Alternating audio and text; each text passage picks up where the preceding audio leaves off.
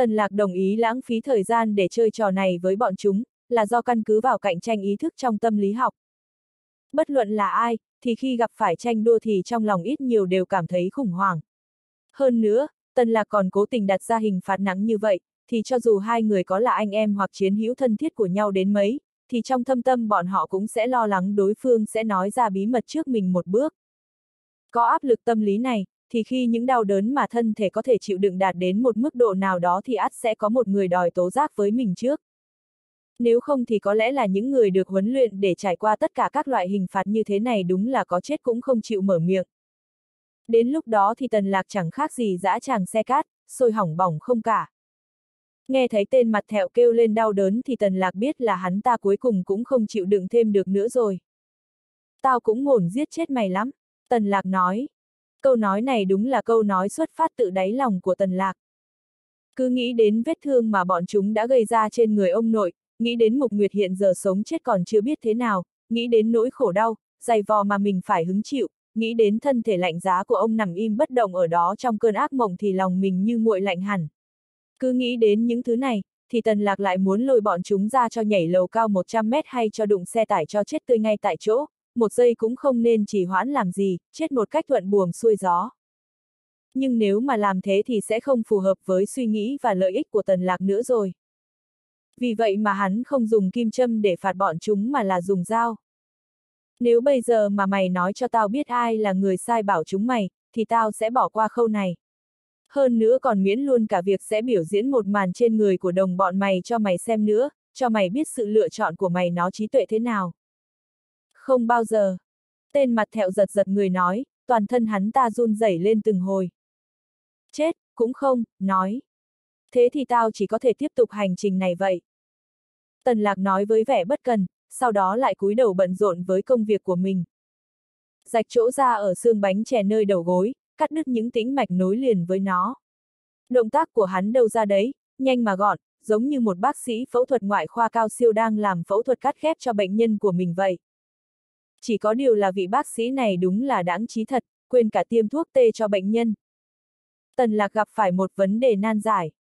Vì khớp xương bánh chè và khớp xương ở đùi gắn liền lại với nhau, giống như cái chốt cửa khóa chặt cửa lại. Nếu không có chìa khóa thì chỉ có thể đập nó ra mà thôi. Dễ dàng thấy được rằng, tần lạc không hề có chìa khóa. Thế là hắn liền quay người tìm kiếm một hồi. Khi hắn nhìn thấy ở trong góc nhà có một chiếc gậy sắt gì đang nằm im một chỗ ở đó thì vui mừng nhặt nó lên.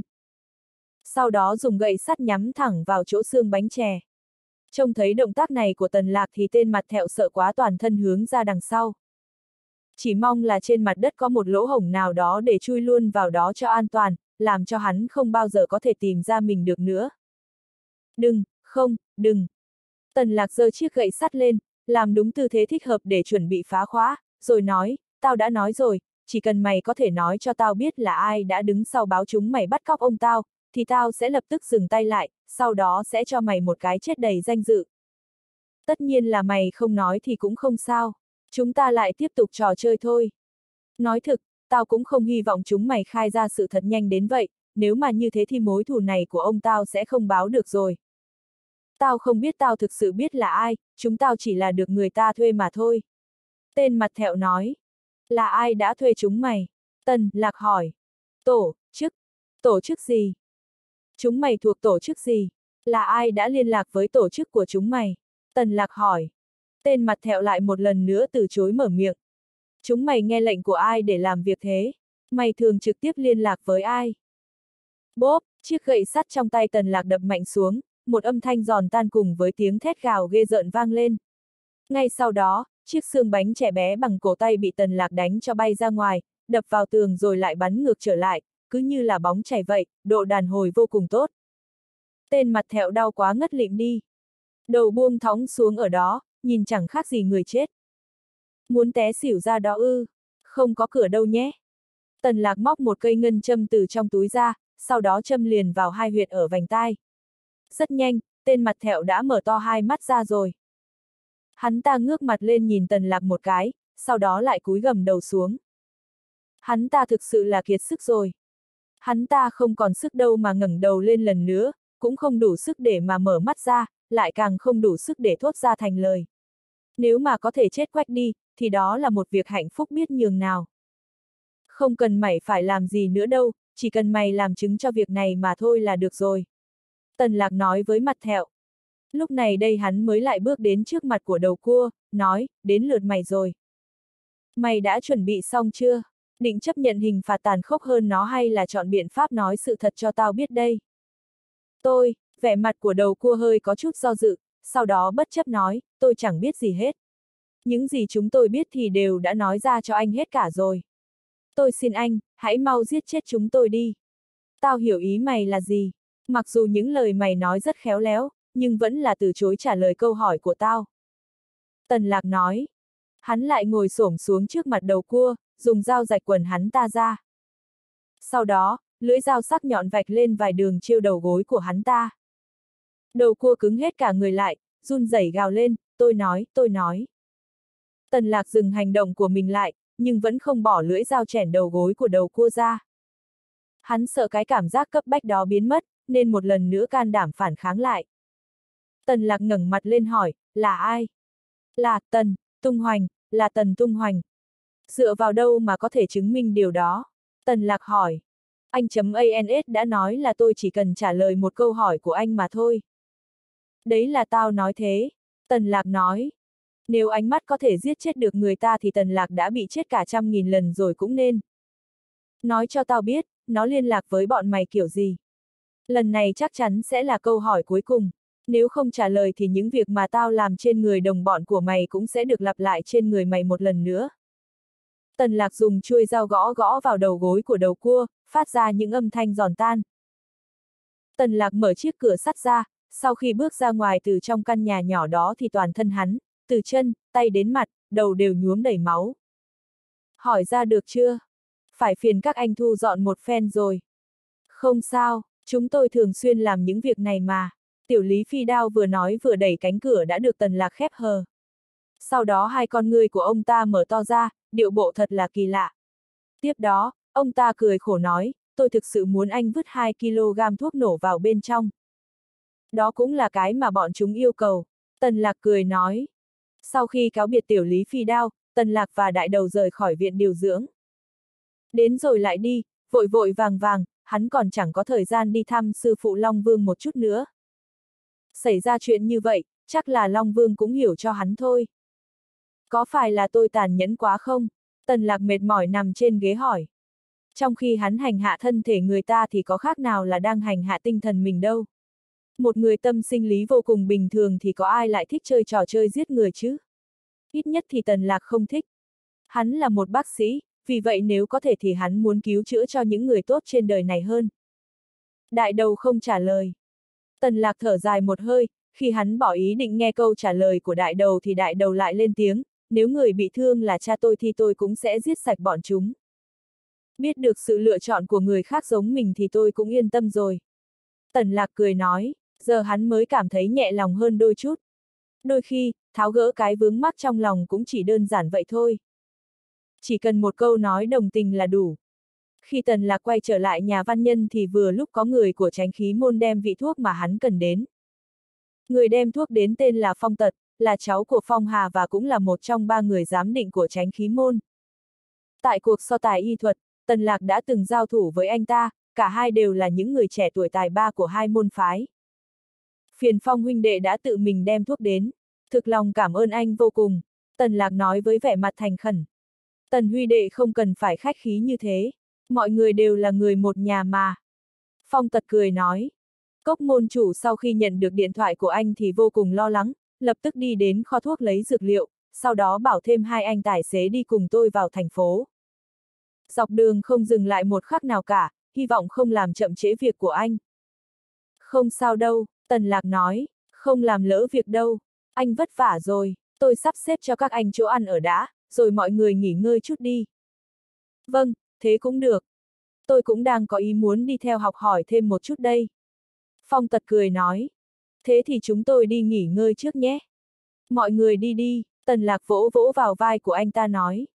Cái vị thuốc đó của Bồ Tát Môn vẫn chưa được đưa đến, tần lạc cũng chẳng có cách nào sắc thuốc cho văn nhân mục nguyệt cả. Sau khi bắt mạch lại cho nàng một lần nữa thì thấy sức khỏe của nàng lại khỏe hơn trước được một chút, đây coi như một tin vô cùng tốt lành. Trong lòng Tần Lạc cũng thấy khá hơn ít nhiều.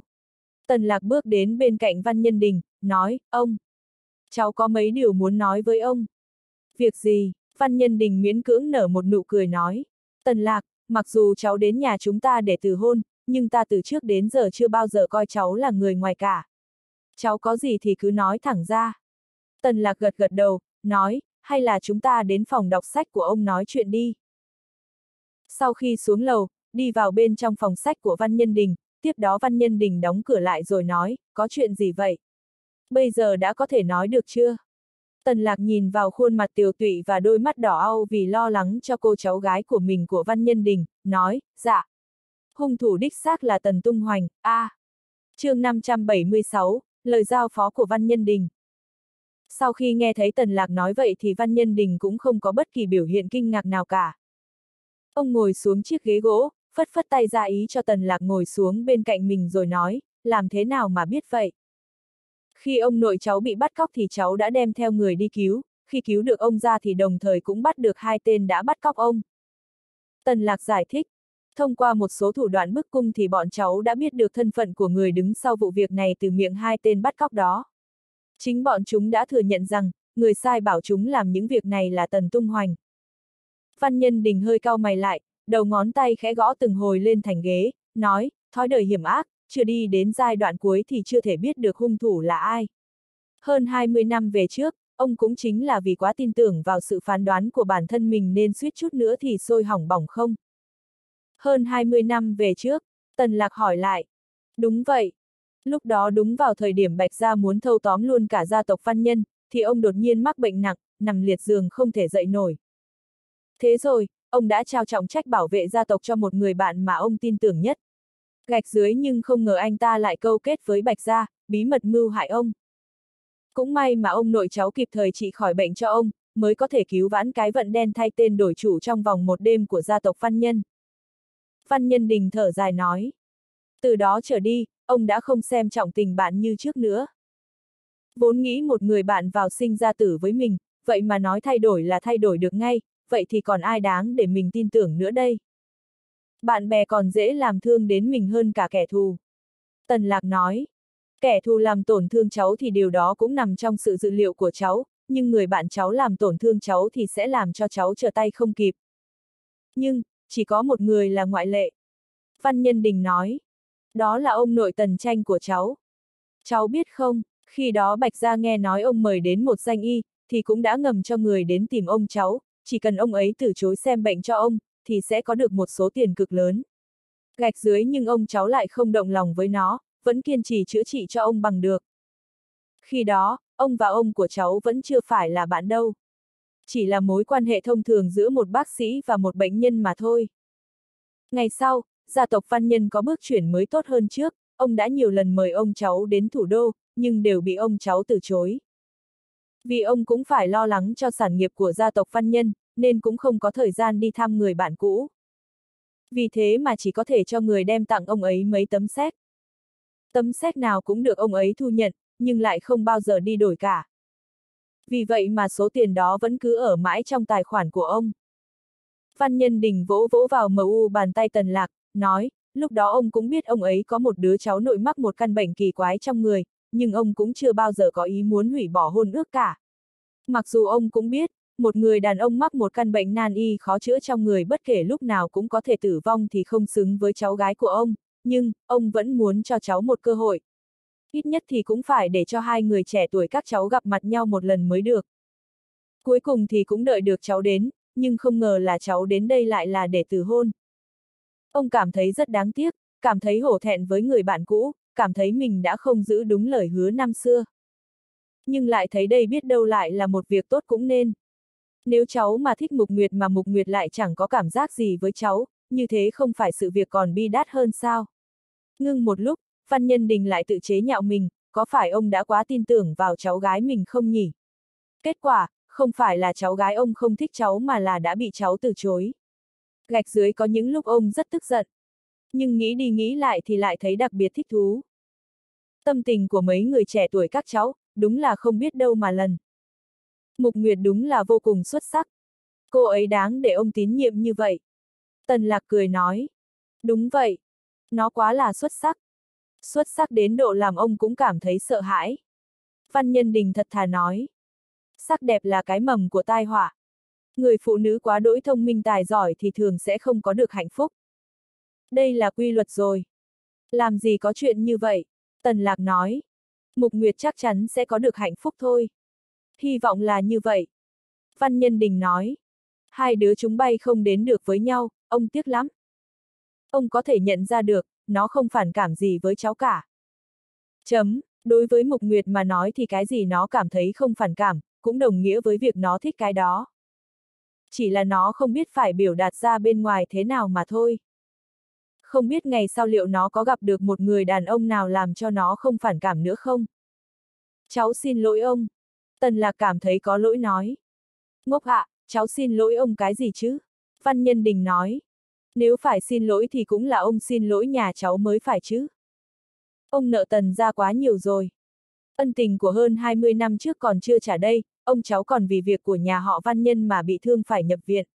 Gạch dưới ông thực sự ái náy lắm. Thật là hổ thẹn vô cùng. Tần lạc nhìn vẻ mặt lộ rõ vẻ xấu hổ của văn nhân đình, trong lòng khẽ xúc động. Chỉ vì một lời hứa của 24 năm về trước mà văn nhân đình đã kiên trì cả gần nửa đời người. Bất luận ông ấy ở vào địa vì gì đi chăng nữa thì vẫn luôn khắc ghi mối ân tình đó trong lòng. Nghe thấy văn nhân ra gặp chuyện mà khiến cho ông mấy chục năm năm không đến thủ đô phải vội vàng chạy tới, hai ông đã hơn 20 năm không gặp mặt mà vẫn giữ được tình bạn như vậy, quả khiến cho người ta phải khâm phục, hâm mộ, tán dương hết lời. Bên cạnh bạn liệu có người bạn nào như vậy không? Tính tình ông cháu bướng bỉnh lắm, ông mà đã muốn làm gì thì không ai khuyên nhủ được. Còn việc gì mà ông đã không muốn làm thì chẳng ai có thể miễn cưỡng bắt ông làm được cả. Tần lạc cười an ủi ông cũng không nên lo lắng quá, ông cháu sẽ ổn cả thôi. Văn Nhân Đình gật đầu nói, hiện giờ việc quan trọng nhất đó là cứu chữa cho Mục Nguyệt. Còn những chuyện khác, thì đợi khi nào nó thức dậy rồi tính tiếp đi.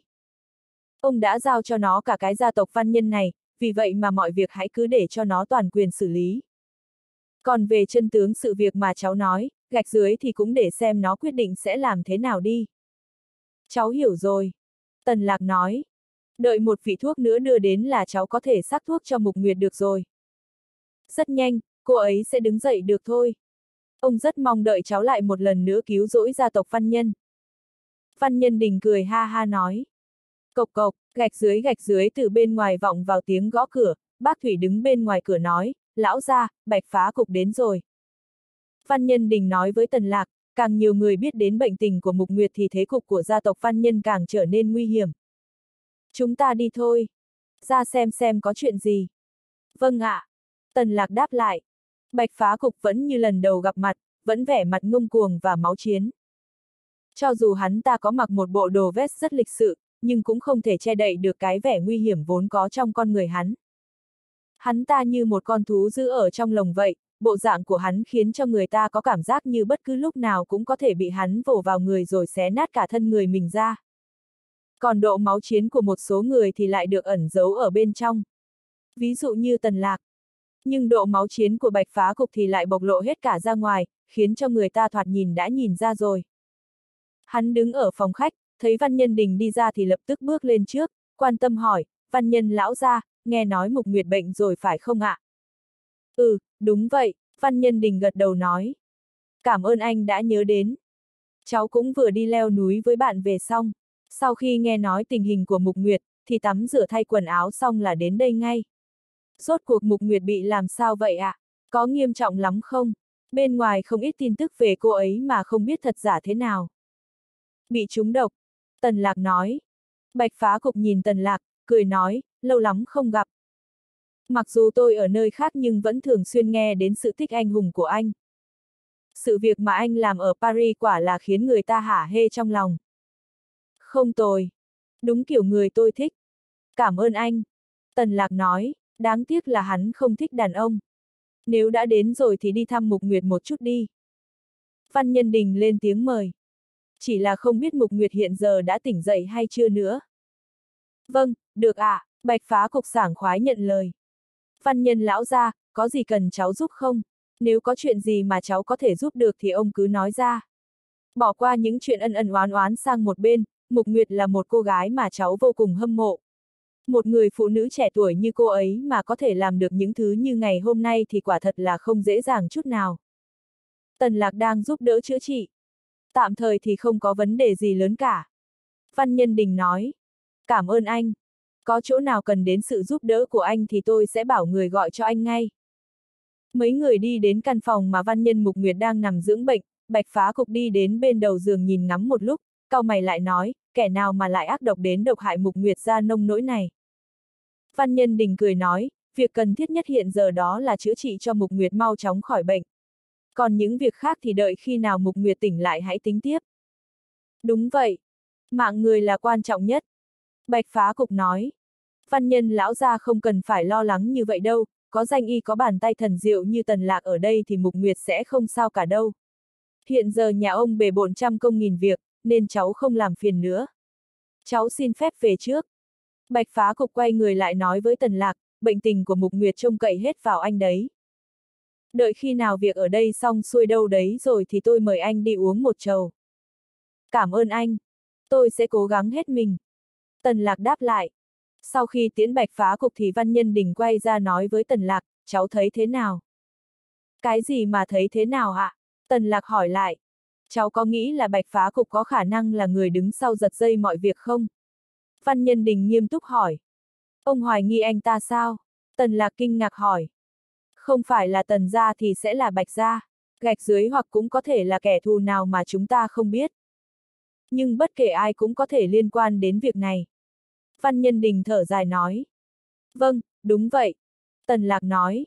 Hy vọng Mục Nguyệt mau chóng khôi phục. Với trí thông minh của cô ấy thì chân tướng sự việc chắc chắn sẽ sớm được làm sáng tỏ thôi. Văn Nhân Đình lắc lắc đầu nói, Tần Lạc, cháu không hiểu.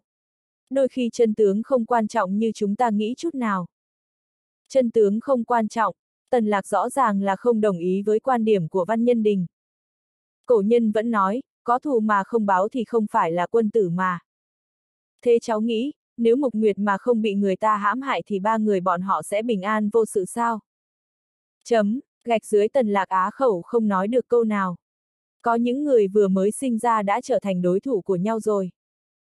Việc này chẳng liên quan gì đến chuyện bạn đã từng làm chuyện gì và từng nói gì. Hai người bọn họ đều không phải là hạng người đơn giản chút nào. Để Mục Nguyệt phải đấu trí với hai đối thủ như vậy thì ông có phần lo lắng.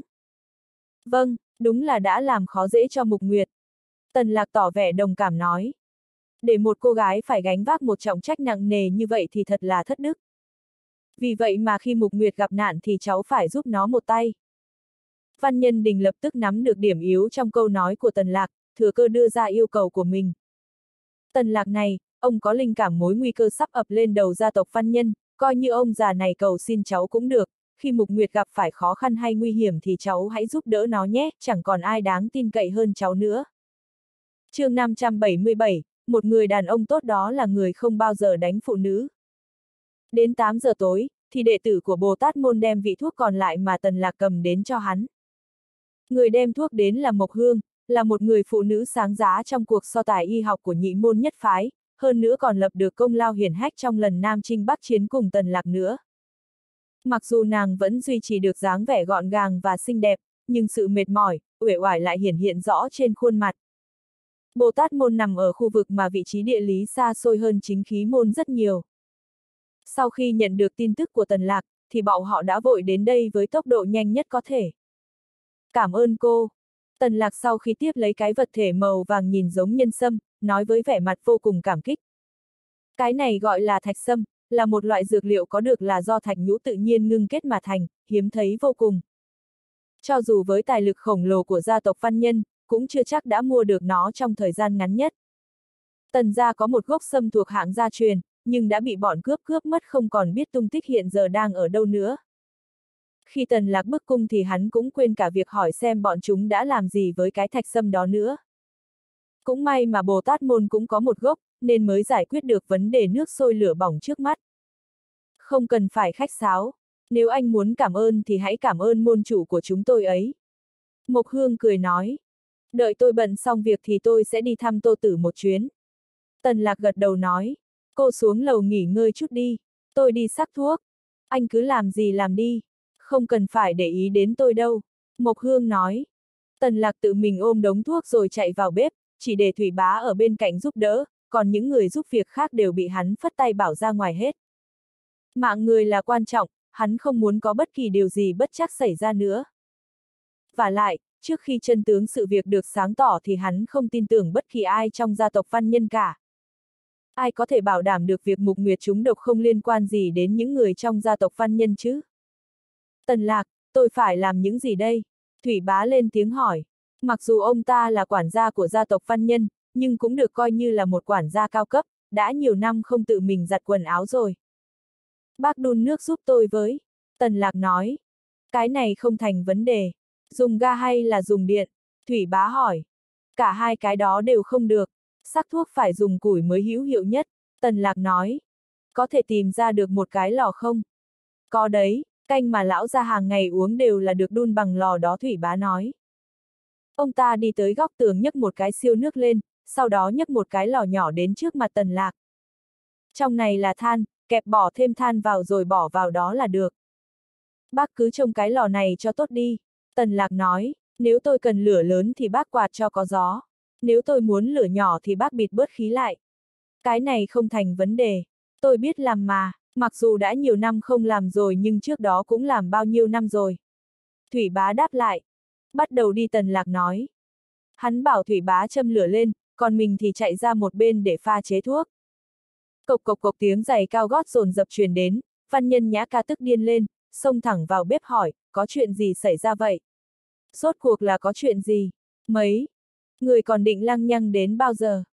Tần lạc cao mày lại hỏi, cô muốn làm gì? Làm gì? Anh bảo tôi muốn làm gì? Tôi bảo nhà bếp làm cho tôi một bát canh yến mà đến giờ vẫn không đem tới. Chẳng lẽ mấy người không biết rằng, tối nào trước khi đi ngủ tôi đều phải uống một bát canh yến hay sao? Văn nhân nhã ca khó chịu nói. Thủy bá thấy văn nhân nhã ca lại phát điên lên thì vội vàng đứng dậy giải thích, tiểu thư, chuyện là thế này. Chúng tôi đang chuẩn bị sắc thuốc cho mục nguyệt tiểu thư, vì vậy mà đã bảo mấy người làm ở trong bếp ra bên ngoài hết rồi. Lát nữa chúng tôi sắc xong thuốc rồi thì tôi sẽ lập tức bảo người làm canh yến rồi đem đến cho cô. Như thế có được không? Đợi đến khi bác sắc xong thuốc thì tôi phải đợi đến khi nào? Mấy người muốn nịnh nọt văn nhân mục nguyệt thì đó là việc của mấy người, nhưng cũng phải để cho người khác một con đường sống chứ, chỉ vì mục nguyệt thôi mà chúng tôi cơm không có mà ăn, cháo không có mà húp hay sao? Tôi không cần biết, bác mau đi gọi người làm vào đây, tôi muốn uống canh rồi đi ngủ. Không thể được, Tần Lạc vẫn đang dùng dao cắt thạch sâm ra, nói mà không thèm quay đầu lại. Tên họ Tần kia, anh nghĩ mình là ai hả? Đây là nhà văn nhân, không phải là ổ chó nhà anh. Tôi bảo bọn họ vào thì bọn họ phải vào. Tôi nói không được là không được, Tần Lạc vẫn lạnh lùng đáp lại. Ai thèm để ý đến AU chứ? Văn nhân nhã ca nói. Hai người đi vào trong kia làm một bát canh yến cho tôi, để tôi xem xem ai dám đuổi hai người ra ngoài. Mấy người làm bếp lo lắng do dự, không biết mình nên tiến vào bên trong nhà bếp, hay là tiếp tục đứng ở ngoài cửa ngóng nhìn. Tần lạc bỏ đồ dở tay xuống, cầm dao bước tới trước mặt văn nhân nhã ca, lạnh lùng cười nói, cô sợ tôi sẽ trị khỏi cho Mục Nguyệt phải không? Anh, tôi chẳng quan tâm đến chuyện đó. Tôi chỉ muốn có một bát canh yến mà thôi. Văn nhân nhã ca tức đến điên người nói. Cái cổ độc này là do cô hạ thủ phải không? Nghe vậy, vẻ mặt của văn nhân nhã ca tái nhợt đi, tức giận quát lên, họ tần kia, anh đừng có mà ngậm máu phun người. Anh có tin là tôi sẽ tố cáo anh vì tội phỉ báng không? Bị tôi đoán chúng rồi phải không? Nếu không phải thế thì sao lại cố ý đến đây gây sự lúc tôi trị liệu cho Mục Nguyệt chứ? Cho dù Mục Nguyệt có mất đi thì cái ghế đó cũng không đến lượt cô đâu. Mà cho dù có đến được lượt của cô đi chăng nữa, thì cô cũng sẽ không thể làm tốt được, phải vậy không? Anh, anh, họ tần kia, tùy anh thích nghĩ gì thì nghĩ, dù gì thì cũng không liên quan gì đến tôi. Cô thấy tôi đánh phụ nữ bao giờ chưa? Tần lạc hỏi. Anh định làm gì? Văn nhân nhã ca liếc mắt nhìn con dao trong tay tần lạc, cảnh giác hỏi lại. Nếu cô không muốn bị đánh thì đừng có mà đến làm phiền tôi làm việc tần lạc cười nói. Để tôi xem xem anh có dám không đã. Bốp, văn nhân nhã ca còn chưa dứt lời thì đã ăn một cái tát đau điếng vào mặt. Tôi dám đó, tần lạc cười nói. Dầm, tần lạc đóng mạnh cánh cửa bếp lại, bỏ mặc văn nhân nhã ca đang ôm chầm lấy mặt, đứng ngây người ra như phóng ở ngoài cửa. Tần lạc, sao chấm SAO cậu lại có thể đánh nhã ca tiểu thư được chứ? Thủy bá cuống cuồng hỏi, nói gì thì nói, cô ấy cũng là cháu nội của lão gia mà, hơn nữa, cô ấy còn là con gái, bị đánh như vậy thì về sau làm sao? Bác Thủy, những phụ nữ như thế này thì bác không thể coi đó là phụ nữ được. Tần lạc nhìn Thủy bá nói. Đôi khi phải nhờ đến nắm đấm thì mới giải quyết được vấn đề một cách nhanh nhất. Tôi chẳng còn thời gian mà chậm trễ thêm nữa. Nhưng, lát nữa, bác không phải lo nhiều thế làm gì, cứ lo sắc thuốc trước đã. Cái nhà này ngoại trừ mục nguyệt ra thì tôi chẳng thèm để tâm đến ai cả. Tần lạc, bà mày không đội trời chung với mày. Một lúc sau, từ bên ngoài cửa vọng lại tiếng thét gào thảm thiết cùng với tiếng khóc lóc tủi thân. Tần lạc nhún nhún vai tỏ vẻ chẳng thèm quan tâm làm gì cho mệt, một tay cầm khăn ướt nhấc ấm thuốc lên, còn một tay thì không ngừng dùng đũa gẩy gẩy những vị thuốc ở bên trong ấm. Những vị thuốc mà hắn pha chế không phải là thảo dược trăm năm thì cũng là thạch nhũ ngàn năm, rất khó để có thể nấu cho chín, nấu cho ngấm để chắt được dược chất mà hắn cần. Như thế này thì có thể rút ngắn thời gian sắc thuốc lại. Để lửa to lên bác Thủy, càng to càng tốt, Tần Lạc nói. Thủy bá ừ một tiếng rồi cầm lấy chiếc quạt quạt lấy quạt để về phía cái lò. Ngọn lửa bé nhỏ dần bùng lên, nóng đến độ làm cho mặt Tần Lạc đỏ rực cả lên. Nhỏ lửa lại đi bác, Tần Lạc nói. Thủy bá vội vàng dùng một chiếc nút bịt lỗ hổng của lò lại, không để cho không khí bên ngoài có thể len lỏi vào bên trong lò. Vì vậy mà vừa rồi ngọn lửa còn đùng đùng thì giờ đã lưu diêu trở lại. To lửa lên bác, Thủy bá lại một lần nữa làm lại trình tự ban nãy, hai người đàn ông bận tối mắt tối mũi trong nhà bếp. U. Khi văn nhân nhã ca ôm lấy khuôn mặt sưng đỏ của mình chạy về phòng thì vừa lúc đụng phải người anh họ văn nhân liệt của mình. Nhã ca, em làm sao vậy? Văn nhân liệt thấy văn nhân nhã ca mặt mày đẫm lệ thì lên tiếng hỏi. Hắn ta đánh em văn nhân nhã ca khóc thút thít nói. Ai đánh em? Văn nhân liệt sửng sốt hỏi. Ai dám đánh em cơ chứ? Tần lạc, là tên khốn đó đã đánh em đấy văn nhân nhã ca ức chế nói. Thằng đó là một tên lưu manh biến thái, cặn bã. Anh cho em mượn súng của anh đi, em muốn giết chết nó. Cái gì, em muốn dùng đến súng, em không được làm bậy văn nhân liệt vội vàng ngăn cản. Hơn nữa, súng của anh ở trong phòng cơ, anh cũng không đem theo bên người. Không được, nó phải chết, nhất định phải chết. Văn nhân nhã ca giận dữ nói từ trước đến giờ em chưa từng bị ai đánh bao giờ, lại càng không có ai dám đánh vào mặt em, vậy mà hắn ta lại đánh vào mặt em. Ngày sau em còn mặt mũi nào mà gặp mọi người nữa chứ? Em nhất định phải giết chết thằng khốn đó mới được. Nhã ca, em không được xúc động quá như vậy. Em hãy nói chuyện này với ông đi, ông nhất định sẽ giúp em lấy lại sự công bằng thôi. Ông Á, đó là ông của văn nhân Mục Nguyệt, ông ấy không bao giờ nói giúp em đâu, mà chắc chắn ông sẽ giúp người ngoài rồi giáo huấn cho em một trận cho xem văn nhân nhã ca rõ ràng là không nghe theo lời khuyên của văn nhân liệt. Nhưng em cũng không thể nổ súng chứ. Văn nhân liệt còn chưa dứt lời thì có tiếng điện thoại trong túi vang lên. Em đợi anh một chút, anh nghe xem ai gọi đã. Nói xong hắn liền rút điện thoại ra đi ra sân nghe. Văn nhân nhã ca nhìn theo bóng dáng của văn nhân liệt dần khuất ở đằng xa thì chạy nhanh lên lầu. Thời gian từng giây từng phút trôi đi, cuối cùng thì thuốc cũng được sắc thành một thứ sền sệt như ý muốn. Nhìn nó như là một cây kem đang tan chảy vậy, dùng đũa khuấy còn thấy có những sợi tơ mỏng còn bị cuốn theo. Thủy bá mệt quá ngồi phịch luôn xuống sàn thở hổn hển. Ngày thường ông cũng thích cùng văn nhân đình rèn luyện sức khỏe, nhưng trải qua lần hành hạ này của Tần Lạc thì ông quả là đã kiệt sức hoàn toàn rồi. Tần Lạc đối với kết quả lao động của bọn họ thì vô cùng hài lòng, hắn dùng đũa khoắng đều lên ở bên trong ấm thuốc để lát nữa thuốc nguội rồi thì có thể dễ dàng đưa vào miệng của Mục Nguyệt hơn. Bác Thủy, bác vất vả rồi. Tần lạc ái náy nói. Tôi cũng không ngờ là sắc cái thuốc này cần đến cả hơn 2 giờ đồng hồ. Xin lỗi đã làm cho bác phải mệt thế này. Không sao, Thủy bá hất tay một cách huệ hoài. Mau đem đi cho Mục Nguyệt tiểu thư uống đi, cô ấy không sao thì tốt rồi. Tần lạc gật gật đầu, rót nước thuốc ra bát. Hắn bưng bát thuốc rồi đứng dậy mở cửa bếp ra thì thấy có một người phụ nữ xuất hiện ngay trước mặt mình với vẻ mặt lạnh lùng oán hận. Mày cút xuống địa ngục đi. Văn nhân nhã ca dơ súng chĩa thẳng vào người của tần lạc. chương 578, tiếng súng phá tan không gian yên tĩnh. Người xuất cũng đường đột, đạn đến còn đường đột hơn. Tần lạc căn bản là không có bất kỳ tâm lý phòng vệ nào cả. Hắn không bao giờ ngờ tới việc, trong một gia tộc lúc nào cũng được bảo vệ nghiêm ngặt, cho dù có là một con chim sẻ cũng khó có thể lọt qua lại có người chĩa súng vào mặt mình như vậy. Hắn đã đánh giá thấp một số người ngu xuẩn trong gia tộc văn nhân, đồng thời cũng phải trả giá vì cái ngu xuẩn của mình. Hiện tại hắn phải đối mặt với hai sự lựa chọn. Một là né tránh. Nhưng nếu làm vậy thì bát thuốc còn nóng hổi trong tay mình sẽ phải đổ đi. Đây là điều mà Tần Lạc khó có thể chấp nhận được. Bởi vì hắn không thể khẳng định được bản thân mình liệu còn có thể tìm được những vị thuốc mà không bao giờ có thể dùng tiền tài để đổi lại được này hay không. Và lại, tình trạng của văn nhân mục nguyệt không thể kéo dài hơn thêm được nữa. Nếu đợi đến khi thảo cổ bà thân thể hồi phục lại, chỉ cần bà ta lại một lần nữa bỏ độc thì văn nhân mục nguyệt sẽ chết chắc. Không thể đổ thuốc đi được. Một giọt cũng không thể. Hai là để mặc cho cô ả ra tay thôi. Có thể mình vẫn giữ được bát thuốc một cách nguyên vẹn, nhưng bản thân mình sẽ bị thương nặng. Người phụ nữ này cũng coi như còn chút lý trí, không dám nhằm vào những chỗ trọng yếu trên cơ thể mình. Tất nhiên, cũng không loại bỏ trường hợp đó là kỹ thuật bắn súng của cô ả kém quá. Hoặc có thể nói, cô ta căn bản là không biết những bộ phận trọng yếu trên cơ thể người là những vị trí nào. Sự lựa chọn này càng không thể được. Vào lúc mà ông nội còn chưa thoát khỏi cơn nguy hiểm, văn nhân mục nguyệt thì chưa biết sống chết ra sao, vì vậy mà Tần Lạc không cho phép mình được phép đổ xuống. Tần Lạc chọn phương án là cướp đoạt súng. Đó là quyết định trong khoảnh khắc mà bộ não của hắn đưa ra.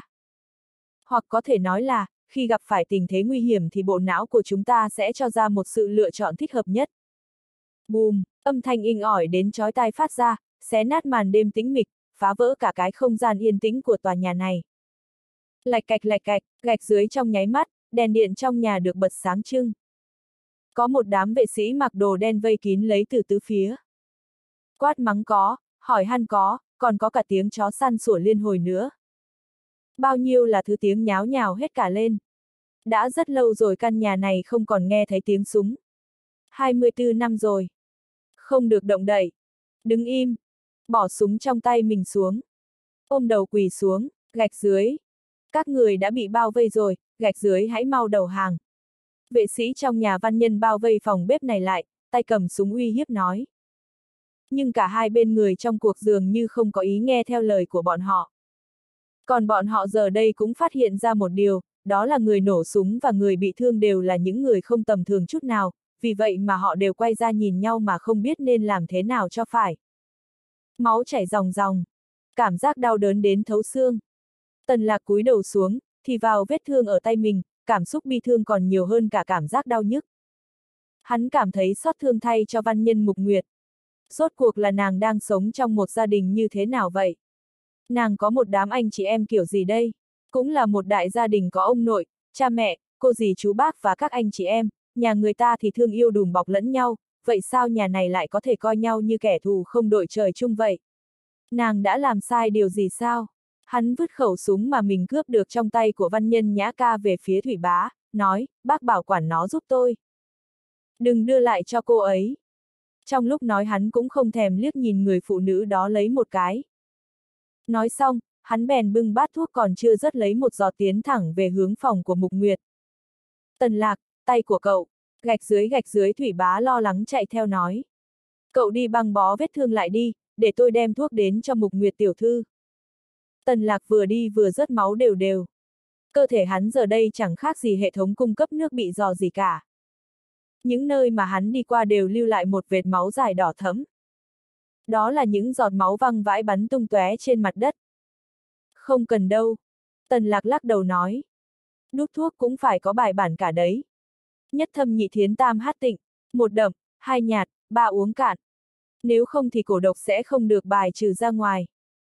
Thôi cứ để tôi tự tay cho cô ấy uống đi. Nhưng tay của cậu, Thủy bá nói với theo. Tần lạc cười nói, không sao đâu, tôi cũng chẳng còn cảm giác gì với cái tay này nữa. Cổ thật là bàn tay này của tần lạc đúng là tai họa liên miên. Khi văn nhân mục nguyệt gặp phải sát thủ ở trên con đường nhỏ trong trường đại học y khoa, thì hắn cũng dùng bàn tay này để ngăn nhát dao đó lại. Sau đó bàn tay của hắn đã bị đâm xuyên qua. Còn khi ở Paris thì bị viên cảnh sát đầu chọc dùng dùi cui đập cho không còn biết cảm giác là gì nữa. Tay còn chưa khỏi thì giờ lại bị trúng đạn nữa. Khốn kiếp! Nhưng cứ chảy máu ròng ròng thế này cũng không được. Thủy bá lo lắng dậm chân dậm cẳng nói. Không sao đâu. Tôi cho cô ấy uống thuốc xong đâu đó rồi sẽ cầm máu lại. Tần lạc an ủi nói. Tôi có thuốc cầm máu công hiệu lắm. Bác cứ yên tâm đi. Cho đến giờ phút này thì văn nhân đình, văn nhân không, văn nhân tiệp, v, v. Mới đi tới, thấy tay tần lạc bị thương thì tức giận quát lên, tần lạc, có chuyện gì xảy ra vậy? Ông hãy hỏi bác Thủy đi, cháu không còn thời gian nữa đâu. Tần lạc nói. Dứt lời, hắn liền lách người bước qua đám người trong gia tộc văn nhân này. Bác Thủy, rốt cuộc là xảy ra chuyện gì vậy? Văn nhân đình trừng mắt phẫn nộ hỏi. Ông biết là văn nhân mục nguyệt ngã xuống rồi thì mấy người như con trai, con dâu, cháu trai, cháu gái đều dục dịch ngóc đầu dậy, nhưng ông làm sao ngờ được trong nhà lại có thể xảy ra chuyện thế này. Chẳng lẽ nhất định phải xảy ra một cuộc tàn sát đẫm máu hay sao? Đó đều là những người thân yêu nhất của mình mà. Là tiểu thư nhã ca. Thủy bá đưa cho văn nhân đình khẩu súng trên tay mình rồi nói. Văn nhân đình bước đến bên văn nhân nhã ca còn đang run rẩy, nước mắt ngắn nước mắt dài, hỏi, chuyện này là thế nào? Nó, nó đánh cháu. Anh ta đánh vào mặt cháu. Gạch dưới cháu phải giết chết anh ta. Văn nhân nhã ca đột nhiên la lên. Cô là người nổ súng, nhưng lại sợ sệt đến toàn thân run rẩy. Xem ra đúng là không phải ai cũng có thể chơi súng. Sao nó lại đánh cháu? Văn nhân đình trầm giọng hỏi. Anh ta, văn nhân nhã ca run cầm cập không nói nên lời. Bác Thủy. Văn nhân đình quát lên. Thủy bá cảm thấy bất đắc dĩ, không biết phải làm sao, chậm chậm bước tới trước mặt văn nhân đình giải thích, tần lạc muốn sắc thuốc cho tiểu thư mục nguyệt, vì muốn an toàn tuyệt đối nên đã bảo hết người làm ở trong bếp ra ngoài. Nhưng tiểu thư nhã ca lại muốn uống canh yến, nên đã bắt người làm vào nấu canh cho cô ấy, vì vậy mà hai người bọn họ đã phát sinh xung đột, cuối cùng tần lạc đã đánh vào mặt tiểu thư nhã ca. Cháu muốn uống canh mà nó không cho cháu uống sao? Văn Nhân Đình hỏi. Vâng. Văn Nhân Nhã ca nói. Nó đã đánh vào bên mặt nào của cháu? Bên trái, Văn Nhân Nhã ca chỉ vào bên mặt trái mình nói. Bốp, Văn Nhân Đình đột nhiên cho luôn một cái bà tai như trời giáng lên trên mặt trái của Văn Nhân Nhã ca. Có phải nó đánh cháu như thế này không? Chấm, gạch dưới gạch dưới ông, sao ông? Gạch dưới gạch dưới Văn Nhân Nhã ca choáng váng hết cả người. Bốp, lại một cái bà tai nữa giáng lên mặt Văn Nhân Nhã ca. Ông đang hỏi cháu đấy, có phải nó đánh cháu như vậy không? Văn Nhân Nhã ca sợ đến xanh mặt, khóc òa lên. Văn nhân không vội vàng tiến lên trước an ủi cha mình, nói, cha, đây cũng không phải là lỗi của nhã ca. Nó còn trẻ không biết gì, nhưng nói gì thì nói cũng là con cháu trong nhà văn nhân chúng ta, cũng chỉ là muốn uống một bát canh thôi mà, không cho làm thì thôi chứ sao phải đánh người như vậy chứ. Đúng vậy, nó dựa vào cái gì mà đánh người của nhà văn nhân chúng ta thế chứ? Thực là ngông cuồng hết biết, không coi ai ra gì cả. Nhã ca là cháu gái của ông, anh ta đánh nhã ca thì khác gì đánh thẳng vào mặt ông chứ. Tối qua khi cháu lái xe về nhà thì gặp anh ta, anh ta đứng ngay trước mặt mà không nhường đường gì cả, cháu đã nhấn còi rồi mà anh ta còn chửi mắng um sùm lên, lại còn bảo tên vệ sĩ của anh ta hất cả xe của cháu xuống vực nữa. Gạch dưới anh ta biết ông cưng chiều anh ta nên cứ ỉ vào điều đó mà chẳng sợ gì bọn cháu cả. Gạch dưới gạch dưới. Chấm, gạch dưới gạch dưới dù sao thì phỉ báng người khác cũng đâu cần tiền đâu, người trong cuộc thì lại không có ở đây, vì vậy mà chẳng ai có thể giải thích được cả. Vì vậy mà người nhà văn nhân cứ thế mà thả phanh nhổ nước bọt lên mặt tần lạc mà chẳng sợ gì. Cách hành sự của tần lạc vô cùng phô trương, lại được văn nhân đình vô cùng coi trọng, thậm chí còn chơi trội hơn cả mấy người có vai trò là chủ nhân này nữa. Là một thành viên trong gia tộc văn nhân, chẳng có ai lại không căm ghét hắn cả. Chỉ có một mình văn nhân tiệp đứng im một chỗ mà không nói câu gì, vì nói gì thì nói, tên vô lại mà bọn họ đang công kích đó lại đang cứu chữa cho con gái của mình. Đủ rồi. Văn nhân đình gắt lên. Văn nhân nhã ca, cháu lập tức đi thu dọn đồ đạc rồi sang Mỹ. Không có sự cho phép của ông thì cả đời này cháu cũng không được bước vào cái thành phố Yến Kinh này một bước. Cho dù ông có chết mà không có sự đồng ý của ông thì cháu cũng không được về. Ý của văn nhân đình có nghĩa là đuổi thẳng văn nhân nhã ca ra khỏi gia tộc văn nhân. Sao ông lại đuổi cháu đi? Văn nhân nhã ca khóc nói. Cháu mới là cháu gái của ông, cháu mới là cháu gái ruột của ông chứ. Cháu họ văn nhân, trong người cháu còn chảy dòng máu của gia tộc văn nhân, sao ông lại đuổi cháu đi như vậy?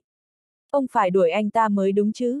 Gạch dưới ông phải đuổi cái người ngoại họ ra khỏi nhà mình mới đúng chứ. Đúng đấy cha, cha không thể cứ giúp một người ngoài như vậy. Gạch dưới nhã ca nổ súng đúng là sai thật, nhưng cũng không làm thương đến cậu ta mà. Hơn nữa, chẳng lẽ cậu ta lại không sai gì sao? Nói gì thì nói nhã ca cũng là con gái, nếu việc này mà truyền ra ngoài thì nó còn mặt mũi nào mà nhìn người ta nữa. Tôi đã quyết rồi, mọi người không phải nói gì thêm nữa đâu. Văn Nhân Đình nói chắc như đinh đóng cột. Cháu biết ngay mà, gạch dưới cháu biết ngay là ông sẽ giúp người ngoài mà. Văn Nhân Nhã ca chỉ vào mặt của Văn Nhân Đình nói. Cháu cũng biết là ông sẽ làm vậy, chính vì thế cháu mới nổ súng với anh ta. Nếu ông mà đứng về phía cháu, giúp cháu nói vài câu thì, gạch dưới thì làm gì có chuyện cháu sẽ nổ súng chứ. Tất cả đều là do ông ép mà ra. Tất cả đều là do ông ép đó. Ông lúc nào cũng chỉ che chở văn nhân mục nguyệt, có lúc nào ông nghĩ cho những người khác ở trong nhà chưa? Mọi người đều không phải là người thân của ông, duy chỉ có một mình văn nhân mục nguyệt là cháu gái ông phải không? Chỉ cần người nào dính dáng gì đến chị ấy thôi là quan trọng hơn tất cả bọn cháu. Gạch dưới, ông ích kỷ lắm, ông ích kỷ lắm. Văn nhân nhã ca mắng xong thì ôm mặt chạy ra ngoài. Chị ơi! Văn nhân huyên định đuổi theo thì có tiếng người gọi giật lại. Đứng im ở đó. Văn nhân đình hét lên.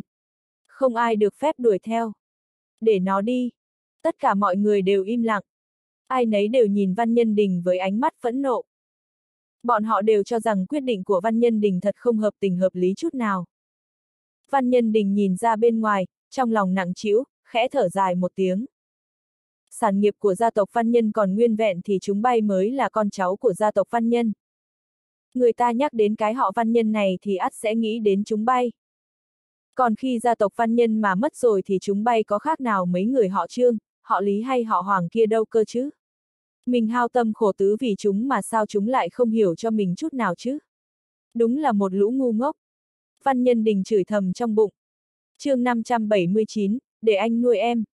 Nhất thâm nhị thiền tam hát tịnh là một câu khẩu quyết uống thuốc. Nhất thâm, chỉ là đầu tiên phải uống một ngụm lớn. Để giải độc, nhị thiền, có nghĩa là sau một ngụm lớn thì một ngụm nhỏ, coi như là để có một chút thời gian hỏa hoãn cơ thể. Tam hát có nghĩa là uống cạn hết thuốc ở ngụm thứ ba, nếu kéo dài thời gian quá mà để thuốc nguội rồi thì sẽ làm giảm hiệu quả của thuốc đi khá nhiều. Dưới sự giúp đỡ của Mã Duyệt, thì Tần Lạc làm theo đúng các bước đút thuốc cho văn nhân Mục Nguyệt. Đỡ cô ấy dậy trước đi, đừng để cho cô ấy nằm xuống. Tần Lạc nói với Mã Duyệt. Anh không băng bó vết thương ở tay lại sao? Mã Duyệt nhìn bàn tay nhuốm máu đỏ thấm của Tần Lạc, hỏi. Tất nhiên là phải băng bó lại rồi. Tần Lạc bỏ bát thuốc xuống, nhanh chóng lấy ra một bình xứ nhỏ từ trong người mình ra. Sau đó hắn dùng răng cậy nắp bình ra rồi đổ một nửa chỗ bột có trong bình đó lên. Trong lúc Tần Lạc đoạt lấy khẩu súng trong tay của văn nhân nhã ca thì đã làm cho góc độ bắn của súng trách sang một bên. Đạn chỉ sượt qua mép bàn tay, kéo theo một mảng lớn, không có vấn đề gì quá lớn, đến cả việc giải phẫu để gắp đạn ra cũng không cần, chỉ cần dùng một ít bột dưỡng cơ kim dũng mà hắn chế ra để cầm máu là ổn.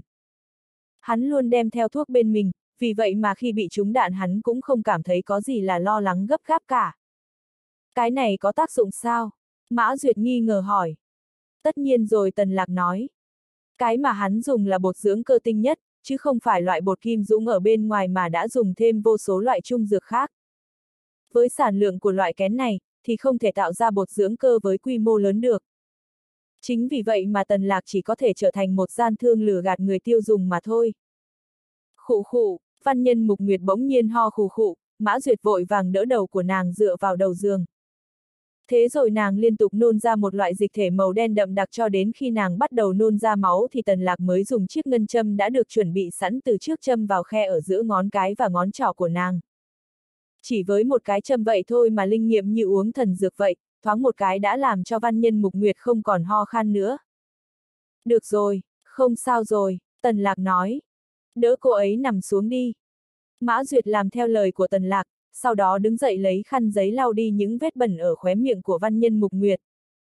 Văn nhân mục nguyệt sau khi nằm xuống được một lúc thì cặp lông mi khẽ động đậy mấy cái, sau đó từ từ mở mắt ra. Em tỉnh lại rồi à? Tần lạc ngồi bên cạnh giường, nhìn nàng với vẻ mặt tươi cười rạng rỡ. Ừm. Văn nhãn mục nguyệt khẽ gật đầu một cái. Anh đến rồi à?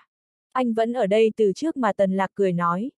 Lần trước khi hắn đến thì văn nhân Mục Nguyệt cũng gặp qua một lần rồi. Chẳng qua là lúc đó nàng vẫn trong trạng thái hôn mê, nên chắc đã quên hết rồi. Tay của anh chảy máu rồi kìa. Văn nhân Mục Nguyệt chỉ vào vết thương trên tay Tần Lạc, yếu ớt nói. Mấy ngày nôn liên tục như vậy làm cho cô kiệt sức hoàn toàn. Không sao đâu, anh quen rồi, Tần Lạc cười nói. Tần Lạc đứng thẳng người dậy, đột nhiên đưa tay ra ôm luôn cả chăn lẫn người Mục Nguyệt lên rồi nói, chúng ta đi thôi. Đừng làm trâu làm ngựa cho bọn họ trong cái nhà này nữa. Ngày sau em không cần phải làm gì nữa đâu, để anh nuôi em. Để cho đám người này tự sinh tự sát rồi bị người đời chửi rủa đi. Mã Duyệt hiển nhiên là bị hành động của Tần Lạc làm cho kinh hãi, ngăn lại nói, Tần Lạc, anh muốn làm gì thế? Tôi muốn đưa cô ấy đi. Tần Lạc vừa nói vừa ôm văn nhân Mục Nguyệt ra bên ngoài. Nhưng anh rể, văn nhân chiếu đứng chặn ở cửa nói. Tránh ra, Tần Lạc hét lên. Văn nhân chiếu há hốc miệng lên, ngoan ngoãn tránh sang một bên nhường đường cho Tần Lạc. Tần Lạc xài bước về phía trước, điệu bộ hùng hùng hổ hổ như thể không có một ai có thể ngăn hắn lại được. Tần Lạc, Tần Lạc, Mã Duyệt chạy theo sau gọi, anh không được đem tiểu thư đi. Tần Lạc như thể không nghe thấy vậy, chẳng thèm để ý đến cô ta, chỉ lo bước nhanh về phía trước. Khi đi đến cầu thang thì vừa lúc đụng phải mấy người văn nhân đình, văn nhân không và những người khác nữa. Tần Lạc, cháu làm gì vậy? Văn nhân đình thấy Tần Lạc ôm lấy văn nhân mục nguyệt trên người thì hỏi với giọng quan tâm. Cháu muốn đưa cô ấy đi Tần Lạc nói. Đi, cháu muốn đưa nó đi đâu? Văn nhân đình nói. Chẳng lẽ chỗ này lại không an toàn sao? Còn có chỗ nào an toàn hơn nhà văn nhân nữa? Văn nhân không cau mày nói. Có những người lúc nào cũng đầu cơ trục lợi, trí thông minh đã có hạn mà tâm địa lại độc ác, suốt ngày bàn mưu tính kế cướp đoạt ngôi vị, thì nơi này còn được coi là nơi an toàn nữa hay không? Anh nói ai lúc nào cũng đầu cơ trục lợi, trí thông minh có hạn. Văn nhân tự giận dữ nói. Mấy thứ đó chẳng qua là bản tính vốn có của các người. Còn cái mà tôi muốn nói đó là mấy người các người lòng dạ độc ác, lúc nào cũng bày mưu tính kế để cướp đoạt ngôi vị. Anh không phải cố ý bỏ qua vế sau lời nói của tôi như thế. Tần lạc vạch trần bộ mặt đáng ghê tởm của mấy người đó mà không chút khách khí gì. Tần lạc, anh nói năng khách khí một chút nhé. Ai muốn cướp đoạt ngôi vị? Ông, ông, và cả anh nữa. Tần lạc chỉ tay vào mặt văn nhân không, văn nhân chăn và văn nhân liệt nói. Hắn liếc mắt nhìn văn nhân tiệp một cái, rồi dùng giọng điệu cay độc của mình nói, có điều là vẫn còn có những người, đến cả việc muốn cướp ngôi cũng không đủ tư cách đồng thời cũng không dám nữa. Ánh mắt của hai người tần lạc và văn nhân tiệp chạm vào nhau, vốn dĩ cảm thấy vô cùng tức giận muốn chửi cho ông ta một hồi mới thôi. Nhưng khi định nói ra rồi thì hắn lại không thốt nên lời. Ông ta tự biết rất rõ là mình không phải một người cha tốt. Trước giờ ông ta chưa từng phủ nhận điều này. Một người mà bị con gái mình coi như người xa lạ, thì điều đó đã thể hiện mức độ tình cảm một cách rõ ràng nhất. Văn Nhân Trăn vô cùng oán hận Tần Lạc vì việc Văn Nhân Đình đã đuổi con gái mình đi, thấy hắn nói vậy thì chế giễu lại, chỉ e là người lúc nào cũng bày mưu tính kế đó là anh cũng nên. Rõ ràng là đã có vợ chưa cưới rồi mà suốt ngày nhùng nhằng với mục nguyệt nhà chúng tôi làm gì. Rốt cuộc là anh muốn làm gì? Tôi chẳng muốn làm gì cả, chỉ là không muốn nhìn thấy một đám người không ra gì ức hiếp bắt nạt mục nguyệt mà thôi. Tần lạc cười lạnh nói. Một đám người không ra gì. Một đám người quan trọng nhất của gia tộc văn nhân lại bị tần lạc chửi là một đám người không ra gì. Việc này mà truyền ra ngoài thì e rằng sẽ khiến cho người ta nghe mà phát sợ. Mày, thật là mất dạy. Bảo vệ đâu, bảo vệ đâu. Loại người này, tốt nhất là trói lại rồi đánh chết đi. Cha, cha xem xem chấm CSA xem xem. Nó nói cái gì, như thế này còn ra gì nữa chứ? Tần lạc không thèm để ý xem bọn họ nói gì, mà vẫn ôm lấy mục nguyệt muốn đi xuyên qua bọn họ. Đợi đã, anh có thể đi, nhưng hãy bỏ chị tôi lại. Văn nhân liệt đứng chặn trước mặt tần lạc nói. Tần lạc trừng mắt nhìn cậu ta một cái, rồi, tôi cảnh cáo cậu, đừng có mà ăn no rừng mỡ. Cậu có tin là tôi sẽ làm anh rể của cậu, sau đó sẽ đưa cậu đến Libya để khai thác dầu mỏ không? Chấm, gạch dưới. Trong khi tần lạc ôm văn nhân mục nguyệt bước qua mặt văn nhân liệt, còn cậu ta vẫn còn chìm trong sự sợ hãi khi nghĩ đến việc mình phải đi đến cái nước loạn lạc kia để khai thác dầu mỏ. Cho đến khi bóng dáng tần lạc khuất dần rồi thì bọn họ mới kịp có phản ứng. Ông nhìn thấy chưa, ông thấy anh ta rốt cuộc là ngông cuồng thế nào chưa? Ông nghe xem anh ta nói cái gì. Anh ta còn chửi chúng ta là một đám người không ra gì nữa. Văn nhân liệt tức tối dậm chân bùm bụp. Nó nói sai sao? Vẻ mặt văn nhân đình tái nhợt đi nói.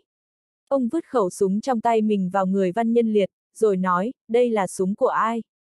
Sao nhã ca lại có khẩu súng này? Cái này, văn nhân liệt cố tình tỏ ra hoang mang, lúng túng. Ông cũng biết rồi đấy, cháu để súng ở trong phòng, không biết sao lại ở trong tay của nhã ca nữa. Văn nhân đình lắc đầu một cách thất vọng nói, mày còn không hiểu sao.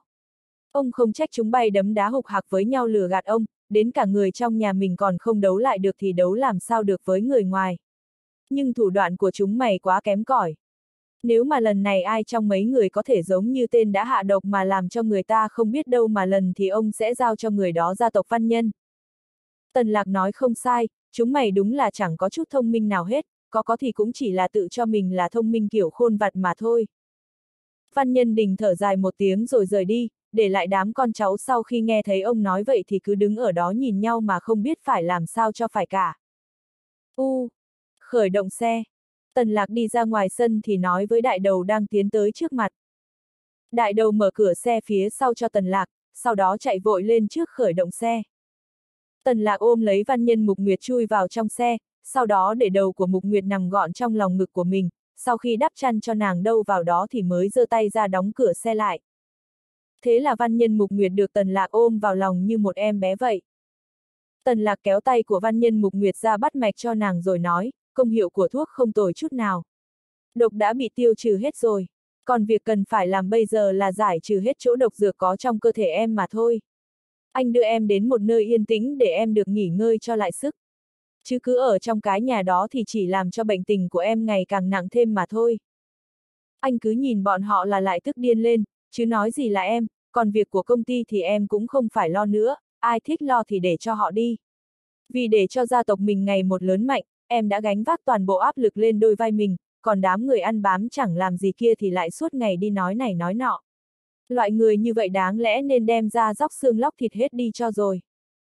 Thôi để cho bọn họ quản đi, đợi cho bọn họ ăn vài vố rồi thì tự khắc sẽ biết mình vô dụng thế nào. Hôm nay anh nói nhiều quá. Văn nhân mục nguyệt nằm gọn lỏn trong lòng tần lạc khẽ nói. Chấm, gạch dưới. Tần lạc mới phát hiện ra là từ lúc lên xe đến giờ, mình cứ cằn nhằn suốt, không khác gì mấy cụ bà 7-80 tuổi là mấy.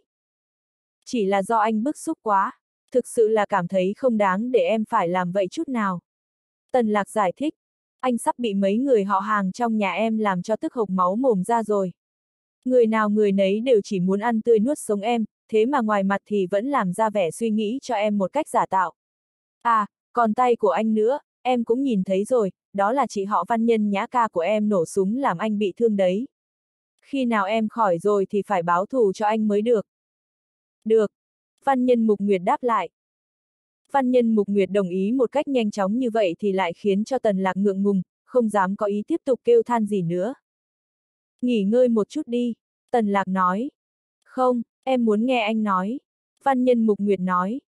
Nghe anh nói. Vâng, hôm nay anh nói dễ nghe lắm. Dễ nghe. Đặc biệt là câu. Câu nào? Ngày sau em không cần phải làm gì cả, để anh nuôi em.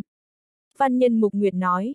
Đây là lần đầu tiên có người nói với em là, để anh nuôi em, đó. chương 580, mau ăn đi kẻo nguội hết bây giờ. Nếu mà gom hết nhân công của các công ty con lệ thuộc vào sản nghiệp của gia tộc văn nhân lại, thì nhất định sẽ vượt qua cả 10 vạn người cũng nên. Nói cách khác, đó là Văn Mục Nguyệt đang dùng tư duy, trí tuệ của mình để chế ngự một con thuyền kinh tế khổng lồ, cung cấp công việc cho cả vạn người. Nhưng, một người phụ nữ ở địa vị cao quý, giàu sang đó lại thích nghe một câu nói vô cùng tầm thường đó là, để anh nuôi em. Nghe thấy câu nói đó của anh, thì dường như những gánh nặng trên người trong nháy mắt đã được chút bỏ hết cả. Trong lòng trống trống kiểu gì ấy, thoải mái vô cùng. Văn nhân Mục Nguyệt nói. Tần lạc kéo chăn kín cho nàng, ôm chặt lấy thân hình gầy gò của nàng vào lòng, cười nói, chỉ cần em đồng ý để anh nuôi em thì anh sẽ nuôi em. Mặc dù anh không có được nhiều tiền bằng em, nhưng đủ để em có thể sống một cuộc sống ăn no mặc ấm, nhưng, những người ở bên cạnh để em sai khiến thì phải cắt giảm hết thôi. Chứ để thế thì tốn kém lắm. Được, đến lúc đó thì em cũng không còn đáng giá nữa. Cũng chẳng cần đến nhiều người bảo vệ mình như thế. Văn nhân Mục Nguyệt nói. Ừ, em muốn đi dạo phố thì đi dạo phố, em muốn đi du lịch thì đi du lịch. Có thể đi leo núi hay có thể đi Sania chơi, đi hát, đi ăn thịt nướng buổi đêm, v, v, em nhất định sẽ thích cuộc sống như vậy. Tần lạc cười nói. Đây cũng là cuộc sống mà hắn thích, nhưng, hắn lại hiếm khi được hưởng một cuộc sống bình dị mà hạnh phúc như vậy. cổ nhiên, cặp mắt của văn nhân mục nguyệt bỗng sáng lên trông thấy. Giống như tối hôm đó sao? Hôm nào, tần lạc sửng sốt hỏi lại, sau đó thì cười nói, à, ừ, giống với tối hôm ở Đài Loan đó. Em chỉ là một người phụ nữ bình thường như bao người phụ nữ khác. Những gì mà người ta ăn được thì em cũng ăn được. Những gì mà người ta mặc được, thì em cũng mặc được. Những gì mà người ta làm được thì em cũng làm được. Văn nhân mục nguyệt khẽ khép đôi mắt mình lại, nàng dùng đôi bàn tay nhỏ bé lạnh ngắt của mình nắm chặt lấy tay tần lạc, yếu ớt nói, đừng lừa dối em. Đừng lừa dối em, nếu mà là khi trước thì tần lạc không bao giờ lại tin là văn nhân mục nguyệt lại có thể thốt ra được những từ như vậy. Vì chẳng cần nàng phải nói ra, người ta có lừa mình hay không thì trong bụng nàng biết rõ hơn ai hết. Người phụ nữ ít nói này được mình trêu là người máy, có một chỉ số thông minh làm cho người ta phải cảm thấy kinh hãi. Không biết là do sau đại nạn mà không chết nên tính tình thay đổi, hay là do bệnh tình lâu ngày mà tâm lý kém đi, mà giờ đây nàng lại có thể cầm tay tần lạc nói đừng lừa dối em có thể là người máy cũng có những hồi ức mà không muốn nghĩ đến, cũng có những địa phận mà không để cho người khác được bước chân vào, cũng có nỗi sợ hãi ở sâu thẳm đáy lòng mình. Nhưng, trên thế giới này thì làm gì có ai không có sợ hãi cơ chứ? Sao anh lại lừa dối em chứ? Đây cũng chẳng phải là việc gì khó khăn cả. Tần lạc nắm chặt bàn tay ủ ấm cho nàng, cười nói. Nếu bảo hắn biến một người phụ nữ thông thường trở thành một người vừa có quyền vừa có tiền, thông minh tài giỏi thì có phần khó dễ đối với hắn. Nói cho cùng thì trên thế giới này chỉ có một gia tộc văn nhân, và cũng chỉ có duy nhất một văn nhân mục nguyệt mà thôi. Để biến một người phụ nữ như văn nhân mục nguyệt trở thành một cô gái thường như bao cô gái khác thì đây không phải là một nhiệm vụ khó khăn gì cho lắm. Chỉ cần kéo nàng từ trên kim tự tháp xuống là được rồi. Nhưng, sự thực quả là như vậy sao? Tần lạc nói xong thì không thấy văn nhân mục nguyệt đáp gì lại. Vì nàng đã nhắm mắt thiếp đi từ bao giờ. Cổ độc đã được loại bỏ, nhưng độc dược thì lại bắt đầu phát tác. Chẳng còn cách nào khác, nàng bắt buộc phải chịu đựng đau đớn của hai ngày này thì bệnh mới khỏi hẳn được. Đến viện điều dưỡng tần lạc nói với đại đầu.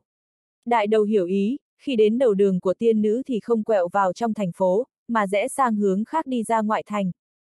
Sau khi xếp xong đâu đấy nơi ăn trốn ở cho văn nhân mục nguyệt, tiếp đó lại sắc một thang thuốc giải độc rồi tự tay mình đút cho nàng uống xong thì tần lạc mới yên lòng. Đây là lần thứ hai hắn đến viện điều dưỡng sau khi từ châu Âu về, nhưng tần lạc vẫn không đến thăm Long Vương. Vì hắn biết rõ là vào cái giờ này thì Long Vương đã đi nghỉ từ lâu rồi. Nếu mà văn nhân mục nguyệt ở đây nghỉ ngơi thì sau này hắn sẽ thường xuyên đến thăm nàng, đến lúc đó sẽ nhân tiện đi thăm Long Vương cũng chưa muộn. Ai, đúng là một tên tiểu tử bất hiếu. Thảo nào có biết bao nhiêu là cha mẹ đều chửi con trai mình là cưới vợ rồi thì quên cả mẹ. Khi một người con trai đứng giữa mẹ và vợ mình thì trái tim của người đó luôn nghiêng về vợ mình hơn một chút. Tần lạc, có cần tôi bảo người chuẩn bị một phòng cho cậu ở lại đây đêm nay không? Kiều Mộc đứng bên cạnh nói. Không cần đâu, Tần Lạc đáp, tối nay tôi còn có một số việc phải làm. Bạn của tôi ở tạm đây một thời gian, phiền anh chăm sóc giúp tôi. Yên tâm đi, tôi sẽ bảo người trông nom cô ấy 24 trên 24. Lòng trung thành của nhân viên thì tuyệt đối là không vấn đề gì, bọn họ đều là những người chăm sóc, bảo vệ lâu năm cho Long Vương. Ồ, thế thì tốt quá. Vậy tôi đi trước đây.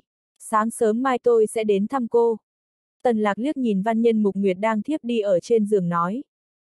Khi đi ra đến cổng thì tần lạc nói với đại đầu đang đứng ở đó, đi thôi. Chúng ta đến bệnh viện. Đại đầu gật gật đầu, bước nhanh đi khởi động xe. Nhìn theo bóng dáng anh ta mà tần lạc nghĩ thầm, có một người bạn luôn luôn ở bên cạnh mình như vậy thật tốt không gì bằng, tần lạc cả ngày trời bận bịu nhưng trong lòng luôn nghĩ đến bệnh tình của ông nội. Cũng may mà Lâm Hoán Khê không gọi điện thoại đến, điều đó có thể nói lên rằng sự việc không đi theo chiều hướng xấu. Xe dừng lại ở ngay cổng bệnh viện, tần lạc vỗ vỗ vào vai đại đầu, nói, mau đi ăn đi. Cả ngày nay cậu chưa có chút gì vào miệng rồi phải không? Tôi ăn sáng rồi, còn cậu thì chưa? Đại đầu nói. Hắn luôn đi theo tần lạc khắp đó đây, tần lạc đi đâu thì hắn đi theo đó, thì làm gì có thời gian nào mà ăn chứ? Tần Lạc cười nói, đi ăn chút gì đi, nhân tiện mua cho tôi một phần mang về. Ok đại đầu đáp lại. Tần Lạc nhẹ nhàng gõ cửa phòng bệnh, rất nhanh, Lâm Hoán Khê đã đứng dậy ra mở cửa. Ông thế nào rồi? Tần Lạc lo lắng hỏi. Rất tốt, cứ hai tiếng một bác sĩ lại đến kiểm tra một lần, tình hình đã khá hơn rất nhiều Lâm Hoán Khê nói. Im lặng một lúc rồi nàng lại nói tiếp, bọn họ nói là kỳ tích trong y học. Vì bọn họ từ trước đến giờ chưa bao giờ thấy trường hợp nào mà một người già chúng nhiều đạn như vậy mà lại hồi phục nhanh đến thế Tần Lạc và Lâm Hoán Khê cũng đã từng là giáo viên của học viện y, vì vậy mà không còn lạ gì với chỉ số cơ bản của cơ thể. Hơn nữa, nàng không bao giờ cố ý nói những lời này để an ủi mình. Nếu nàng mà nói tốt thì sẽ là tốt thật. Thế thì tốt, Tần Lạc thở phào một tiếng. Hắn bước tới bên cạnh giường ông nội, nói, bố về rồi sao? Ở đây không cần quá nhiều người chăm sóc nên em bảo ông về nghỉ ngơi rồi Lâm Hoán Khê nói. Ông cũng có tuổi rồi, đừng để ông thức đêm Tần Lạc cười nói. Em đã ăn tối chưa? Em ăn rồi, nói xong, Lâm Hoán Khê đi đến phòng bếp nhỏ trong phòng bệnh, lấy ra một bát canh và một hộp cơm ở trong lò giữ ấm, rồi nói, em sợ anh bận quá quên cả việc ăn uống nên đã mua thêm một phần cho anh. Tần lạc sáng sớm ra đã đến nhà văn nhân, bận bịu đến giờ mới về, suốt cả thời gian đó chưa có hột cơm nào vào miệng cả, vì vậy mà hắn đã đói mềm cả người ra từ bao giờ rồi.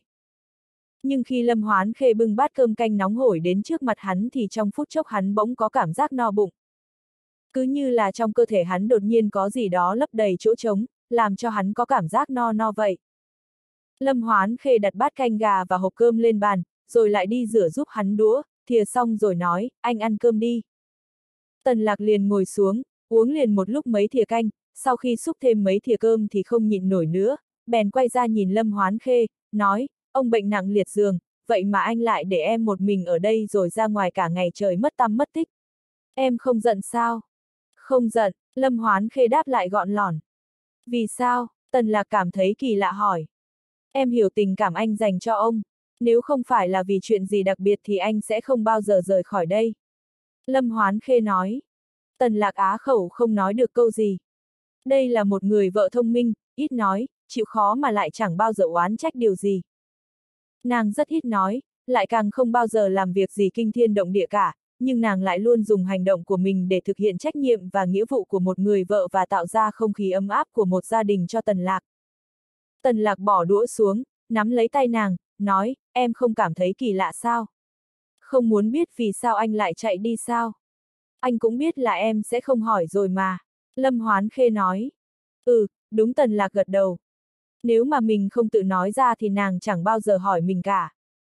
Đây gần như là một dạng thiết luật đã được đôi vợ chồng sắp cưới này tuân thủ nghiêm ngặt. Nhưng em là vợ anh, anh có trách nhiệm nói với em. Lâm Hoán Khê chỉ chớp chớp mắt mà không nói gì. Anh đến nhà của gia tộc Văn Nhân, Tần Lạc nói. Chính là gia đình mà ngày trước anh đến để từ hôn đó. Ngày trước anh đã từng nói với em rồi, chắc em còn nhớ chứ? Em nhớ, Lâm Hoán Khê nói. Cô ấy bệnh rồi, bị người ta bỏ độc. Loại độc này vô cùng nguy hiểm, bất kỳ lúc nào cũng có thể dẫn đến tử vong. Tần Lạc cũng không phải đang nói chuyện kinh dị. Cổ độc đúng là vô cùng nguy hiểm. Anh đến nhà để chữa trị cho cô ấy, và kết quả là cãi nhau một trận với cả người nhà cô ấy. Sau đó thì đưa cô ấy đến viện điều dưỡng Tần Lạc nói lịch trình ngày hôm nay một cách ngắn gọn cho Lâm Hoán Khê biết, tất nhiên là hắn đã lược bỏ qua đoạn ép cung ở viện điều dưỡng. Nếu không cần thiết thì hắn sẽ không bao giờ nói với bất kỳ ai. Sau khi Lâm Hoán Khê nghe xong thì nói, em biết rồi. Em không muốn hỏi điều gì sao? Tần Lạc kinh ngạc hỏi. Nếu là một người phụ nữ bình thường khác thì nhất định sẽ hỏi xem hắn và người phụ nữ đó còn có quan hệ gì nữa không này, sao hắn lại cãi nhau một trận với người của người ta này, vì sao mà hắn lại đưa nàng ta vào viện điều dưỡng này, và đó là viện điều dưỡng nào và phòng bệnh là bao nhiêu, mình có thể đến đấy thăm và nói chuyện với người đó được không này, v, v, và, v, v, nhưng, nàng chỉ nói đúng một câu em biết rồi. Không có, Lâm Hoán Khê lắc đầu nói. Nàng dùng tay lau đi những những giọt mồ hôi trên trán và những vết bẩn ở khóe miệng tần lạc, rồi chỉ vào cơm canh trên bàn, nói, anh mau ăn đi kẻo nguội bây giờ. chương 581, tôi không phải là phụ nữ. Bởi vì trong phòng bệnh chỉ có một chiếc giường dành cho người nhà, mà Lâm Hoán Khê và Tần Lạc lại sắp thành vợ chồng, vì vậy mà bọn họ cũng không cần kiêng kỵ gì mà phải ngủ riêng cả. Sau khi ăn xong thì hai người đi rửa chân tay mặt mũi một lượt rồi cùng lên giường nằm. Vợ hiền trong lòng nhưng Tần Lạc lại không có hứng thú gì về chuyện đó cả. Một mặt là do ông nội bị thương nặng, nên tâm tính của hắn không được tốt cho lắm. Còn một nguyên nhân nữa, đó là vì hắn đã kiệt sức mất rồi. Đến cả bản thân hắn cũng không rõ đã bao lâu rồi hắn không ngủ nghỉ cho hẳn hoi. Tối ngày hôm nay, Tần Lạc và Lâm Hoán Khê đã nói với nhau rất nhiều. Đa phần là một mình Tần Lạc nói, còn Lâm Hoán Khê nghe. Nhưng Tần Lạc lại không hề cảm thấy tẻ nhạt chút nào. Vì hắn biết chắc chắn là nàng đang chăm chú nghe, không những thế còn ghi lòng tạc dạ từng câu nói của hắn. Đó chính là Lâm Hoán Khê, từ khi gặp mặt cho đến khi yêu nhau, và đến giờ, khi đã trở thành vợ chưa cưới, thì nàng vẫn là một Lâm Hoán Khê như vậy. Tần Lạc không biết mình đã thiếp đi từ lúc nào, khi hắn nghe thấy tiếng động, mở mắt ra thì trời đã sáng, và thấy bác sĩ và y tá đang đến phòng để kiểm tra. Lâm Hoán Khê không biết tỉnh dậy từ khi nào, quần áo chỉnh tề, dáng vẻ đoan trang đứng bên cạnh bác sĩ, còn nhỏ giọng hỏi bác sĩ cái gì đó. Tần lạc đi giày vào rồi bước xuống giường, đi đến trước mặt bác sĩ, hỏi, bác sĩ, tình hình ông của tôi thế nào rồi? Tần tiên sinh, anh không phải lo lắng vậy đâu, bệnh tình ông của anh rất ổn định. Theo lý mà nói, thì cơ thể của ông cụ đã bị lão hóa, khả năng hồi phục không thể bằng người trẻ tuổi được. Nhưng ông của anh lại hoàn toàn không đi theo cái quy luật này. Khả năng hồi phục của ông ấy còn khá hơn cả người thanh niên hơn 20 tuổi nữa. Tôi còn định đợi ông cụ tỉnh dậy để thỉnh giáo xem ông có bí quyết gì có thể bảo dưỡng cơ thể tốt đến vậy cơ. Vị bác sĩ cười ha ha nói, nụ cười rạng rỡ trên khuôn mặt của ông ta làm cho nỗi lo lắng trong lòng Tần Lạc giảm đi không ít. Cảm ơn bác sĩ, Tần Lạc cười nói, ông tôi cũng chỉ là ngày thường thích rèn luyện cơ thể mà thôi. Ai, nói thì dễ nhưng làm thì lại khó. Liệu có bao nhiêu người có thể kiên trì rèn luyện mỗi ngày được đây? Anh thử nhìn xem trong các công viên bây giờ ngoài những người có tuổi ra thì người trẻ tuổi cũng chỉ đếm trên đầu ngón tay. Bác sĩ cảm thán nói, vận động nhiều mới có phúc, tốt hơn nhiều việc hàng ngày chọn thuốc bổ này thuốc bổ nọ để uống. Mặc dù bản thân Tần Lạc cũng là một bác sĩ, nhưng về bệnh tình của ông mình, thì hắn vẫn hỏi han tỉ mỉ bác sĩ vài vấn đề xong rồi mới tiễn bác sĩ rời đi. Em dậy lúc nào thế? Tần lạc đến bên cạnh Lâm Hoán khê hỏi. Trên người của nàng có một mùi hương thoang thoảng vô cùng dễ chịu. Không phải là mùi nước hoa, nàng cũng chẳng bao giờ dùng nước hoa. Mà đó là mùi hương từ cơ thể một người phụ nữ trưởng thành tỏa ra. Được một lúc rồi, Lâm Hoán khẽ nói, anh đi đánh răng rửa mặt đi. Em bảo y tá đi mua cháo và màn thầu rồi, lát nữa sẽ đem đến. Ừ, Tần Lạc đáp lại. Ăn xong bữa sáng, Tần Lạc liền nói với Lâm Hoán Khê, hôm nay em có chuyện gì phải làm không? Nếu có chuyện gì thì em về công ty xử lý trước đi cũng được. Sáng nay anh sẽ ở lại đây chăm sóc ông. Không sao, em đã gọi điện thoại sắp xếp công việc xong xuôi cả rồi Lâm Hoán Khê nói. Anh cứ làm gì thì làm đi, để em chăm sóc ông được rồi.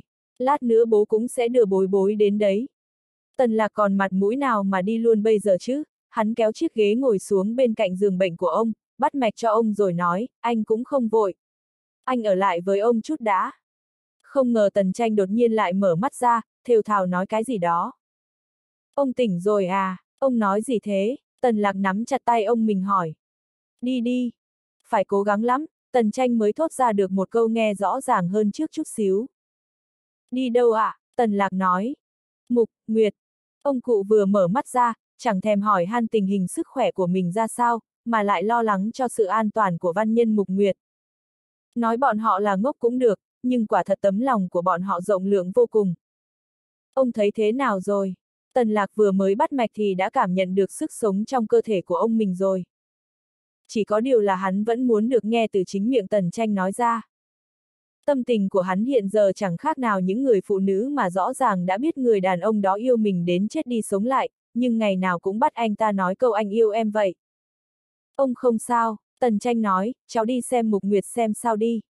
Đừng để chuyện gì xảy ra với nó. Mục Nguyệt đã không sao rồi ông ạ. Tần Lạc an ủi Tần Tranh. Cổ độc trong người cô ấy đã được cháu đẩy hết ra ngoài rồi, hiện giờ trong người chỉ còn một ít độc dược nữa thôi. Cháu đã chuẩn bị thuốc cho cô ấy rồi, chỉ cần uống liền ba ngày nữa là không vấn đề gì nữa. Thế thì tốt, thế thì tốt, Tần Tranh nói. Ông có thấy chỗ nào khó ở không? Ông muốn ăn chút gì không? Lâm Hoán Khê bước đến trước mặt Tần Tranh quan tâm hỏi. Hoán Khê. Tần Tranh cười cười với Lâm Hoán Khê rồi nói, đừng trách ông. Đây là nhà chúng ta nợ nhà văn nhăn. Không đâu ông, cháu không trách cứ gì cả. Lâm Hoán Khê nói. Ông cũng biết là cháu không trách gì đâu Tần Tranh nói. Cháu là một cô gái tốt. Và cũng là cô con dâu tốt của Tần gia chúng ta. Tần Lạc thấy Tần Tranh nói năng khó khăn, bèn khuyên nhủ, ông vừa mới tỉnh dậy, đừng nói nhiều như vậy. Không sao đâu, Tần Tranh nói, chỗ bọn chúng đánh, đều không phải chỗ hiểm. Bác sĩ nói khả năng hồi phục của ông rất tốt, còn nói là ông có thể hồi phục nhanh như vậy đúng là một kỳ tích. Tần Lạc cười nói, có thể là do hàng ngày ông thường hay rèn luyện sức khỏe cũng nên. Tần Lạc nhắm mắt nghĩ ngợi một hồi rồi nói, bởi vì đạo gia thập nhị đoạn cẩm chẳng nhẽ lại có liên quan đến cái này. Tần Lạc kinh ngạc kêu lên. Đúng đấy, Tần Tranh chậm rãi nói. Lúc đó ông là ông không thể chịu được nữa rồi, nhưng trong người lại có một luồng sức mạnh chống đỡ cho ông. Mỗi lần ông chuẩn bị nhắm mắt vào thì đều cảm nhận được luồng sức mạnh đó. Chúng chạy khắp nơi trong cơ thể của ông. Ông liền biết rằng, đó chính là đạo gia thập nhị đoạn cẩm. Tần lạc vui sướng nói, thì ra là như vậy. Lúc đó cháu cũng cảm thấy kỳ lạ, rõ ràng là khi bắt mạch cho ông thì thấy tim của ông đập một cách yếu ớt, mạch đập cũng yếu vô cùng, giống như là có thể ra đi bất cứ lúc nào. Nhưng lại có một luồng sức mạnh nào đó lại đang kích thích làm cho cơ thể có phản ứng. Mạch tương đã dừng nhưng sức sống vẫn còn. Nghĩ vậy thì tần lạc lại càng thấy rõ sự thần bí và kỳ diệu của đạo gia thập nhị đoạn cầm. Khi đó mình mắc phải bệnh dương mạch, dương thịnh quá đà, cũng là đạo gia thập nhị đoạn cẩm này làm điều hòa âm dương, khiến cho mình có thể tiếp tục sinh tồn trên cái thế giới này. Ông bị trúng bao nhiêu đạn vào người như vậy, rõ ràng là khả năng chống đỡ của cơ thể đã không còn, nhưng lại liên tục được đả không ra thập nhị đoạn cẩm kích thích làm cho tim mạch sống lại. Có thể sự thần kỳ của nó không phải chỉ có những thứ này thôi đâu. Nhưng đáng tiếc là tần lạc đã lâu lắm không nhìn thấy sư phụ rồi. Nếu không thì sẽ có thể xin người chỉ dạy thêm cho. Nói gì thì nói mình cũng là đệ tử chính thống của người, người nối dõi duy nhất của thiên cơ đạo và cũng là trưởng môn kế tiếp của thiên cơ đạo. Đáng lẽ người phải chú ý đến mình hơn mới phải chứ. Có bảo bối gì hay bí kíp gì này, hay thần đan, di sản gì này, theo lý mà nói thì đều nên giữ truyền lại cho mình mới phải chứ nhỉ. Chúng ta lại nợ sư phụ của cháu một lần, tần tranh cảm thán nói. Ông cụ cả đời không bao giờ muốn nợ nần ai cái gì, lại càng không muốn nợ ân tình của người khác. Không sao đâu ông, ngày sau cháu sẽ đền đáp lại. Tần lạc nói. U. Khát. Khát đến khô cả họng. Văn nhân Mục Nguyệt chuẩn bị gọi người đưa đến cho nàng một cốc nước lọc, thì mới phát hiện ra mình đang nằm ở một nơi hoàn toàn xa lạ.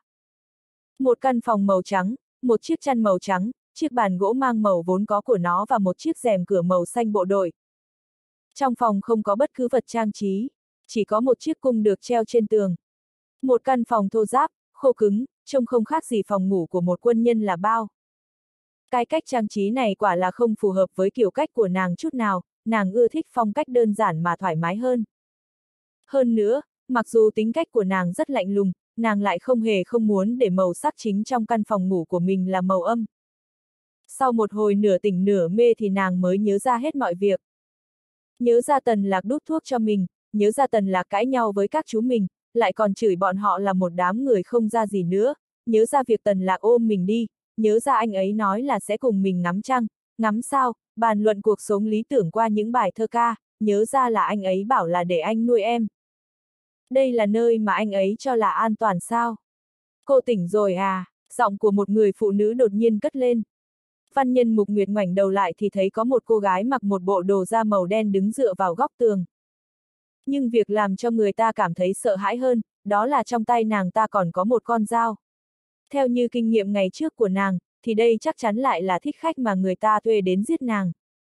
Việc nàng nên làm là kéo dài thời gian, và nghĩ cách để gọi vệ sĩ của mình đến giải vây.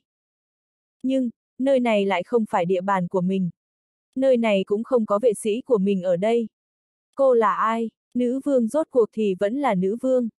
Cho dù mình có bệnh, nằm nghỉ ở địa bàn của người khác thì cũng không ngoan ngoãn trả lời câu hỏi của đối phương, chỉ với một câu nói đã làm cho mình nắm được thế chủ động. Thế cô là ai? Ly hỏi ngược lại. Tôi nghĩ là chúng ta chẳng có gì để tiếp tục nói chuyện cả. Văn nhân Mục Nguyệt nói. Đúng vậy, Ly nói, nhưng cô đang ngủ trong nhà tôi. Vậy sao? Văn nhân Mục Nguyệt nói. Nếu cô có thể chứng minh điều này, thì tôi sẽ rời đi. Ly hơi cau mày lại, nói, cô quả là ngạo mạn. Tôi quen rồi. Xem ra cô chẳng có cách nào chứng minh đây là nhà cô thì phải. Văn nhân Mục Nguyệt nói. Tôi chỉ muốn nói cho cô biết, phòng của tôi ở ngay bên cạnh. Hơn nữa, tôi đến đây trước cô cả 16 năm cơ. Điều này không thể chứng minh là tôi không thể ở đây được. Văn nhân Mục Nguyệt nói. Ly cao mày ghê hơn trước, nói, cô cũng là người phụ nữ của anh ta phải không? Người phụ nữ của anh ta. Tần lạc. Thế cô thì sao? Văn nhân Mục Nguyệt hỏi lại. Tôi không phải là phụ nữ. Con dao trong tay Ly quay một vòng lại một vòng không ngớt, lạnh lùng nói. chương 582, em sẽ tuyên chiến với anh ta. Tần Lạc và Lâm Hoán khi nói chuyện với ông một lúc thì thấy Lâm Thanh Nguyên đưa bối bối đến thăm. Lâm Thanh Nguyên thấy Tần Tranh có thể nói chuyện được thì ngạc nhiên vô cùng, cười nói, đại nạn mà không chết thì sống lâu lắm đó. Ngày sau ông đợi cháu trai hiếu thảo với mình đi. Cháu trai tôi không phải là cháu trai ông sao? Tần Tranh cười nói. Ông ngoại, cháu cũng muốn hiếu thảo với ông. Bối bối giơ đôi bàn tay múc míp của mình ra sờ sờ vào chỗ băng bó của Tần Tranh, nói. Ngoạn lắm, thế thì ông sẽ đợi đến khi bối bối lớn nhé Tần Tranh muốn giơ tay ra bắt lấy tay bối bối, nhưng vết thương ở tay vẫn chưa khỏi, nên ông không thể có những vận động với biên độ lớn như thế được. Tại sao phải đợi đến khi bối bối lớn mới được chứ? Bây giờ là cháu có thể hiếu thảo với ông được rồi. Bối bối nói, cháu có thể gọt táo cho ông ăn mà. Tần lạc cười lớn, nói với bối bối, bây giờ ông ngoại không ăn được táo đâu. Vì sao vậy, đâu phải là ông không có răng đâu, tại sao lại không ăn được ạ? À? Bối bối nói tiếp, cùng lắm là em sẽ nhai nát ra rồi bón cho ông ăn là được chứ gì. Thấy vẻ mặt đần thối không biết nói gì của tần lạc thì bối bối vô cùng bất mãn, nói, thái độ của anh là gì vậy? Bà toàn bón cho em như vậy mà, anh thật đáng ghét. Mọi người đều ồ lên cười lớn, đến tần tranh cũng không nhịn nổi cười. Tần lạc nói, để bối bối ở đây với ông đi, có nó ở đây thì ông sẽ hồi phục nhanh hơn đấy. Ông đã xin phép cho nó nghỉ mấy ngày rồi. Lâm Thanh Nguyên nói, mấy ngày này ông sẽ ở bệnh viện với nó. Hai đứa có việc gì bận thì cứ đi làm đi. Ông ở đây nói chuyện với ông bạn già một chút. Lâm Hoán Khê nói, hôm nay cháu chẳng có việc gì, có thể ở lại đây giúp ông. Nàng quay lưng lại nhìn Tần Lạc một cái rồi nói, anh không phải có việc phải làm đó sao?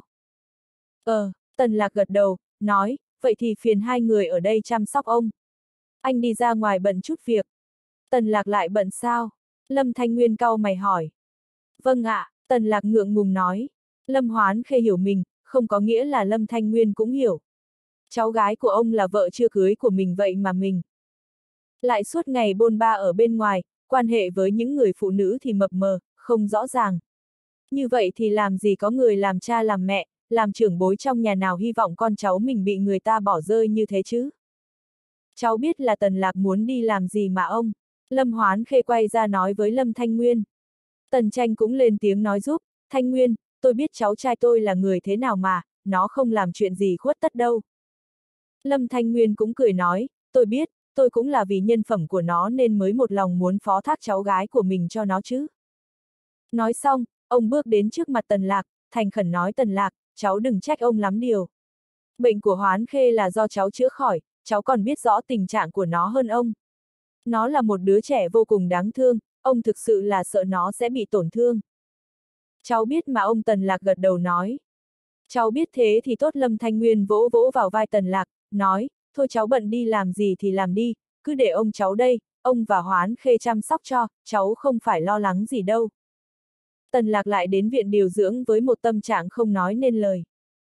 Khi Tần Lạc đẩy cửa phòng của văn nhân Mục Nguyệt ra, nhìn thấy Ly đang ngồi ở trong đó thì rất đỗi kinh ngạc. Sao em lại ở đây? Tần Lạc hỏi. Sao em lại không đọc ở đây? Ly liếc nhìn hắn một cái rồi hỏi lại. Ý tôi là em về lúc nào vậy? Tần Lạc cười khổ, tối qua khi mình đưa văn nhân Mục Nguyệt đến đây thì Ly không có trong viện điều dưỡng này mà. Đây là bí mật quân đội. Mỗi lần nói chuyện với Ly, Tần Lạc đều cảm thấy như bị đánh bại hoàn toàn bởi thái độ lạnh lùng còn hơn băng của nàng. Tần Lạc bước tới trước mặt văn nhân Mục Nguyệt, sau đó giơ tay bắt mạch cho nàng, rồi hỏi, em cảm thấy trong người thế nào rồi? Tỉnh táo hơn nhiều rồi. Văn nhân Mục Nguyệt nói, thời gian trước lúc nào nàng cũng ở trong trạng thái nửa tỉnh nửa mê, chẳng thể suy nghĩ về bất cứ chuyện gì. Giờ đây khi cổ độc đều đã được đẩy hết ra ngoài rồi thì nàng lại quay trở lại với Mục Nguyệt thông minh, sáng suốt như ngày nào. Nhưng cơ thể vẫn còn yếu lắm, Tần Lạc nói, cứ uống liên tục thuốc giải độc trong 3 ngày, đến khi nào trừ hết được chỗ độc dược còn sót trong người thì đến lúc đó lại nghĩ cách bồi bổ cơ thể sau vậy. Tạm thời vẫn chưa thể bồi bổ được. Anh là bác sĩ mà, mọi việc sẽ nghe theo anh. Văn nhân Mục Nguyệt nói. Tần Lạc gật đầu, cười nói, thời gian này, em hãy cứ ở trong viện điều dưỡng đi. Nói xong, hắn liếc nhìn Ly đang ngồi bên cạnh không nói gì nhưng cũng không có ý muốn rời đi, thấy vậy hắn nói tiếp, hai người chắc đã biết nhau rồi phải không? Chưa, văn nhân Mục Nguyệt nói. Chưa, Tần Lạc trơn tròn mắt hỏi lại, thế vừa rồi hai người ngồi nói chuyện gì? Chẳng nói gì cả. Không nói chuyện gì, vậy hai người bọn họ cùng ngồi được ra trong phòng lâu như vậy. Nhưng, nghĩ đến tính cách của hai người này thì Tần Lạc cũng hiểu ra vấn đề. Cô ấy tên là Ly, Tần Lạc chỉ vào Ly nói, là một người bạn rất tốt của anh, và cũng là em gái anh. Đó là quan điểm riêng của anh, Ly nói, tôi chỉ biết rằng anh là đồ đệ của nghĩa phụ tôi mà thôi. Tần Lạc chỉ cười mà không có ý kiến gì, rồi lại chỉ vào văn nhân Mục Nguyệt, giới thiệu cho Ly rồi nói, đây là văn nhân Mục Nguyệt.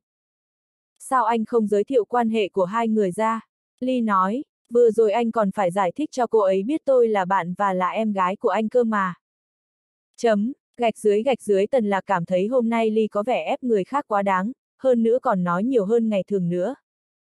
Lẽ nào lại cùng một nguyên nhân hay sao? Nếu tôi nói tôi là vị hôn thê bị anh ấy tử hôn, như thế liệu có làm cho cô thoải mái hơn một chút không? Văn nhân Mục Nguyệt nhìn Ly nói. Ly gật gật đầu nói, của là thoải mái hơn. Sự thực chính là như vậy. Cô rất may mắn, Ly nói, người phụ nữ không bị anh ta từ hôn mới đáng thương. Tôi cũng nghĩ vậy. Hai người phụ nữ nói đi nói lại, cuối cùng lại có cùng một quan điểm, sau đó cùng dùng nước bọt của mình làm đạn nhắm thẳng vào tên Trần Thế Mỹ ở thời hiện đại, lòng lang dạ sói có mới nới cũ, đang đứng ở trước mặt họ lúc này. Tần Lạc nói với Ly, tôi có một số chuyện muốn nói với Mục Nguyệt. Tôi biết là anh muốn tôi ra khỏi đây Ly đứng thẳng người dậy nói. Tôi cũng không có ý tiếp tục làm phiền hai người làm gì.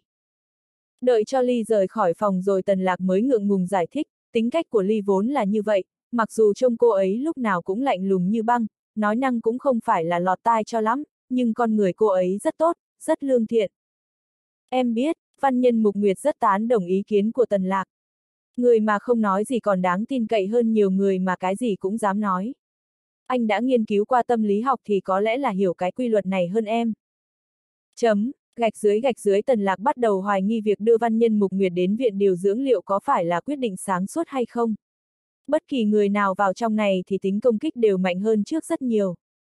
Em muốn uống nước, văn nhân Mục Nguyệt nói.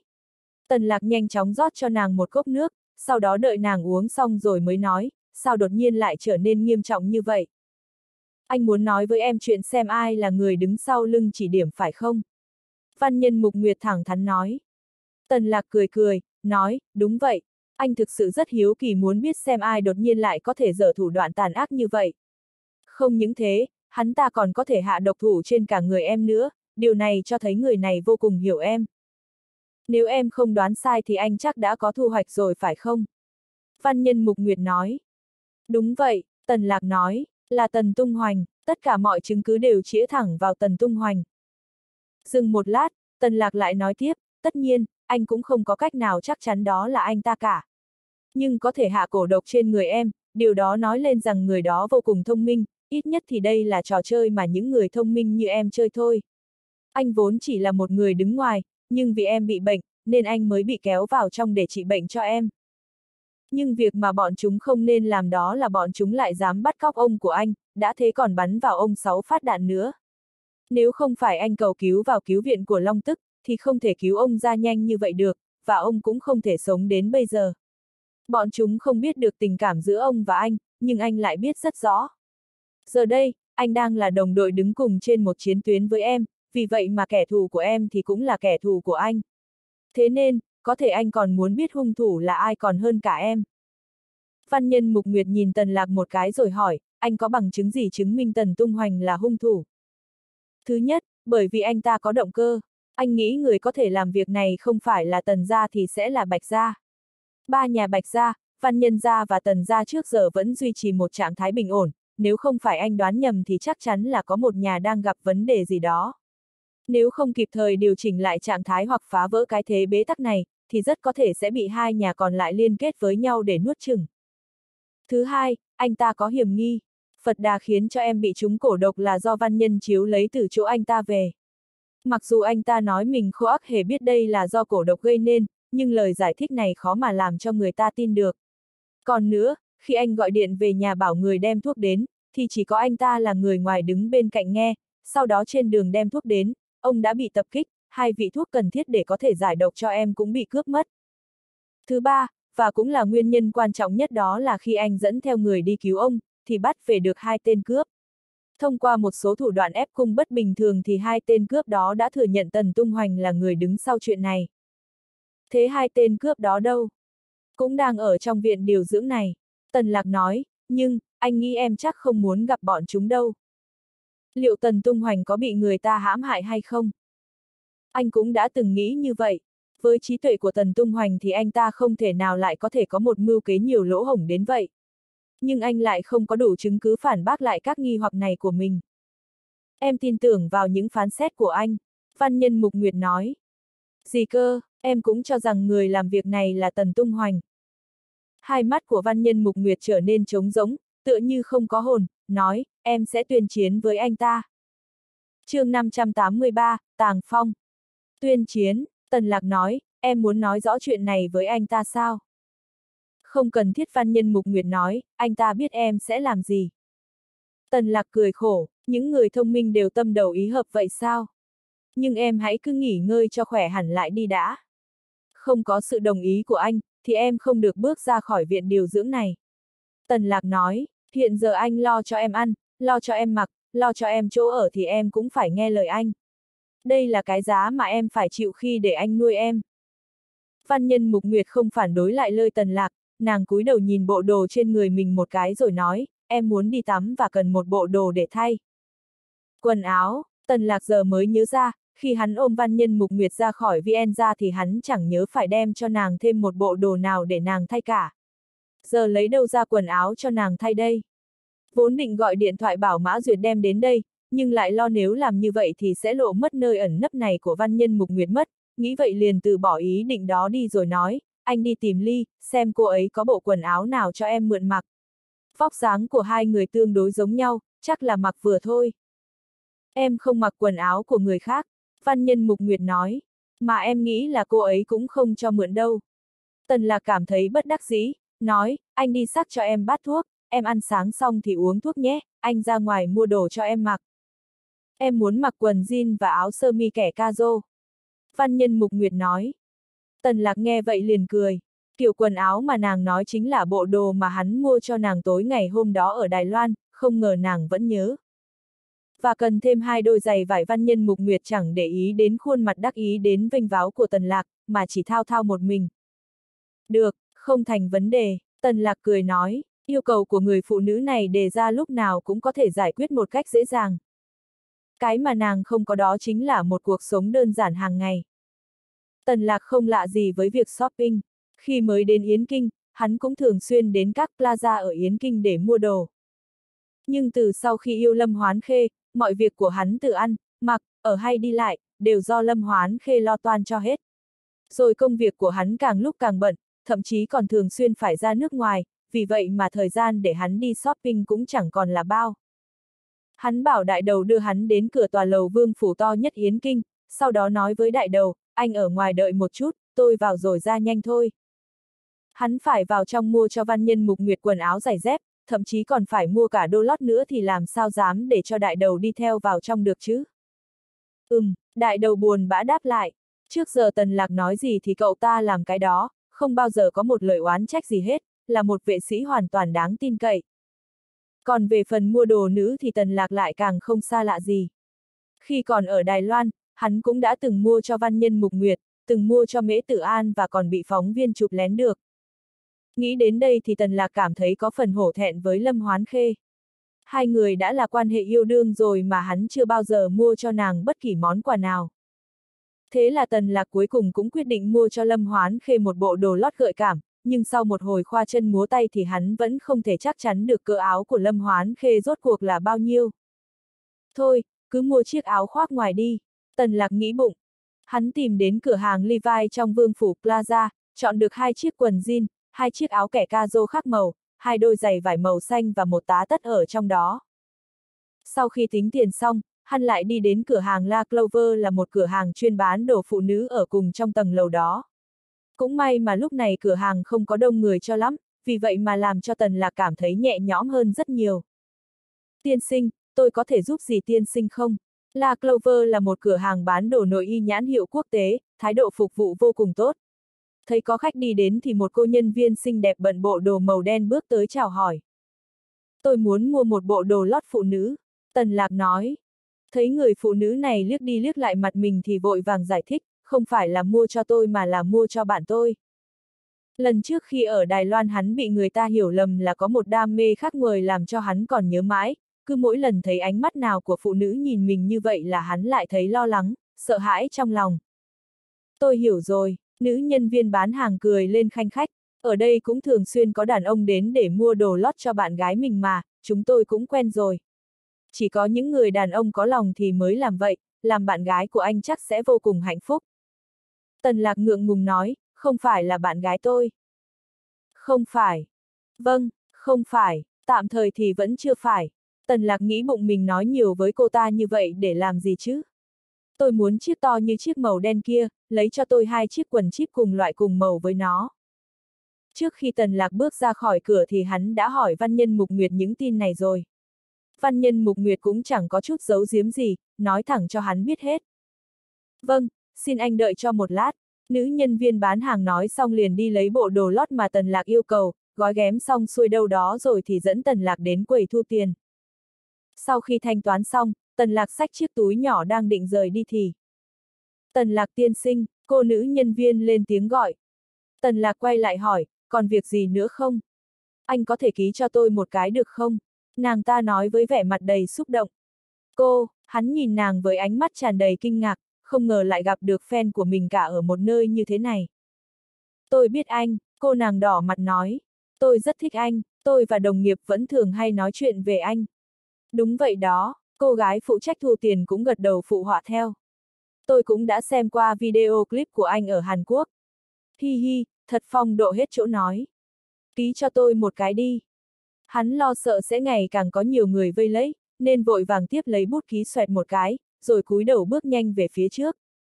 Đợi đến khi bóng hình của hắn khuất hẳn trong thang máy rồi thì một người đàn ông khôi ngô tuấn tú mắt xanh tóc vàng bước tới. Thấy có khách thì mấy người đang đứng tụ tập bàn luận về việc mình và thần tượng có những tiếp xúc thân mật liền nhanh chóng tách ra, một cô nữ nhân viên bán hàng bước nhanh. Lên trước, dùng tiếng Anh hỏi, tiên sinh, tôi có thể giúp gì anh không?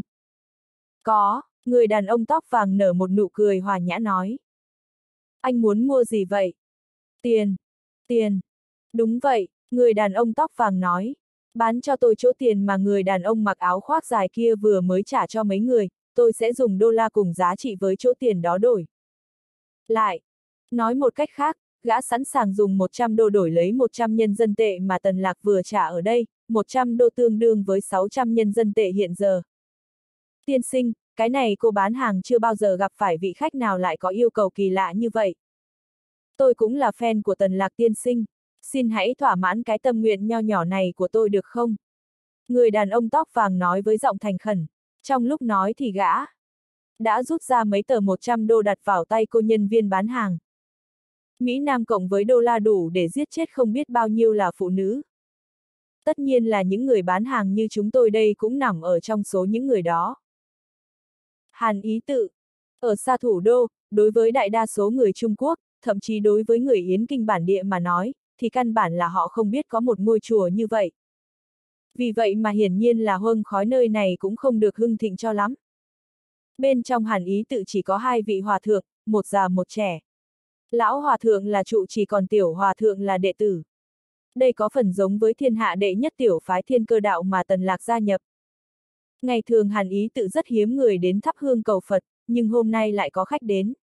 Trụ trì phương trưởng vô ý đại sư và một vị công tử trẻ tuổi ngồi đối diện với nhau ở dưới gốc cây bồ đề cành lá sum xuê tươi tốt.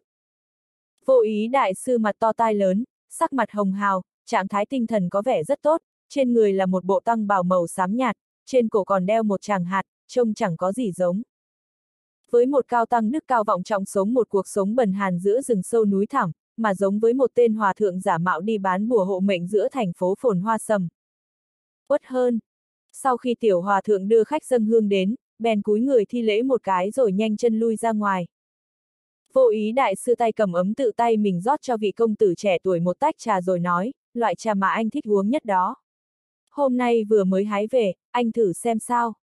Vị công tử trẻ tuổi cầm tách trà đưa lên mũi người người, sau đó uống một ngụm, nói, đúng là trà ngon, nhưng đáng tiếc là ngày sau không còn phúc để thưởng thức nữa rồi. Vô ý đại sư cười nói, tiểu đồ pháp danh vô phong, không tên không tuổi, không cha không mẹ, là một đứa trẻ mà tôi nhặt được đem về nuôi, từ bé nó đã ở bên cạnh tôi rồi, vừa biết hái chè lại vừa biết nấu ăn, lại còn pha trà rất giỏi nữa, nếu đại thiếu gia không chê ghét thì để nó về sau phục vụ anh đi. Ông muốn tôi cho cậu ta một con đường sống. Người đàn ông cười hỏi. Oan có đầu, nợ có chủ. Ai gây ra cái nghiệt oản này thì nên để cho người đó phải gánh chịu mới phải. Vô ý đại sư cười nói. Đại thiếu gia tin Phật thì chắc là hiểu cái đạo lý này. Ngày trước tin, còn bây giờ không tin nữa. Người đàn ông lắc đầu nói. Tôi chỉ là cảm thấy tò mò xem ai đứng sau giật dây ông vậy. Là họ bạch hay họ văn nhân? Tôi không thể nói được. Phật nói không được nói. Vô ý đại sư chắp tay vào nhau, cười nói. Phật tổ không dạy ông nói dối. Đúng vậy, vì vậy nên tôi không nói, không nói thì không phải là nói dối, không nói dối thì sẽ không làm trái ngược với lời Phật dạy. Nếu ông không nói, tôi giết chết vô phong thì sao? Người đàn ông bỏ tách trà trong tay mình xuống, nói. Đó cũng là cái số. Vô ý đại sư nói. Nếu đại thiếu gia không để nó hầu hạ anh, thì tôi sẽ đem theo nó đi hầu hạ Phật tổ với tôi. Của là một tín đồ trung thành. Người đàn ông vứt tách trà xuống đất kêu lên loảng xoảng, vỡ bắn tung tóe, gầm lên, Phật không thèm để ý đến ông, ông lại coi đó là thần. Tôi, tôn trọng ông, kính nể ông, tin tưởng ông, nuôi dưỡng ông, vậy mà ông lại phản bội lại tôi. Người nào có đức thì cuộc đời sẽ đầy đủ, sung túc, người nào làm việc ác sẽ bị trời chu đất diệt. Vô ý đại sư nói, tôi dâng chọn cả cái hồn này cho Phật, nếu anh không chê thì cái. Thân thể thối nát này, tôi sẽ dâng nó cho đại thiếu gia. Người đàn ông rút một khẩu súng lục màu đen từ trong túi ra, nhắm thắng vào đầu của vô ý đại sư. Bùm! Đầu của vô ý đại sư như một quả cà chua bị một quyền cho dập nát vậy, văng vãi lung tung, máu chảy đầm đìa. Keng! Keng! Keng! Chín tiếng chuông đồng vang lên từ trên đỉnh núi, đây là lễ nghĩa truyền thống khi trụ trì phương trưởng viên tịch. chương 584, điều thể tạc đạn. Mầm liễu đâm chồi, cỏ xanh mơn mởn. Một đám thiên nga đang nô đùa vui vẻ giữa hồ, trông điệu bộ ngờ nghịch đáng yêu vô cùng. Vốn là một cảnh rất đối thường tình, nhưng trong mắt của văn nhân mục nguyệt thì nó lại có thêm phần dạng dỡ, diệu kỳ đầy thần bí. Nàng không khác gì một đứa trẻ sơ sinh, đối với tất cả mọi thứ đều ngập tràn tâm trạng tò mò muốn tìm hiểu. Mấy ngày này, Tần Lạc đều phải chạy vậy hết viện điều dưỡng lại đến bệnh viện. Bệnh tình của ông dần hồi phục, mặc dù vẫn chưa xuống giường được, nhưng đã có thể nói chuyện liền một lúc 2 giờ đồng hồ không nghỉ. Tần Lạc ước chừng để cho ông nghỉ ngơi tĩnh dưỡng một tuần nữa chắc ông sẽ xuống giường được thôi. Dĩ nhiên là vết thương ở chân của ông thì tạm thời không có cách gì cả, có thể những ngày tháng về sau ông phải làm bạn với xe lăn thôi. Cho dù là như vậy thì đối với Tần Lạc và những người trong Tần gia mà nói thì việc Tần Tranh còn sống đã là một việc đáng để mọi người phải ăn mừng rồi. Thông qua chẩn đoán của Tần Lạc thì cổ độc trong người của văn nhân Mục Nguyệt đã hoàn toàn biến mất, chỉ cần uống thêm một thang thuốc nữa là có thể gột sạch chỗ độc dược trong người nàng đi. Thấy cô gái nhỏ cứ rú rú trong phòng mấy ngày, Tần Lạc sợ sẽ làm cho nàng khó chịu, nên đã đưa nàng đi dạo một vòng trong vườn. Những vật quý giá, hiếm có không phải là cảnh đẹp, mà những thứ ngày thường ta vẫn thấy mới là đẹp thực thụ. Văn nhân Mục Nguyệt nhìn vào cảnh vật trước mắt, cảm thán nói. Khi nói những lời này, thì nàng ngồi trên một chiếc cầu gỗ, cởi bỏ đôi giày vải ra, để mặc đôi chân trần mềm mại, mịn màng thả vào trong nước, đập lên từng hồi tạo ra tầng tầng gợn sóng. Không chỉ có nhân vật nữ chính ngốc nghếch trong các bộ phim thích làm điều này, hóa ra người phụ nữ nào cũng thích. Tất nhiên là trừ ly ra. Nếu tần lạc bảo nàng làm vậy thì nhất định là nàng sẽ cảm thấy vô vị, nhàm chán. Tần lạc ngồi bên cạnh văn nhân mục nguyệt, cũng bỏ đôi chân thối của mình vào trong nước. Vốn hắn định khuyên nhủ văn nhân mục nguyệt không nên làm vậy, vì nước hồ băng giá, lạnh ngắt, mà thân thể nàng lại vô cùng suy yếu, văn nhân mục nguyệt bảo hắn thử xem nhiệt độ nước trước. Tần lạc dùng tay thử xong thì tự giác thả chân mình xuống đó. Làm xong, hắn cười nói, em có biết người nông thôn ngưỡng mộ người thành phố cái gì không? Cái gì vậy? Văn nhân mục nguyệt quay mặt lại hỏi. Ngưỡng mộ người thành phố có nhà cao tầng và thang máy. Tần lạc cười nói. Phong cảnh ở Vân Điền là cảnh vật thiên nhiên đẹp nhất mà em từng thấy. Nhưng vì bọn họ nhìn quen rồi nên cũng chỉ nghĩ đây chẳng qua là mấy cây cổ thụ to lớn và mấy cục đá bỏ đi mà thôi. Gạch dưới gạch dưới bọn họ sẽ cảm thấy những ngôi nhà cao tầng kia mới là cái mà họ muốn. Ngừng một lát nàng lại tiếp tục, con người ai cũng thích theo đuổi những cái mà mình không có. Nàng bận trên mình một chiếc áo sơ mi kẻ ca rô, một chiếc quần jean ôm sát người để lộ vóc dáng tuyệt mỹ của nàng, từng cơn gió thổi đến khiến cho làn tóc xóa lên bờ vai của nàng tung bay múa lượn, đôi lông mày thanh tú, tinh xảo, khí chất hơn người, một vẻ đẹp khiến cho người ta phải hồn siêu phách lạc. Cho dù tần lạc có ngồi bên cạnh nàng thì vẫn thấy nàng xa vời vợi, không với tới được. Nàng giống như một nữ thần đi từ dưới hồ nước lên, sau khi làm cho bạn đắm đuối chết người thì lại nhảy, tùm, một cái xuống hồ và không bao giờ nổi lên nữa vậy. Em không phải thế sao?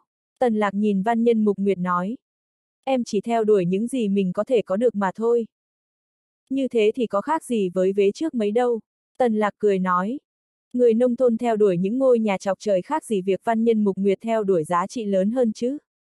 Văn nhân mục nguyệt ngẩng đầu lên nhìn đàn chim bay lượn trên bầu trời rộng lớn, khẽ nói, bất kể ai đều cho rằng mình khác với những người khác. Nhưng thực ra thì không phải vậy. Gạch dưới nếu con chim lớn kia không phải là con chim khi trước, thì nó đã bay trên đầu chúng ta ba vòng rồi. Chim lớn, em đến cái này cũng chú ý đến à?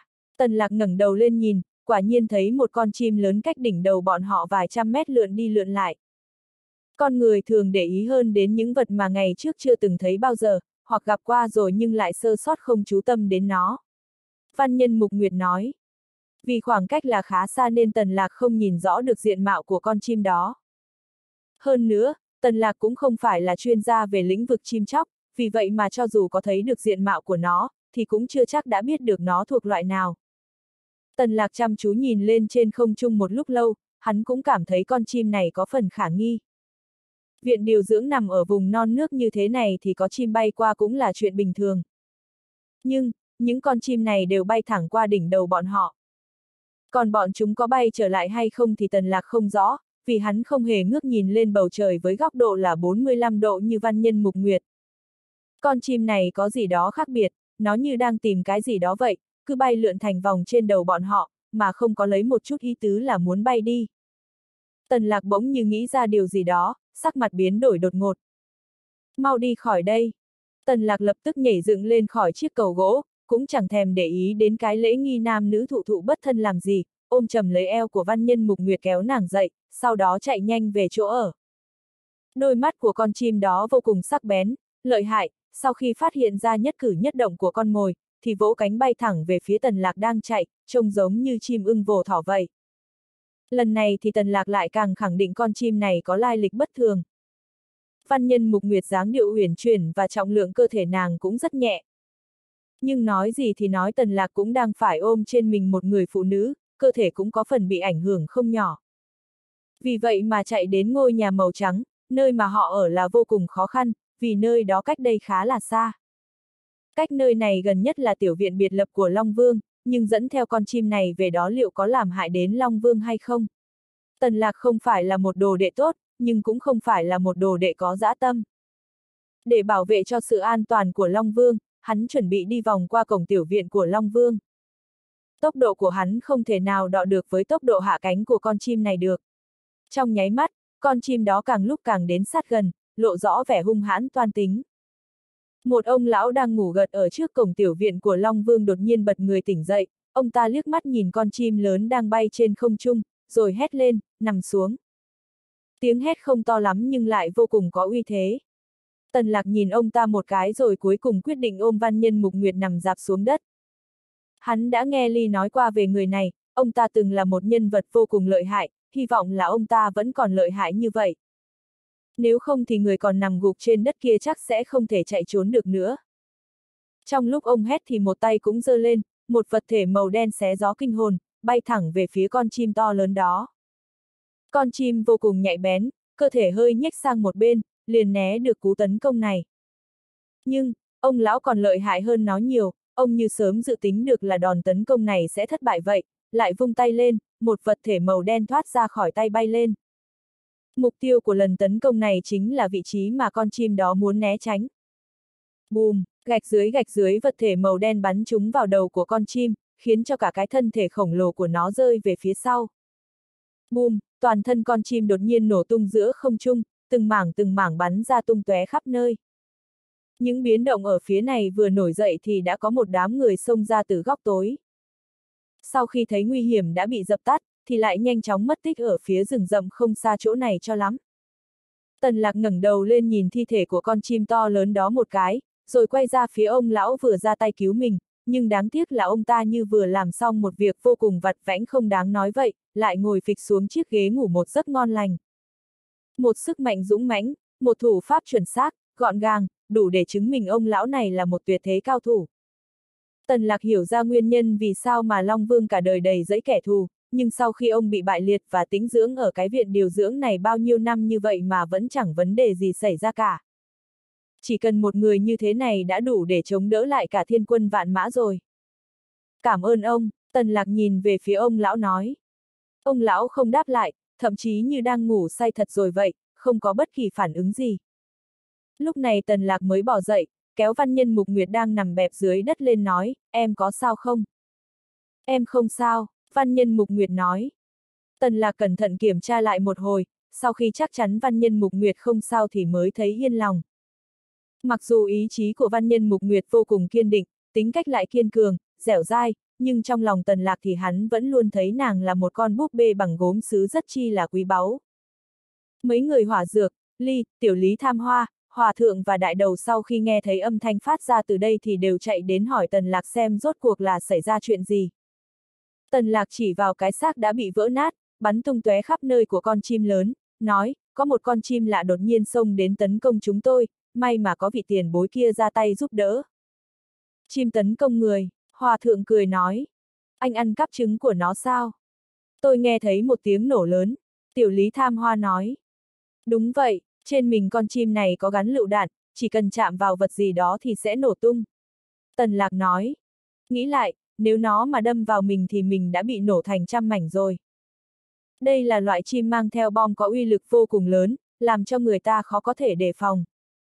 Tiểu lý tham hoa bước đến bãi cỏ, nơi mà những mảnh xác của con chim còn ở đó, sau một hồi tìm kiếm thì lấy cành cây ngoắc đầu con chim đó lên, nói, đây là chim di cư Siberia, chủ yếu sống ở khu vực lạnh giá tại Siberia. Không ngờ lại di rời đến Yến Kinh, ở Siberia thì nhiều vô kể, nhưng ở Yến Kinh thì lại hiếm vô cùng. Nó là cao thủ lần theo dấu vết, nếu được thuần dưỡng hẳn hoi thì chỉ cần cho nó ngửi một mùi nào đó, nó liền tìm ra được nơi bắt nguồn của thứ mùi này. Xem ra, cậu bị người ta theo dõi rồi. Chắc chắn đó là Giêsu. Đại đầu nói. Hắn ta đến Trung Quốc rồi. Tần lạc gật gật đầu nói, đúng vậy, xem ra vết thương của hắn ta đã khỏi rồi. Giêsu, tiểu lý tham hoa nghĩ một lát rồi nói, tên sát thủ lừng lẫy trong giới sát thủ ở châu Âu sao? Đúng vậy, tần lạc gật đầu nói. Hắn ta tự giới thiệu về mình như vậy. Ồ, tiểu lý tham hoa cảm thán nói, sao mấy người lại đắc tội với hắn ta vậy? Hắn ta là một bậc thầy trong việc huấn luyện thú vật đó. Có biết bao nhiêu cao thủ chết dưới tay hắn ta, gạch dưới gạch dưới hơn nữa đều là chết cùng với những con thú mà hắn ta huấn luyện ra, chỉ nghĩ thôi mà cũng thấy thật là nhục nhã. Tần lạc lắc đầu nói, tôi không hề đắc tội với hắn ta. Hắn ta là sát thủ, chỉ là tôi không may trở thành mục tiêu của hắn ta mà thôi. Tần lạc căm phẫn nói, thầy huấn luyện thú vật thì làm sao chứ? Dám đến căn cứ của chúng ta để khiêu chiến, thực là càn rỡ hết chỗ nói bao nhiêu người chúng ta như vậy chẳng lẽ lại không đối phó được với một tên sát thủ đến từ châu Âu hay sao? Khẩu hiệu của chúng ta là gì? Người nào động đến long tức, giết không tha. Mọi người đồng thanh nói.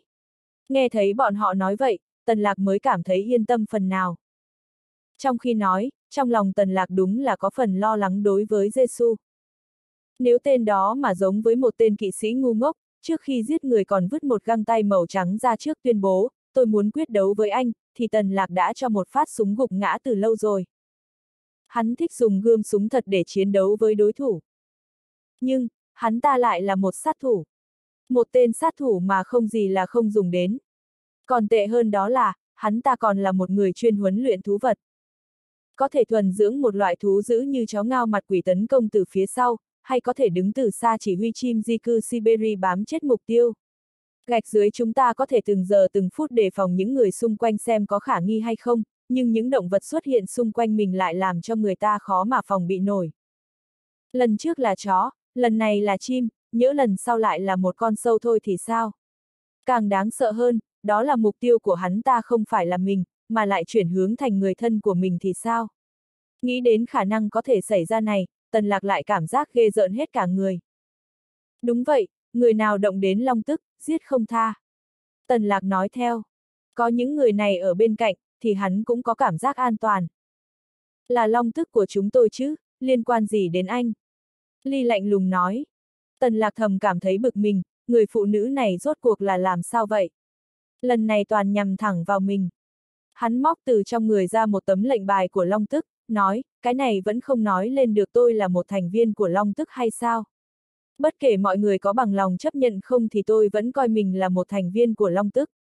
Niềm kiêu ngạo của Long Tức cũng chính là niềm kiêu ngạo của tôi. Chẳng thèm để ý làm gì nhiều cho mệt, cứ đưa dấu ấn của Long Tức ở trên người mình đã rồi tính tiếp. Niềm kiêu ngạo của Long Tức cũng chính là niềm kiêu ngạo của bản thân mình. Nếu thế thì, sự sỉ nhục của mình cũng chính là sự sỉ nhục của Long Tức. Chấm, mấy người của Long Tức này chắc không muốn thấy mình bị ô nhục thế chứ. Chúng tôi không có ý gì ghét bỏ cậu cả, Tiểu Lý Phi Đao nói. Chúng tôi cũng luôn coi cậu như một thành viên của chúng tôi. Nếu không thì lần trước khi ông của cậu bị bắt, chúng tôi cũng sẽ không ra tay đâu. Gạch dưới gạch dưới cậu phải biết rằng, người để phục vụ cho đất nước phải được dùng vào những việc khác. Điều này thì Tần Lạc tất nhiên là hiểu. Những tinh anh như mấy người này của Long Tức thì đáng lẽ nên dùng vào việc bảo vệ an toàn cho quốc gia hay những việc trọng yếu hơn nữa. Chứ nếu không thì không thể là chỉ cần một cú điện thoại của mình, mà bọn họ đều tập hợp lại đi cứu ông nội cho mình, cứ làm như đây là tiểu đội riêng của bản thân mình vậy. Chỉ có một lý do có thể giải thích được hành vi của Long Vương. Đó là ông ấy đã coi mình như người một nhà. Người trong nhà giúp người trong nhà, đây là quy luật trong Long Tức. Tần Lạc gật gật đầu nói, cảm ơn mọi người đã thu nhận. Đây vốn là việc giữa tôi và hắn ta, hắn ta tìm đến tôi là đủ rồi. Nhưng hắn ta không nên ra tay ở viện điều dưỡng, lại càng không nên có một hành vi đầy hung bạo như vậy ở trong địa bàn của Long Tức chúng ta. Gạch dưới gạch dưới nếu lúc đó đúng vào lúc tôi đang chữa trị cho sư phụ, mà con chim đó đột nhiên xông tới làm thương sư phụ thì làm thế nào? Tần Lạc phải kích thích cho mấy cao thủ này cảm thấy tức giận, làm cho bọn họ cùng chung kẻ thù với mình, một lòng tiêu diệt kẻ thù không đội trời chung với mình. Vì hắn biết, nếu chỉ dựa vào hắn và đại đầu không thôi, thì chỉ có thể tự bảo vệ mình, nhưng lại không thể giữ Giêsu ở lại được. Lần trước Giêsu sơ suất, nhưng cuối cùng thì vẫn chạy trốn một cách dễ dàng. Lần này đến đây với sự chuẩn bị trước, thậm chí còn không có bất kỳ xung đột trực diện gì với bọn họ, thì tất nhiên là càng khó đối phó. Cổ nhiên, Tần Lạc vừa nói vậy thôi thì sắc mặt mấy người đã thay đổi rõ rệt. Ai nấy đều tỏ vẻ căm hận, ánh mắt tràn đầy sát khí. Tần Lạc biết rằng Long Vương đối với bọn họ mà nói thì quan trọng như thế nào. Đây là một đối thủ vô cùng nguy hiểm, hắn ta bắt buộc phải chết. Đại đầu nói, hắn ta tấn công mà làm cho người ta khó mà phòng ngừa được. Chúng ta không thể để cho hắn ta có thêm một lần ra tay nào nữa. Nhưng đáng tiếc là tôi chẳng có cách gì để truy lùng tung tích của hắn ta cả. Hòa thượng nói, anh ta là một thiên tài truy lùng dấu vết, nhưng phải cung cấp cho anh ta một số tài liệu cơ bản và cả tín hiệu điện tử nữa. Giêsu không gọi điện tới, đưa con chim này đến thì lại bị nổ thành tan tành mây khói. Gạch dưới cho dù hòa thượng có năng lực đến đâu đi chăng nữa, thì cũng không thể định vị được phạm vi mà Giêsu đang ở. Hắn ta không ở cách xa chúng ta quá xa đâu.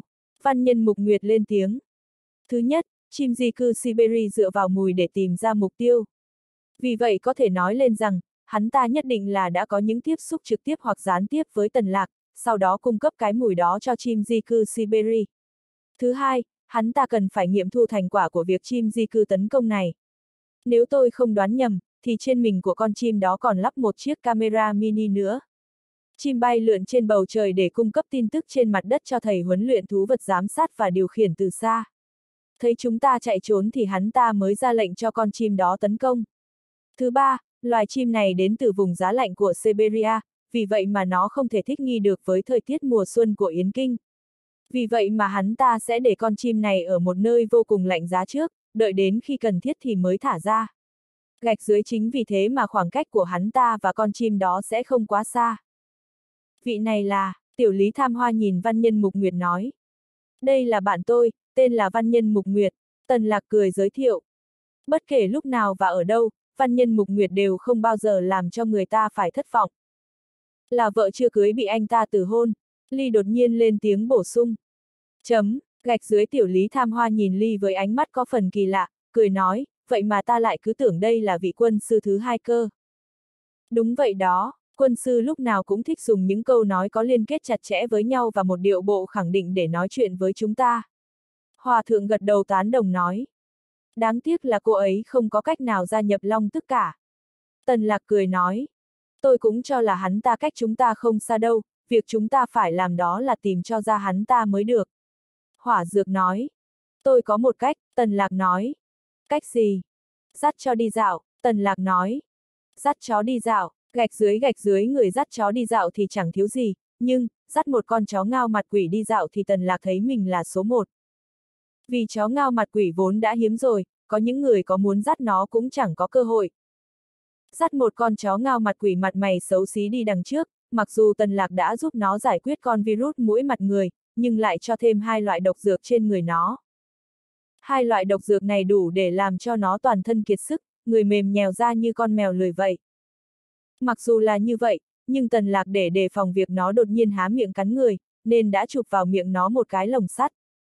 Hắn lại còn nhân cơ hội nó ngủ say, cẩn thận cắt bỏ giúp nó móng vuốt ở bốn chân nữa, gạch dưới con chó ngao mặt quỷ giờ đây không còn hung dữ đáng sợ như người ta vẫn nhìn thấy nữa, nếu mà bịt luôn cả bộ mắt xấu xí của nó lại, thì không khác gì một con chó sói, vốn dĩ tần lạc muốn đem con chó ngao mặt quỷ này bên mình, như thế sẽ tiện cho việc hắn dùng thuốc khống chế nó hơn.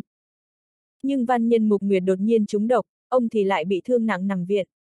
Gạch dưới gạch dưới vì vậy mà để tránh những phiền toái không cần thiết, thì tần lạc bèn bảo đại đầu đem con chó ngao mặt quỷ này vào viện điều dưỡng. Cũng vừa lúc tần lạc có thể dùng nó để dụ rắn ra khỏi hang. Nếu mà mọi người đều cho rằng Giêsu ở đâu đây xung quanh cái viện điều dưỡng này, thì tần lạc sẽ dẫn chó ngao này ra để dụ hắn ta xuất hiện. Mấy người ly, đại đầu, hỏa dược, tiểu lý phi đao và kiều mộc đứng ở xung quanh, chỉ cần hắn ta xuất đầu lộ diện là sẽ cho hắn một đòn phủ đầu ngay lập tức. Nhưng đi dọc theo được quốc lộ cả mấy dặm liền, cũng không phát hiện ra bất kỳ bóng dáng kẻ nào khả nghi cả. Nếu cứ đi tiếp thì sẽ đi vào đường dẫn vào trong thành phố mất. Tần lạc đành phải ôm con chó ngao của Giêsu quay về. Chẳng còn cách nào khác, cái đầu ngu si này không đi nổi nữa rồi, cứ kéo lê trên mặt đất thì chẳng khác nào một con chó chết rồi cả. Tần lạc đúng là một Terminator của bọn thú cưng nuôi trong nhà. Bất luận đó là những con vật hung hãn đến mức nào thì khi rơi vào tay hắn đều sẽ trở thành những con vật dễ thương chẳng có bất kỳ nguy hiểm gì cả. Ly nói về kế hoạch của Tần Lạc với giọng giễu cợt, cộng thêm cả giọng đả kích nữa, chỉ có thằng ngốc mới không nhìn ra được đây là một cái bẫy. Tần Lạc phản bác, em chưa gặp Giêsu nên chưa biết tính cách của hắn ta. Hắn ta là một sát thủ vô cùng kiêu ngạo, cho dù có biết rõ đó là một cạm bẫy đi chăng nữa thì vẫn xuất hiện. Gạch dưới gạch dưới kế hoạch dùng chim di cư Siberia để ám sát của hắn thất bại nên có lẽ đã rời khỏi đây rồi cũng nên. Ở vào tình huống mà hắn ta biết rõ là sẽ chết chắc rồi thì hắn ta vẫn xuất hiện sao? Ly nói. Đây không phải là kiêu ngạo mà là ngu ngốc. Chấm, gạch dưới tiểu lý phi đao thấy Ly lại phát sinh xung đột với tần lạc lần nữa thì chuyển sang chủ đề khác, nói, nếu con chó ngao của Giêsu ở trong tay chúng ta, thì hắn ta nhất định sẽ xuất hiện. Tôi nghe nói là hắn ta yêu thích chó ngao mặt quỷ này nhất, vì vậy mà hắn ta chắc chắn sẽ quay lại đem nó đi. Ngày mai lại dắt nó ra ngoài một chút đi, Tần Lạc nói. Khi mấy người đang ngồi trong phòng khách nói chuyện phiếm, thì Kiều Mộc bước tới, sau khi chào hỏi mọi người xong thì nhìn Tần Lạc nói, Tần Lạc, Long Vương mời anh qua bên đó. Bảo tôi qua bên đó. Tần Lạc hỏi lại. Tôi sẽ qua đó ngay bây giờ. Sau khi Tần Lạc đưa văn nhân Mục Nguyệt quay về phòng nghỉ ngơi, thì hắn bèn đi theo Kiều Mộc đến tiểu viện của Long Vương. Anh có biết sư phụ tìm tôi có chuyện gì không? Tần Lạc hỏi. Qua một quãng thời gian gắn bó, thì hắn giờ đây đã vô cùng quen thân với mấy người chủ chốt trong cái viện điều dưỡng này rồi. Vì vậy mà hắn có gì thì đều hỏi thẳng mà không cảm thấy thất lễ gì cả. Tôi không rõ, Kiều Mộc nói. Có điều, chỗ Long Vương hiện giờ đang có khách. Khách, khách nào vậy? Tần Lạc hỏi. Một người phụ nữ. Một người phụ nữ, Tần Lạc càng cảm thấy kỳ quái. Long Vương đang có khách vậy, lại còn là một người phụ nữ nữa, vậy thì bảo mình qua bên đó làm gì? Lẽ nào nàng ta mắc bệnh gì cần đến sự giúp đỡ của mình sao? Hay là Long Vương muốn mình dùng Mỹ Nam kế? Mỗi lần đi đến cổng tiểu viện nhìn thấy ông lão ngồi ngủ gật ở đó thì Tần Lạc đều cảm thấy vô cùng tôn kính. Giờ đây ông lão cũng giống như những thành viên khác của Long Tức, khi đi đến cổng của tiểu viện thì bất giác bước chân chậm lại và nhẹ hơn hẳn. Bọn họ tổng cộng còn chưa nói hết 10 câu, nhưng, sự giúp đỡ của ông lão thì quả là quá lớn. Vừa rồi ông còn cứu Tần Lạc một mạng sống nữa, vì thế mà Tần Lạc và Văn Nhân Mục Nguyệt mới không bị con chim đó giết chết. Gạch dưới gạch dưới Kiều Mộc mở giúp cổng viện ra, sau đó làm động tác mời Tần Lạc vào bên trong nhưng mình thì lại không vào. Tần Lạc gật gật đầu với Kiều Mộc tỏ vẻ cảm kích rồi bước vào bên trong. Sư phụ, người tìm con sao? Tần Lạc cười nói với Long Vương, nhưng ánh mắt thì lại dừng trên người phụ nữ xinh đẹp ngồi bên cạnh Long Vương. Trong sân nhà của Long Vương, chưa bao giờ có ai nói rằng trong này có chỗ ngồi cả. Tất cả mọi người đến đây đều phải đứng để nói chuyện. Người phụ nữ này là người đầu tiên được ngồi trước mặt của Long Vương. Điều này còn không đủ làm cho người ta phải kinh ngạc sao. chương 585, người khách kỳ quái. Trong khi nói, trong lòng tần lạc đúng là có phần lo lắng đối với Giêsu. Nếu tên đó mà giống với một tên kỵ sĩ ngu ngốc, trước khi giết người còn vứt một găng tay màu trắng ra trước tuyên bố, tôi muốn quyết đấu với anh, thì tần lạc đã cho một phát súng gục ngã từ lâu rồi. Hắn thích dùng gươm súng thật để chiến đấu với đối thủ. Nhưng, hắn ta lại là một sát thủ. Một tên sát thủ mà không gì là không dùng đến. Còn tệ hơn đó là, hắn ta còn là một người chuyên huấn luyện thú vật. Có thể thuần dưỡng một loại thú dữ như chó ngao mặt quỷ tấn công từ phía sau, hay có thể đứng từ xa chỉ huy chim di cư Siberia bám chết mục tiêu. Gạch dưới chúng ta có thể từng giờ từng phút đề phòng những người xung quanh xem có khả nghi hay không, nhưng những động vật xuất hiện xung quanh mình lại làm cho người ta khó mà phòng bị nổi. Lần trước là chó, lần này là chim, nhỡ lần sau lại là một con sâu thôi thì sao? Càng đáng sợ hơn, đó là mục tiêu của hắn ta không phải là mình, mà lại chuyển hướng thành người thân của mình thì sao? Nghĩ đến khả năng có thể xảy ra này, tần lạc lại cảm giác ghê rợn hết cả người. Đúng vậy, người nào động đến long tức, giết không tha. Tần lạc nói theo. Có những người này ở bên cạnh, thì hắn cũng có cảm giác an toàn. Là long tức của chúng tôi chứ, liên quan gì đến anh? Ly lạnh lùng nói. Tần lạc thầm cảm thấy bực mình, người phụ nữ này rốt cuộc là làm sao vậy? Lần này toàn nhằm thẳng vào mình. Hắn móc từ trong người ra một tấm lệnh bài của Long Tức, nói, cái này vẫn không nói lên được tôi là một thành viên của Long Tức hay sao? Bất kể mọi người có bằng lòng chấp nhận không thì tôi vẫn coi mình là một thành viên của Long Tức. Niềm kiêu ngạo của Long Tức cũng chính là niềm kiêu ngạo của tôi. Chẳng thèm để ý làm gì nhiều cho mệt, cứ đưa dấu ấn của Long Tức ở trên người mình đã rồi tính tiếp. Niềm kiêu ngạo của Long Tức cũng chính là niềm kiêu ngạo của bản thân mình. Nếu thế thì, sự sỉ nhục của mình cũng chính là sự sỉ nhục của Long Tức. Chấm, mấy người của Long Tức này chắc không muốn thấy mình bị ô nhục thế chứ. Chúng tôi không có ý gì ghét bỏ cậu cả, Tiểu Lý Phi Đao nói. Chúng tôi cũng luôn coi cậu như một thành viên của chúng tôi. Nếu không thì lần trước khi ông của cậu bị bắt, chúng tôi cũng sẽ không ra tay đâu. Gạch dưới gạch dưới cậu phải biết rằng, người để phục vụ cho đất nước phải được dùng vào những việc khác. Điều này thì Tần Lạc tất nhiên là hiểu. Những tinh anh như mấy người này của Long Tức thì đáng lẽ nên dùng vào việc bảo vệ an toàn cho quốc gia hay những việc trọng yếu hơn nữa. Chứ nếu không thì không thể là chỉ cần một cú điện thoại của mình, mà bọn họ đều tập hợp lại đi cứu ông nội cho mình, cứ làm như đây là tiểu đội riêng của bản thân mình vậy.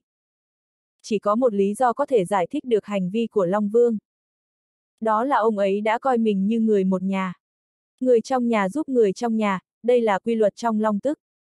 Tần lạc gật gật đầu nói, cảm ơn mọi người đã thu nhận.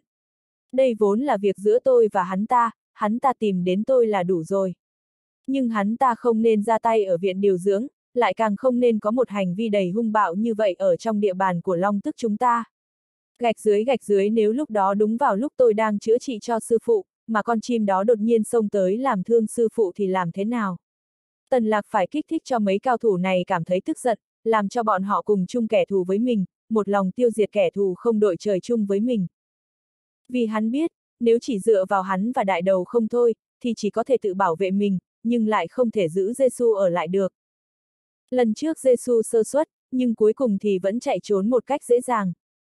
Lần này đến đây với sự chuẩn bị trước, thậm chí còn không có bất kỳ xung đột trực diện gì với bọn họ, thì tất nhiên là càng khó đối phó. Cổ nhiên, Tần Lạc vừa nói vậy thôi thì sắc mặt mấy người đã thay đổi rõ rệt. Ai nấy đều tỏ vẻ căm hận, ánh mắt tràn đầy sát khí. Tần Lạc biết rằng Long Vương đối với bọn họ mà nói thì quan trọng như thế nào. Đây là một đối thủ vô cùng nguy hiểm, hắn ta bắt buộc phải chết. Đại đầu nói, hắn ta tấn công mà làm cho người ta khó mà phòng ngừa được. Chúng ta không thể để cho hắn ta có thêm một lần ra tay nào nữa. Nhưng đáng tiếc là tôi chẳng có cách gì để truy lùng tung tích của hắn ta cả. Hòa thượng nói, anh ta là một thiên tài truy lùng dấu vết, nhưng phải cung cấp cho anh ta một số tài liệu cơ bản và cả tín hiệu điện tử nữa. Giêsu không gọi điện tới, đưa con chim này đến thì lại bị nổ thành tan tành mây khói. Gạch dưới cho dù hòa thượng có năng lực đến đâu đi chăng nữa, thì cũng không thể định vị được phạm vi mà Giêsu đang ở. Hắn ta không ở cách xa chúng ta quá xa đâu. Văn nhân mục nguyệt lên tiếng. Thứ nhất, chim di cư Siberia dựa vào mùi để tìm ra mục tiêu. Vì vậy có thể nói lên rằng, hắn ta nhất định là đã có những tiếp xúc trực tiếp hoặc gián tiếp với tần lạc, sau đó cung cấp cái mùi đó cho chim di cư Siberia. Thứ hai, hắn ta cần phải nghiệm thu thành quả của việc chim di cư tấn công này. Nếu tôi không đoán nhầm, thì trên mình của con chim đó còn lắp một chiếc camera mini nữa. Chim bay lượn trên bầu trời để cung cấp tin tức trên mặt đất cho thầy huấn luyện thú vật giám sát và điều khiển từ xa. Thấy chúng ta chạy trốn thì hắn ta mới ra lệnh cho con chim đó tấn công. Thứ ba, loài chim này đến từ vùng giá lạnh của Siberia, vì vậy mà nó không thể thích nghi được với thời tiết mùa xuân của Yến Kinh. Vì vậy mà hắn ta sẽ để con chim này ở một nơi vô cùng lạnh giá trước, đợi đến khi cần thiết thì mới thả ra.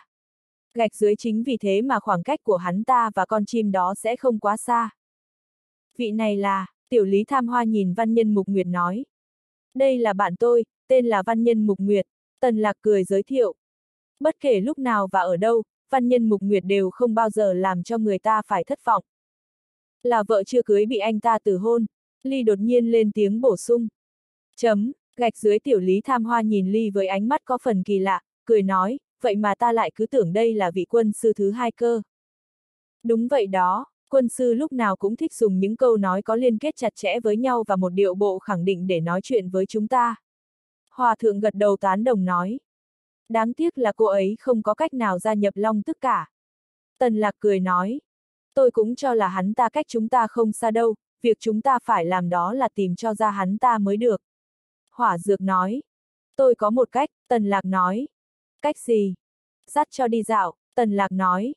Dắt chó đi dạo, gạch dưới gạch dưới người dắt chó đi dạo thì chẳng thiếu gì, nhưng, dắt một con chó ngao mặt quỷ đi dạo thì tần lạc thấy mình là số một. Vì chó ngao mặt quỷ vốn đã hiếm rồi, có những người có muốn dắt nó cũng chẳng có cơ hội. Dắt một con chó ngao mặt quỷ mặt mày xấu xí đi đằng trước, mặc dù tần lạc đã giúp nó giải quyết con virus mũi mặt người, nhưng lại cho thêm hai loại độc dược trên người nó. Hai loại độc dược này đủ để làm cho nó toàn thân kiệt sức, người mềm nhèo ra như con mèo lười vậy. Mặc dù là như vậy, nhưng tần lạc để đề phòng việc nó đột nhiên há miệng cắn người, nên đã chụp vào miệng nó một cái lồng sắt. Hắn lại còn nhân cơ hội nó ngủ say, cẩn thận cắt bỏ giúp nó móng vuốt ở bốn chân nữa, gạch dưới con chó ngao mặt quỷ giờ đây không còn hung dữ đáng sợ như người ta vẫn nhìn thấy nữa, nếu mà bịt luôn cả bộ mắt xấu xí của nó lại, thì không khác gì một con chó sói, vốn dĩ tần lạc muốn đem con chó ngao mặt quỷ này bên mình, như thế sẽ tiện cho việc hắn dùng thuốc khống chế nó hơn. Nhưng văn nhân mục nguyệt đột nhiên trúng độc, ông thì lại bị thương nặng nằm viện. Gạch dưới gạch dưới vì vậy mà để tránh những phiền toái không cần thiết, thì tần lạc bèn bảo đại đầu đem con chó ngao mặt quỷ này vào viện điều dưỡng. Cũng vừa lúc tần lạc có thể dùng nó để dụ rắn ra khỏi hang. Nếu mà mọi người đều cho rằng Giêsu ở đâu đây xung quanh cái viện điều dưỡng này, thì tần lạc sẽ dẫn chó ngao này ra để dụ hắn ta xuất hiện. Mấy người ly, đại đầu, hỏa dược, tiểu lý phi đao và kiều mộc đứng ở xung quanh, chỉ cần hắn ta xuất đầu lộ diện là sẽ cho hắn một đòn phủ đầu ngay lập tức.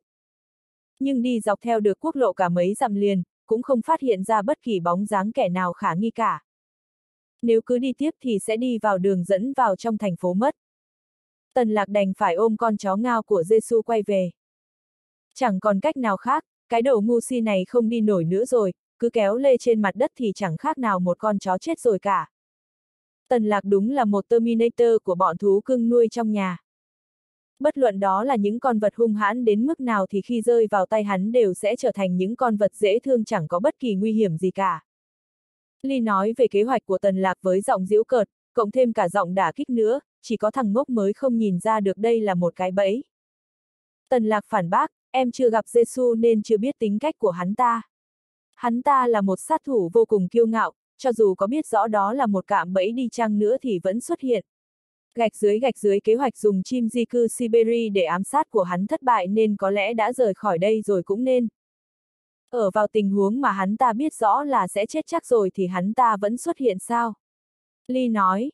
Đây không phải là kiêu ngạo mà là ngu ngốc.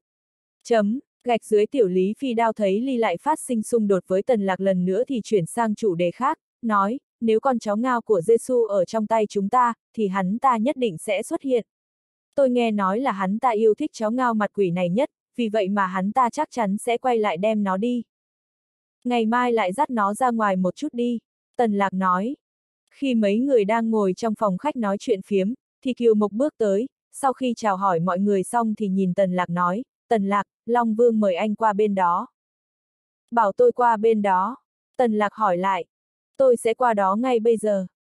Sau khi Tần Lạc đưa văn nhân Mục Nguyệt quay về phòng nghỉ ngơi, thì hắn bèn đi theo Kiều Mộc đến tiểu viện của Long Vương. Anh có biết sư phụ tìm tôi có chuyện gì không? Tần Lạc hỏi. Qua một quãng thời gian gắn bó, thì hắn giờ đây đã vô cùng quen thân với mấy người chủ chốt trong cái viện điều dưỡng này rồi. Vì vậy mà hắn có gì thì đều hỏi thẳng mà không cảm thấy thất lễ gì cả. Tôi không rõ, Kiều Mộc nói. Có điều, chỗ Long Vương hiện giờ đang có khách. Khách, khách nào vậy? Tần Lạc hỏi. Một người phụ nữ. Một người phụ nữ, Tần Lạc càng cảm thấy kỳ quái. Long Vương đang có khách vậy, lại còn là một người phụ nữ nữa, vậy thì bảo mình qua bên đó làm gì? Lẽ nào nàng ta mắc bệnh gì cần đến sự giúp đỡ của mình sao? Hay là Long Vương muốn mình dùng Mỹ Nam kế? Mỗi lần đi đến cổng tiểu viện nhìn thấy ông lão ngồi ngủ gật ở đó thì Tần Lạc đều cảm thấy vô cùng tôn kính. Giờ đây ông lão cũng giống như những thành viên khác của Long Tức, khi đi đến cổng của tiểu viện thì bất giác bước chân chậm lại và nhẹ hơn hẳn. Bọn họ tổng cộng còn chưa nói hết 10 câu, nhưng, sự giúp đỡ của ông lão thì quả là quá lớn. Vừa rồi ông còn cứu Tần Lạc một mạng sống nữa, vì thế mà Tần Lạc và Văn Nhân Mục Nguyệt mới không bị con chim đó giết chết. Gạch dưới gạch dưới Kiều Mộc mở giúp cổng viện ra, sau đó làm động tác mời Tần Lạc vào bên trong nhưng mình thì lại không vào. Tần Lạc gật gật đầu với Kiều Mộc tỏ vẻ cảm kích rồi bước vào bên trong. Sư phụ, người tìm con sao? Tần Lạc cười nói với Long Vương, nhưng ánh mắt thì lại dừng trên người phụ nữ xinh đẹp ngồi bên cạnh Long Vương. Trong sân nhà của Long Vương, chưa bao giờ có ai nói rằng trong này có chỗ ngồi cả. Tất cả mọi người đến đây đều phải đứng để nói chuyện. Người phụ nữ này là người đầu tiên được ngồi trước mặt của Long Vương. Điều này còn không đủ làm cho người ta phải kinh ngạc sao? chương 586, từng là đệ nhất mỹ nữ ở Yến Kinh. Đây quả đúng là một người đàn bà tuyệt đẹp, dịu dàng như làn nước mùa thu, thanh thoát, trang nhã, mỹ miều không dính chút bụi trần, làm cho hoa ghen thua thắm, sao hờn nguyệt thẹn, vì sắc đẹp nghiêng thành này. Người phụ nữ này mặc một chiếc áo sườn xám hoa màu trắng, lộ rõ từng đường nét trên cơ thể. Khoác trên vai một chiếc áo khoác khăn choàng màu hạnh nhân, trắng thuần tôn hồng đào, đúng là chẳng khác nào thêu hoa trên gấm. dáng vẻ của nàng phong lưu, quyến rũ, nước da trắng ngần, mịn màng như gái 30 vậy. Tuổi tác không hề để lại bất kỳ dấu vết nào trên người nàng cả, nhìn không khác gì một thiếu nữ. Bạn không thể nhìn ra được tuổi tác của người phụ nữ này, có lẽ bạn chỉ có thể tin vào những đặc thù cơ thể mà nàng biểu hiện ra ngoài mà thôi. Khi tần lạc chăm chú nhìn vào người phụ nữ này thì đôi mắt của bà ta cũng nhìn chăm chăm vào tần lạc. Hai người bốn mắt nhìn nhau tựa như là một đôi nam nữ có tình yêu xét đánh vậy. Cậu ấy chính là tần lạc sao? Người phụ nữ cuối cùng cũng lên tiếng hỏi. Âm thanh lanh lảnh, giòn tan. Nghe như là nhai miếng dưa chuột ở trong miệng vậy, cắn vào một cái là nghe thấy kêu lên rôm rốp. Cậu ấy chính là Tần Lạc, Long Vương ngồi cạnh đó nói. Trải qua thời gian nghỉ ngơi điều dưỡng vừa rồi thì đôi tay của Long Vương đã có thể thoải mái cử động được rồi, năm ngón tay có thể tự do vận động. Nhưng đôi chân của ông thì do bị tê liệt nhiều năm nay, hơn nữa độc tố đại bộ phận đều tập trung ở vùng dưới, vì vậy mà vẫn cần một thời gian dài trị liệu. Tần Lạc đã thương lượng với Long Vương hết cả rồi, đợi cho hắn bận bịu nốt thời gian này rồi sẽ chuyên tâm điều trị đôi chân cho ông. Có thể làm cho Long Vương đứng dậy được, là nguyện vọng của bất kỳ một thành viên nào trong Long Tức. Và lại, nếu Long Vương có thể đứng dậy được thì Tần Lạc sẽ có thêm một trợ lực nữa. Với tính cách của Long Vương thì về sau ai ở cái đất Hiến Kinh này còn dám dây dưa gì đến hắn nữa cơ chứ? Đúng là anh hùng suốt thiếu niên, người phụ nữ cười khanh khách nói. Nhìn tuấn tú như một cô gái vậy. Tần lạc tỏ ra vô cùng ngượng ngùng, bối rối, nhìn bộ dạng bề ngoài thì thật dễ thương, nhưng trong lòng thì lại chửi thầm. Đẹp trai thì nói là đẹp trai đi, lại còn nói cái gì mà giống như một cô gái nữa. Nhưng câu nói tiếp theo của Long Vương càng làm cho Tần Lạc buồn bực muốn chết đi sống lại. Long Vương nhìn Tần Lạc một cái, nói, Tần Lạc, gọi gì đi? Gì? Tần Lạc trợn tròn mắt ngạc nhiên. Người phụ nữ này lì ệu có bằng tuổi không vậy? Nhưng sư phụ đã có lệnh như vậy thì hắn cũng không dám cãi lại, chỉ có thể cúi gầm đầu xuống nói, gì? Câu, gì, này tôi không dám nhận đâu. Người phụ nữ lại khanh khách cười nói. Theo bối phận thì nên gọi như vậy mới phải. Long Vương nói. Người phụ nữ thở dài một tiếng, nói, Long Thiên Trượng, ông vẫn ngang bướng, cổ hủ như vậy. Mấy chục năm rồi mà chẳng thay đổi chút nào. Long Thiên Trượng, chẳng lẽ đây là tên của sư phụ? Nghe cũng có vẻ uy phong đấy chứ. Nhưng người phụ nữ này rốt cuộc là ai mà dám gọi cả tên tuổi của Long Vương Gia Nhi? Giang Sơn dễ đổi, bản tính khó rời. Long Vương lạnh lùng nói. Đúng vậy, người phụ nữ gật đầu nói. Nếu không phải ỉ ngày đó ông cứ ỉ mặt ra làm cho người ta sợ chạy mất, thì không biết chừng tôi cũng chọn ông rồi đó. Nếu thế thì cũng sẽ không có những việc về sau này nữa. Chấm, gạch dưới gạch dưới tần lạc cố gắng im miệng lại, cố nén không để cười ra tiếng. Từ mấy lời đối thoại ngắn ngủi vừa rồi thì đã đoán ra được thân phận của người phụ nữ này rồi. Chắc là năm đó bà cũng là yến kinh đệ nhất mỹ nữ, Long Vương và bạn của ông cùng một lúc đều yêu người phụ nữ này. Chỉ có điều là Long Vương lúc nào cũng xị mặt làm ra vẻ như ngầu lắm, vốn dĩ cho rằng làm vậy sẽ thu hút sự chú ý của đối phương, ai ngờ người phụ nữ này lại thích kiểu người sáng sủa vui vẻ cởi mở hơn. Thế là đồng chí Long Vương đã thất tình. Đệ nhất mỹ nữ của Yến Kinh đã rơi vào vòng tay của người khác. Biết bao nhiêu là chân tướng sự việc đều bị biến mất trên dòng sông lịch sử. Không biết về sau đã xảy ra chuyện gì mà người anh em của Long Vương đã ra đi, để lại vợ trẻ con thơ cho Long Vương chăm sóc. Chăm sóc vợ con của bạn mình, đây cũng là chuyện đương nhiên. Nhưng không biết là xảy ra chuyện gì mà Long Vương đã trục xuất Hoàng Thiên Trọng ra khỏi Long Tức. Đúng vậy, người phụ nữ này còn có một thân phận khác, đó là mẹ của Thái tử Hoàng Thiên Trọng. Không ngờ là bà ta, quả thực là trẻ hơn người ta tưởng. Chỉ có điều là bà ta đến thăm Long Vương thì gọi mình lại làm gì. Tần lạc không tài nào hiểu nổi vì sao. Đó đã là những chuyện xa xưa lắm rồi. Long Vương nói. Đúng vậy, cũng hơn 20 năm rồi, vậy mà chẳng khác gì vừa xảy ra ngày hôm qua.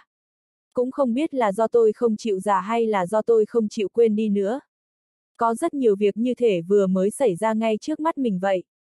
Người phụ nữ nhìn về xa xăm nói, điệu bộ làm cho người ta thương cảm vô cùng. Cứ mỗi lần thấy bà ta nói thì tần lạc lại bất giác nghĩ đến văn nhân mục nguyệt. Hai đời đệ nhất mỹ nữ của Yến Kinh, về khí chất mà nói thì cũng có phần na ná như nhau. Long Vương im lặng không nói câu nào. Có lẽ, khi nghe người tình đầu tiên nói vậy thì bất kỳ người đàn ông nào đều không biết nên đáp trả ra sao cho phải cả. Thiên Trọng vừa mới sinh ra đã không có cha, đến cả tên của nó cũng là ông đặt cho, tôi vốn nghĩ là hai người sẽ rất thân thiết nhau và ông cũng sẽ ngày càng yêu thương nó, nhưng tính cách của nó có phần thái quá, làm việc gì cũng có phần độc đoán. Vì vậy mà ông mới đuổi nó ra khỏi long tức. Cho đến tận bây giờ tôi cũng không biết nó vì sao lại bị đuổi ra khỏi long tức, hỏi nó cũng không nói. Tôi đuổi nó đi là có lý do của tôi.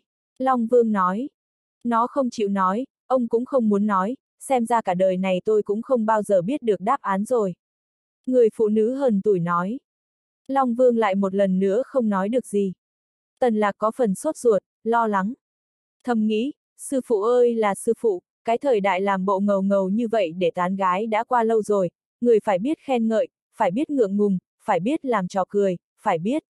Đã bao nhiêu năm rồi mà người vẫn không có chút tiến bộ nào về mặt tán gái này sao? Ánh mắt người phụ nữ lại di rời sang phía tần lạc, nói, tôi bảo Long Vương gọi cậu đến là để nói lời cảm ơn với cậu. Tôi rất cảm kích khi thấy cậu trị khỏi cho ông ấy. Gì không phải khách khí như vậy, đó cũng là điều mà cháu phải làm. Tần lạc cười nói. Thật là biết ăn nói. Người phụ nữ nở một nụ cười duyên dáng. Thiên trọng đúng là không bằng được cậu. Tần lạc nghe vậy chỉ cười mà không nói gì. Hắn không biết người phụ nữ này gọi mình đến rốt cuộc là có ý gì. Vốn dĩ việc này nên nói riêng với cậu, nhưng đã gặp ở đây rồi thì tôi nói luôn ở trước mặt thiên trưởng cũng được. Người phụ nữ nhìn tần lạc nói. Tôi biết giữa cậu và thiên trọng có một số mâu thuẫn. Mọi người đều là người trong cùng một nhà, những việc này vốn có thể tránh được. Ngày sau hai đứa phải như anh em chung sức hợp lực kề vai sát cánh bên nhau, chứ không phải thù hận không nhìn nhau như bây giờ. Thiên trưởng, ông nói có phải không? Đây là việc của tần lạc. Long Vương đáp lại gọn lỏn. Tôi không quản chuyện này. Người phụ nữ giận dỗi nói, một người là cháu của ông, một người là đồ đệ của ông, ông không hy vọng bọn chúng hòa thuận với nhau sao? Làm gì có trưởng bối nào thích vãn bối của mình chém giết lẫn nhau chứ? Long Vương liếc nhìn Tần Lạc một cái, ý muốn để hắn tự đi trả lời câu hỏi này. Còn Tần Lạc thì híp mắt cười nói, gì đừng làm khó dễ cho sư phụ nữa. Sư phụ trước giờ chưa từng hỏi gì đến việc của cháu bao giờ. Thực ra trụ hiền giữa bọn cháu tùy thuộc vào thái độ của anh ấy. Cháu không phải là một người thích đi gây chuyện. Ý của Tần Lạc vô cùng rõ ràng.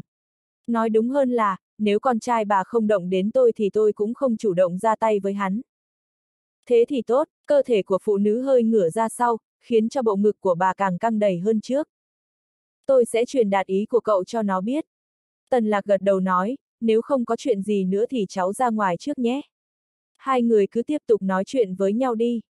Trước mặt người phụ nữ này, tần lạc cũng chẳng có cách gì truyền thụ tài tán gái cho Long Vương được cả. Thầm nghĩ, đợi đến khi khách rời đi rồi, thì hắn nhất định sẽ dạy cho sư phụ vài tuyệt chiêu mới được. Đợi chút, người phụ nữ gọi giật lại. Còn việc gì nữa sao? Tần lạc quay người lại hỏi. Tháng sau thiên trọng xuất viện, tôi chiêu đãi một số khách mời là bạn của thiên trọng, đến lúc đó tôi sẽ bảo người đi đón cậu nhé. Người phụ nữ dùng giọng điệu chắc nịch nói, cứ như là chắc 100% tần lạc sẽ đồng ý đi vậy. Tần lạc cười nói, vâng, được, nếu đến lúc đó cháu có thời gian. Hắn cũng muốn biết xem mẹ con nhà này muốn làm trò gì. Muốn cầu hòa sao, tần lạc cười nhạt.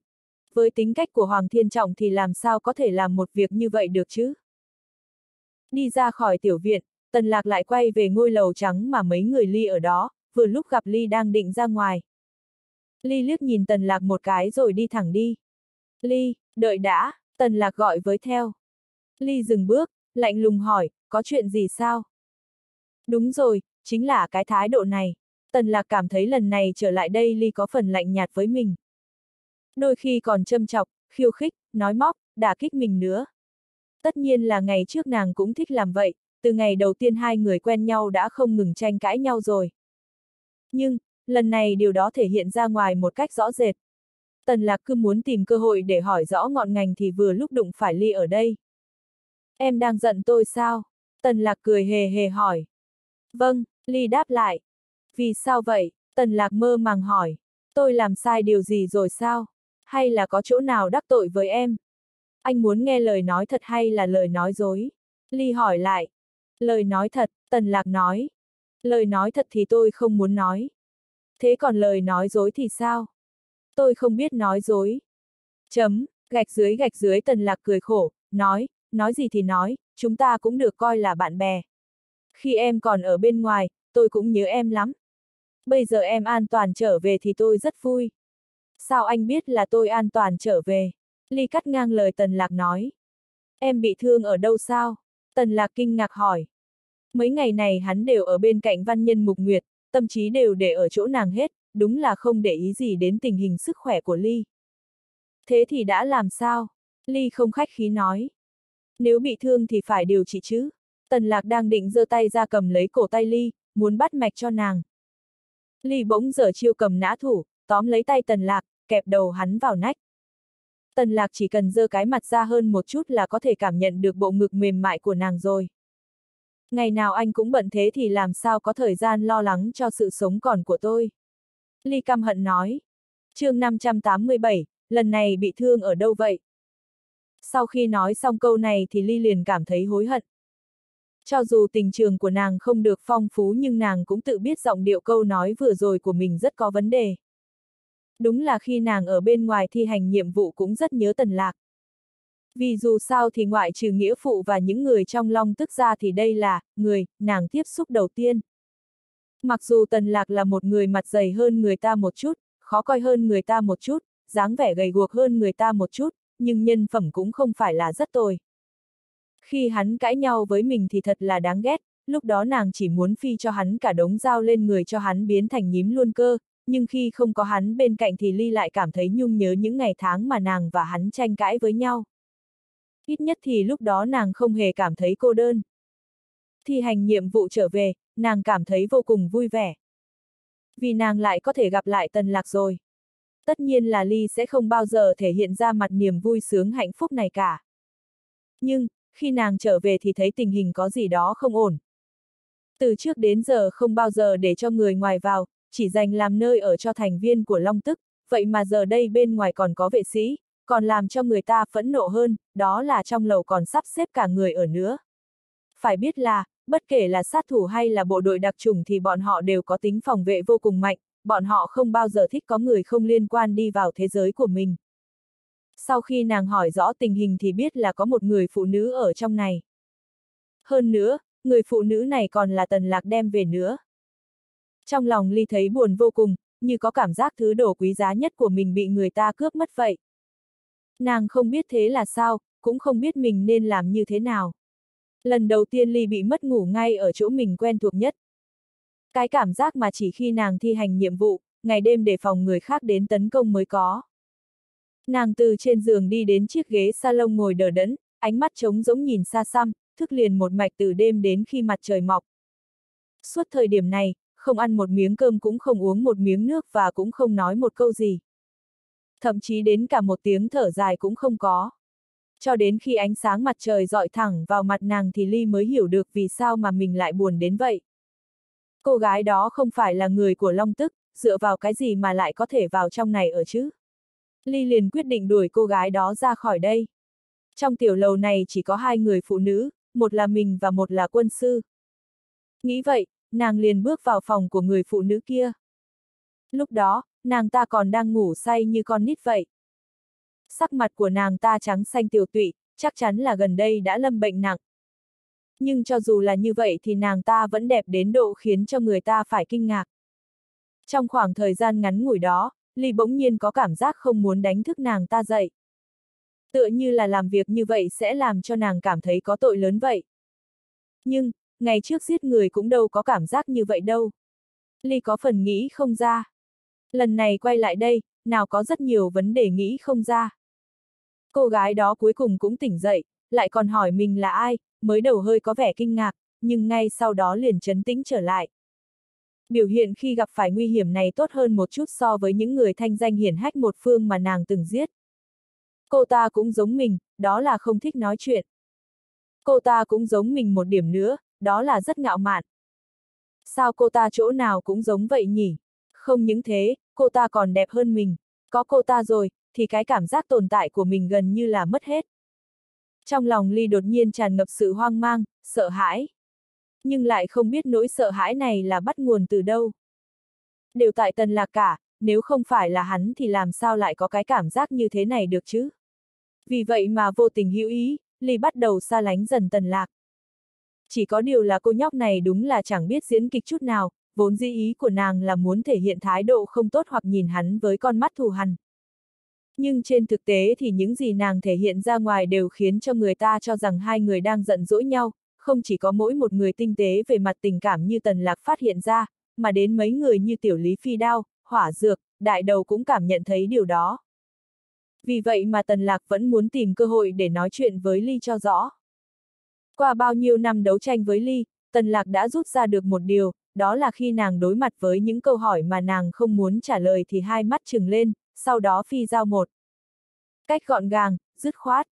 Nhưng, giọng điệu nói chuyện ngày hôm nay của Ly, không khác gì một cô vợ cảm thấy tủi thân vì bị chồng lạnh nhạt. Điều này làm cho Tần Lạc cảm thấy giật mình kinh ngạc, Ly làm gì có lúc nào nói chuyện với mọi người với giọng điệu như vậy đâu. Tần Lạc thậm chí quên cả sự thật sờ sờ trước mắt, đó là đầu hắn đang bị Ly kẹp dưới nách, nói, gần đây tôi có bận một chút nhưng em cũng là người mà tôi rất quan tâm mà. Tôi không biết em bị thương, nếu mà biết em bị thương thì tôi nhất định sẽ lo lắng trị liệu cho em. Tôi không cần, Ly lạnh lùng đáp lại. Nói vậy nhưng nàng cũng buông lỏng tay ra, trả lại thân thể tự do cho tần lạc. Khi một người phụ nữ nói không cần thì tức là rất cần. Về điểm này thì tần lạc có kinh nghiệm hơn anh chàng ngầu ngầu long vương kia nhiều. Hắn cười hề hề nói, tôi biết là em không cần, nhưng là một bác sĩ y đức đầy mình, đến bạn của mình mà cũng không chữa trị thì rõ là không làm hết chức trách. Người thân của mình mà không chữa trị, thì làm sao có thể chữa trị cho người trong thiên hạ được đây? Ai là người thân của anh? Ly nhìn Tần Lạc với con mắt hằn học nói. Mặc dù Ly vẫn dùng giọng điệu và thái độ vô cùng lạnh lùng, hung ác để nói chuyện với Tần Lạc, nhưng Tần Lạc đã thấy thoải mái hơn trước rất nhiều. Lạnh lùng và hung ác như vậy mới đúng là Ly thực sự chứ không phải như khi trước cứ nói với giọng điệu châm chọc, khiêu khích, mỉa mai, sách mé. Sự hung ác giờ mới là bản tính thực sự của nàng, nó khiến cho người nghe cảm thấy ngọt ngào hết biết. Còn kiểu hung ác khi trước là do nàng cố tình biểu hiện ra. Nhìn rất giả, vì vậy mà cảm giác khó chịu vô cùng. Em, Tần Lạc cười nói. Hắn lại một lần nữa giơ tay ra nắm lấy tay Ly, tay hơi nhích lên trên một chút bèn nắm chặt lấy cổ tay Ly, nói, để tôi xem tình trạng sức khỏe của em xem sao. Không cần phải bắt mạch, tôi không sao, Ly hất văng tay Tần Lạc ra nói. Không sao, em không bị thương sao? Tần Lạc nghi ngờ hỏi. Tôi bị thương rồi sao? Ly hỏi lại. Thế rốt cuộc là em có bị thương không? Tần Lạc bực bội nói. Bị thương, nhưng đã được tôi trị khỏi rồi. Ly nói. Tần Lạc ngẫm nghĩ một hồi, sau đó tủm tỉm cười nói, lần này bị thương ở đâu vậy? Không sao mà, chúng ta có phải mới phối hợp với nhau lần đầu tiên đâu. Ngực em, lưng em tôi đều nhìn thấy hết cả rồi. Còn có gì để ngượng nữa chứ? Tần lạc cười. Còn nữa, lương y như từ mẫu. Em có thể coi tôi như bác sĩ, cũng có thể coi tôi như cha mẹ, nhưng đừng coi tôi là đàn ông. Ly cắt ngang lời tần lạc nói, những lời này anh đã từng nói rồi. Ồ, vậy sao, thế em còn có ngại gì nữa chứ? Tần lạc nói. Vào trong này đi. Nói xong, tần lạc liền quay người đi vào bên trong nhà. Lần trước hắn trị bệnh cho Ly ở bên trong tiểu lầu thì trong đó không có ai, vì vậy mà bọn họ làm việc luôn tại phòng khách. Còn lần này trong tiểu lầu còn có những người khác và người làm trong nhà, vì vậy mà bọn họ không thể thực hiện phẫu thuật trên ghế salon được. Nên Tần Lạc đi thẳng đến phòng của Ly. Ly do dự một hồi, nhưng rồi cũng cắn răng đi theo Tần Lạc vào bên trong. Dầm, Tần Lạc đóng cánh cửa lại, sau đó kéo rèm kín mít, xong đâu đấy rồi thì hỏi Ly, lần này em bị thương ở đâu? Ly thì chỉ im lặng nhìn Tần Lạc mà không nói câu nào. Tần Lạc cười khổ, nói, đại tiểu thư, em thế là ý gì vậy? Không phải là em muốn anh tìm vết thương trên người em sao? Anh nghĩ hơi nhiều quá rồi đấy Ly liếc mắt nhìn Tần Lạc một cái, nói. Soạt một tiếng, Ly cởi chiếc áo ra ngoài ở trên người xuống. Mặc ở bên trong là một chiếc áo lót màu đen đơn giản không hề có lấy một chút hoa văn hay gen gì. Tiếp đó nàng đưa tay ra đằng sau tháo chiếc móc cải áo ra. Thế là một bộ ngực hoàn mỹ có hình dạng như trái đu đủ hiển hiện ra trước mắt tần lạc. Wow, a a a a a a. À không, phải nói là không hoàn mỹ. Vì ở bên trái ngực có một vết thẹo không phải là dài lắm, giống như bị một vết dao xoẹt ngang qua vậy. Quân địch dùng dao lướt nhẹ về phía ngực ly, ly lùi ra đằng sau, tuy người lùi về rồi, nhưng bộ ngực thì vẫn chưa lùi hẳn về phạm vi an toàn, vì vậy mà đã bị thương. Một vệt màu đỏ thấm in đậm trên nền da thịt nõn nà không có lấy một chút vết của nàng, nhìn mà thấy đau lòng vô cùng. Nhưng nó lại không hề khó coi chút nào mà ngược lại nó lại khiến cho người ta có cảm giác kích thích của tội lỗi. Ực, tần lạc nuốt nước miếng đánh ực một cái. Thấy ánh mắt của Ly liếc về phía mình thì tần lạc liền chửi ầm lên, thằng khốn nào lại làm ngực tôi. À, không phải, là thằng khốn nào lại rạch lên ngực em như vậy chứ? Sao nó lại đốn mặt đến vậy? Bao nhiêu chỗ không động đến, sao lại làm bị thương bộ phận này của phụ nữ chứ? Thật là thất đức, nó liệu có phải là đàn ông nữa không? Là đàn bà, Ly nói. Ngực to không? Tần Lạc hỏi. Không. Tần Lạc gật đầu nói, thế thì dễ hiểu thôi. Người phụ nữ không đẹp thì thường ghen tị với những người phụ nữ đẹp, vì vậy mà muốn hắt axit để hủy hoại dung mạo của người ta. Còn người phụ nữ ngực nhỏ thì thường sẽ ghen tị với người phụ nữ ngực to, vì vậy mà oán hận nên đã xuất đao. Những việc như thế này không hiếm hoi gì trong cuộc sống thường nhật cả. Nếu anh mà không nhanh tay trị liệu thì tôi sẽ làm một số chuyện mà anh khó mà hiểu nổi đấy. Ly lấy hai tay che ngực lại, hung hãn nói. Khó mà hiểu nổi, vẻ mặt tần lạc đắm đuối một hồi lâu, thấy rằng chỉ có 10% việc Ly sẽ đẩy mình nằm ngửa ra giường, còn đến 90% là Ly sẽ phi dao vào mình, vì vậy liền vội vàng nói, được. Chị ngay bây giờ, chị ngay bây giờ. Bác sĩ cũng phải tìm hiểu tình trạng bệnh tình của bệnh nhân mình một chút chứ. chương 588, quên mang thuốc. Có kinh nghiệm trong hai lần thành công trước, hai người bây giờ phối hợp với nhau rất là ăn ý. Ly lấy con dao ở bên hông của mình ném cho Tần Lạc, Tần Lạc tiếp lấy xong liền bắt đầu đưa tay vào trong người lần mò hộp kem kim dũng. Giống như lần trước, hắn dùng con dao cứ hết những lớp da đã chết trên ngực của Ly xuống, sau đó bôi kem dưỡng da kim dũng lên, chờ cho đến khi nó đóng kết lại, bong vẩy xong thì da rẻ sẽ khôi phục lại mịn màng như xưa.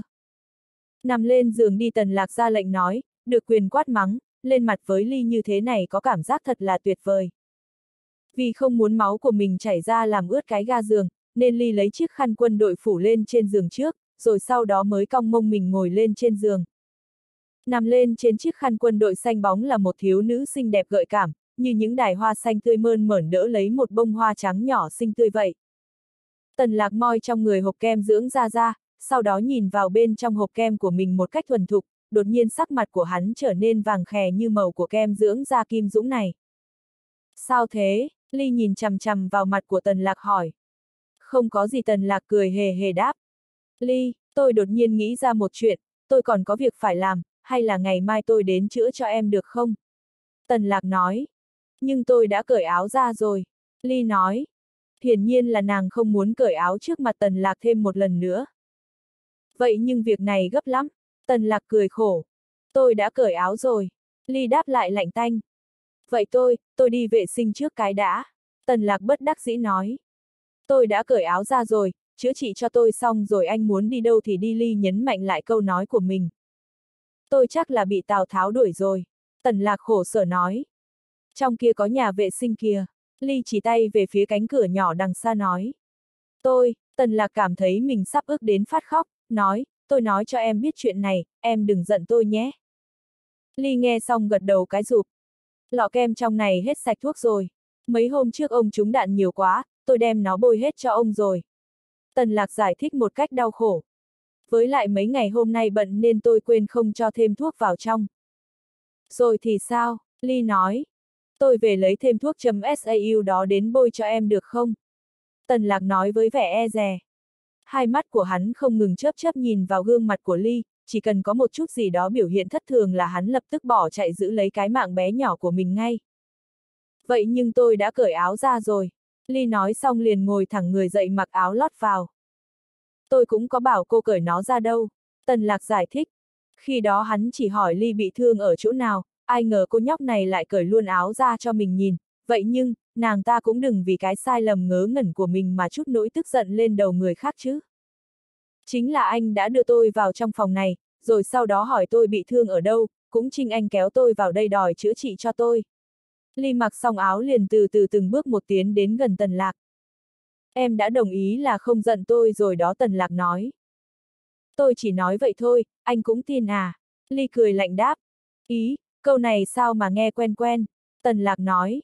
Là câu mà anh nói với hai tên sát thủ mặc đồ đen trong phòng tra tấn đó. Ly nói. Tần lạc trợn hai mắt lên nói, em làm sao mà biết được. Em khi đó có ở đấy đâu cơ chứ? Lúc đó em không phải là không có trong viện điều dưỡng hay sao? Đồ ngốc, lẽ nào anh không biết trong phòng thẩm tra có máy camera hay sao? Ly khinh khỉnh nói. Tần lạc sững sờ chết lặng. Hình ảnh của một anh hùng với thành tích sáng chói, cùng với bộ dạng chất phác lương thiện, ngại ngùng của mình, tất cả đã thành dĩ vãng rồi. Bây giờ hắn mới nhớ ra, chả trách gì mà khi hắn lần thứ hai quay lại viện điều gióng, hòa thượng và tiểu lý thám hoa đều dùng ánh mắt vô cùng kỳ quái nhìn hắn. Chả trách gì mà hỏa dược nói với hắn là có thể xem xét cho hắn gia nhập long tức, chuyên phụ trách những chuyện tra tấn thẩm vấn, cũng chả trách gì Long Vương nói, tần lạc, nó không hề dễ bị bắt nạt như vẻ bề ngoài của nó đâu. Thì ra tất cả đều xem hết những hình ảnh của camera ghi lại rồi. Tần lạc bây giờ chỉ muốn chết đi cho xong. Hắn bây giờ rốt cuộc cũng đã thấu hiểu được nỗi lòng của những cô gái bị tung hình sex lên trên mạng, bọn họ chắc là cũng đau đớn y hệt như hắn lúc này. Đúng vậy, hắn bây giờ chẳng khác nào bị lột trần chuồng như nhộng trước mặt mọi người, để cho người ta ngắm nghía và chỉ trỏ. Mọi người đều rất khâm phục những hành động của anh, nhưng nó có phần hơi bị biến thái. Ly nói. Tần lạc đứng thẳng người lên đi đến mặt của Ly nói, em giết tôi đi. Tôi cũng không muốn sống nữa rồi. Được, nếu anh muốn thế. Cho dù lúc nãy Ly có cởi áo ra, nhưng Tần Lạc vẫn không biết được nàng ta giấu dao ở đâu nữa. Chỉ trong nháy mắt thôi, Ly đã rút ra bảy tám con dao rồi, chúng mỏng như những chiếc lá liễu, sắc nhọn vô cùng. Không cần phải tránh, cũng chẳng cần phải chạy. Ly nói. Tôi chỉ đùa thôi mà. Tần lạc lo lắng nói. Tôi thì không. Em không phải là muốn làm thật đấy chứ. Tần lạc cố gắng tìm hiểu sắc thái nét mặt của Ly, xem xem cô nàng đang đùa cợt dọa dẫm hay là thật sự muốn lây mạng mình. Anh nói xem, Ly nhắm mắt lại, hai tay lắc lắc mấy con dao nhọn. Cứu tôi với, tần lạc như một con thỏ con chạy trốn khỏi họng súng của người thợ săn, phóng thân như bay ra bên ngoài. Phập, phập, phập, khi hắn vừa chạy ra khép cửa căn phòng lại, thì cánh cửa đã bị găm đầy dao lên trên đó. Chấm, chỉ vì đắc tội với cô nàng ngổ ngáo, rồi lại bị bại lộ bộ mặt biến thái, đanh ác. Chính vì vậy mà tần lạc chạy như điên thoát khỏi viện điều dưỡng. Khi hắn bỏ chạy, cũng chẳng kịp đến chào văn nhân mục nguyệt lấy một câu. Bất luận như thế nào, Tần Lạc cũng đã bị khép vào tội có âm mưu lợi dụng lòng tin của Ly để nàng phải cởi áo của mình ra trước mặt của hắn, hắn chẳng khác gì một thằng vô lại, bất lương, hèn hạ khi thực hiện hành vi đê tiện đó.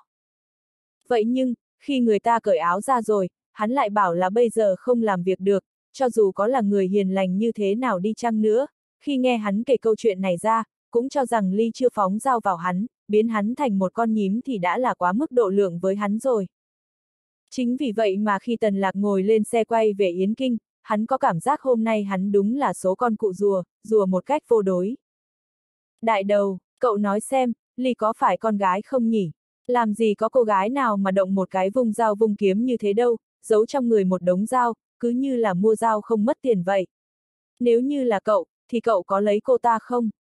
Tần lạc vẫn vô cùng ấm ức Ly, nhưng hắn không làm gì được nàng, nên chỉ biết xả lên đầu anh chàng tài xế lái xe của mình. Không dám, đại đầu nói. Chính xác, loại đàn bà con gái kiểu đó thì làm gì có ai muốn lấy cơ chứ? Cứ động một cái là giơ nắm đấm ra, nếu như tôi mà có thể đánh lại thì đã tốt. Nhưng tôi lại không đánh lại nổi, chính vì thế mà suốt ngày bị cô ta bắt nạt. Tôi không thể nào hiểu được sẽ có người đàn ông nào bị mù mắt mà yêu cái cô ả đầu gấu này. Tần Lạc nói. Ly sẽ không lấy ai cả. Đại đầu nói. Tại sao? Tần lạc ngạc nhiên hỏi. Tôi không biết, đại đầu ngẫm nghĩ một lúc nói, long tức không có ai lập gia đình cả. Tần lạc nghe vậy mới ngồi ngẫm nghĩ một lúc, thấy đại đầu nói cũng đúng. Long tức chưa có ai lập gia đình, cái ông già canh cửa cũng chưa lấy ai, tiểu lý thám hoa, hỏa dược, hòa thượng cũng vậy. Long tức không cho thành viên của mình kết hôn hay sao? Tần lạc thắc mắc nói. Không, đại đầu nói. Vậy tại sao bọn họ lại không lập gia đình nhỉ? Tần Lạc nói. Đại đầu, cha cậu có mỗi mình cậu là con trai, cậu làm trong long tức mấy năm. Chờ đến tuổi rồi, tôi sẽ giới thiệu bạn gái cho cậu. He he, học trò của tôi xinh lắm. Vương cửu cửu cậu gặp qua rồi chứ. Mấy đứa học trò của tôi chỉ kém cô ấy chút xíu thôi. Không cần đâu. Tại sao? Phiền phức. Làm gì có chuyện đó. Có một người ân cần ở bên cạnh cậu, lo lắng cho cậu, có cái cũng chẳng cân cậu phải đích thân xử lý nữa. Tần Lạc nói, hắn có được thành công như ngày hôm nay, chính là có một người luôn ở bên cạnh, ân cần giúp đỡ hắn. Việc làm duy nhất của tôi là, giết người. Đại đầu nói, không có đau thương và thất vọng có khi lại là một cái gì đó vô cùng tốt đẹp, làm nghề nào thì yêu nghề đó, mỗi một ngành nghề đều có thiên tài trong lĩnh vực của nó, tất cả đều yêu công việc của mình. Tần lạc thầm nghĩ, có lẽ đại đầu đã chọn lựa đi theo con đường này rồi. Khi xe của tần lạc vào bên trong thành phố, thì vừa vặn đúng vào giờ tan tầm. Cả một dải xe rồng rắn nối đuôi nhau trên đường, cứ như là không có điểm kết thúc vậy, nó cứ dài xa tít mù tắp đến tận cuối chân trời. Tần lạc dựa vào chiếc ghế ngồi dưỡng thần nghỉ ngơi một lúc. Tuy ngày hôm qua hắn có ôm lâm hoán khê ngủ một giấc ngon lành, nhưng hôm nay lại chạy đi chạy lại cả ngày trời rồi lại bị ly truy sát nữa, hắn bây giờ cảm thấy mệt mỏi vô cùng. Gâu, gâu, con chó ngao mặt quỷ đang nằm dưới chân tần lạc đột nhiên ngóc đầu lên sủa, nó há to miệng như muốn cắn xé một thứ gì đó, nhưng vì mõm của nó bị dọ nên nó không thể thực hiện hành vi đó được. Sao vậy? Tần lạc mở mắt ra nhìn con chó ngao hỏi. Hắn lúc lên xe đã châm vào cổ con chó một châm, theo như thường lệ thì mỗi một cái châm của hắn có thể làm cho con chó ngủ 2 giờ đồng hồ, nhưng hôm nay không biết làm sao, con chó ngao này tỉnh dậy sớm hơn mọi khi, đại đầu lúc này một tay cầm vô lăng một tay để vào trong người quay sang tần lạc nói, chủ nhân của nó đến rồi. Lúc này hả, tần lạc vừa kinh ngạc, vừa tức giận nói. Hôm qua dắt chó đi dạo cả nửa ngày trời mà cái tên Giêsu chả thèm ló mặt ra ngoài. Bây giờ hắn và các thành viên Long Tức vừa mới tách nhau ra một cái thì cái tên sát thủ này lại xuất hiện, nó đúng là một thằng thất đức, mau mau xuống xe. Đại đầu nhanh chóng mở cửa xe, sau đó chạy ra cửa xe sau mở cửa cho Tần Lạc. Đại đầu dùng toàn bộ thân thể của mình che chắn cho Tần Lạc không có một khe hở nào. Tần Lạc cũng biết, Giêsu có thể dùng chim để tấn công. Nếu như bây giờ mà hắn cứ ngồi trong xe, thì chẳng khác nào là cái bia sống cho hắn ta cả. Tần lạc ôm lấy con chó ngao chạy xuống xe, sau đó dưới sự che chắn của đại đầu, cả hai nhanh chân chạy về nơi càng đông người càng tốt. Còn chiếc xe mà cả hai vứt lại có lẽ sẽ làm cho giao thông trở nên tắc nghẽn thêm mấy tiếng đồng hồ nữa chương 589, Đại chiến giữa Trung Y và người huấn luyện thú. Tần lạc ôm con chó ngao chạy về phía trước, còn đại đầu thì cẩn thận chạy phía sau che chắn cho hắn, một tay của đại đầu vẫn để trong người cậu ta thậm chí cũng không muốn lãng phí một giây phút nào khi cần phải rút súng ra trong thời gian nhanh nhất. Tần lạc không dành địa hình của Yến Kinh cho lắm, hắn chạy dốc theo sự chi dẫn của đại đầu còn vì sao mà đại đầu lại quen thuộc với địa hình ngang dọc ở đây, thì hắn thực sự không biết rõ nguyên nhân. Có lẽ, quen thuộc địa hình là một kỹ năng bắt buộc của bộ đội đặc trùng. Có những cao thủ, cho dù có một thân một mình tấn công, cũng có thể làm cho cả đội quân một ngàn người khóc dở mếu dở, và Giêsu chính là một nhân vật nguy hiểm như vậy. Suốt dọc đường, mọi vật chung quanh đều có thể tấn công tần lạc, bất kể đó có là những người dân thường đi đằng sau hắn, hay là một con chó hoang, mèo hoang đột nhiên xông ra, tất cả đều làm cho thần kinh của đại đầu và tần lạc căng như dây đàn. Giêsu vẫn chưa xuất hiện, cũng chưa thấy hắn ta ra tay hạ thủ, nhưng tần lạc và đại đầu đều cảm nhận được Giêsu đang ở đằng sau lưng của hai người. Gã cứ như một hồn ma ám ảnh, lượn lờ phía sau lưng của tần lạc và đại đầu vậy. Vào trong trường, đại đầu chỉ vào một ngôi trường có vẻ cũ kỹ ở ven bên đường nói. Đó là trường trung cấp y tá của Yến Kinh, một học viện chuyên bồi dưỡng những y tá, hộ lý cho các bệnh viện. Nếu như là ngày trước, thì Tần Lạc chắc chắn không bao giờ biết tới ngôi trường này, nhưng hôm nay hắn đã bước chân vào trong này. Đi vào chỗ vắng người nhanh lên. Đại đầu nói, Giêsu ra tay rồi.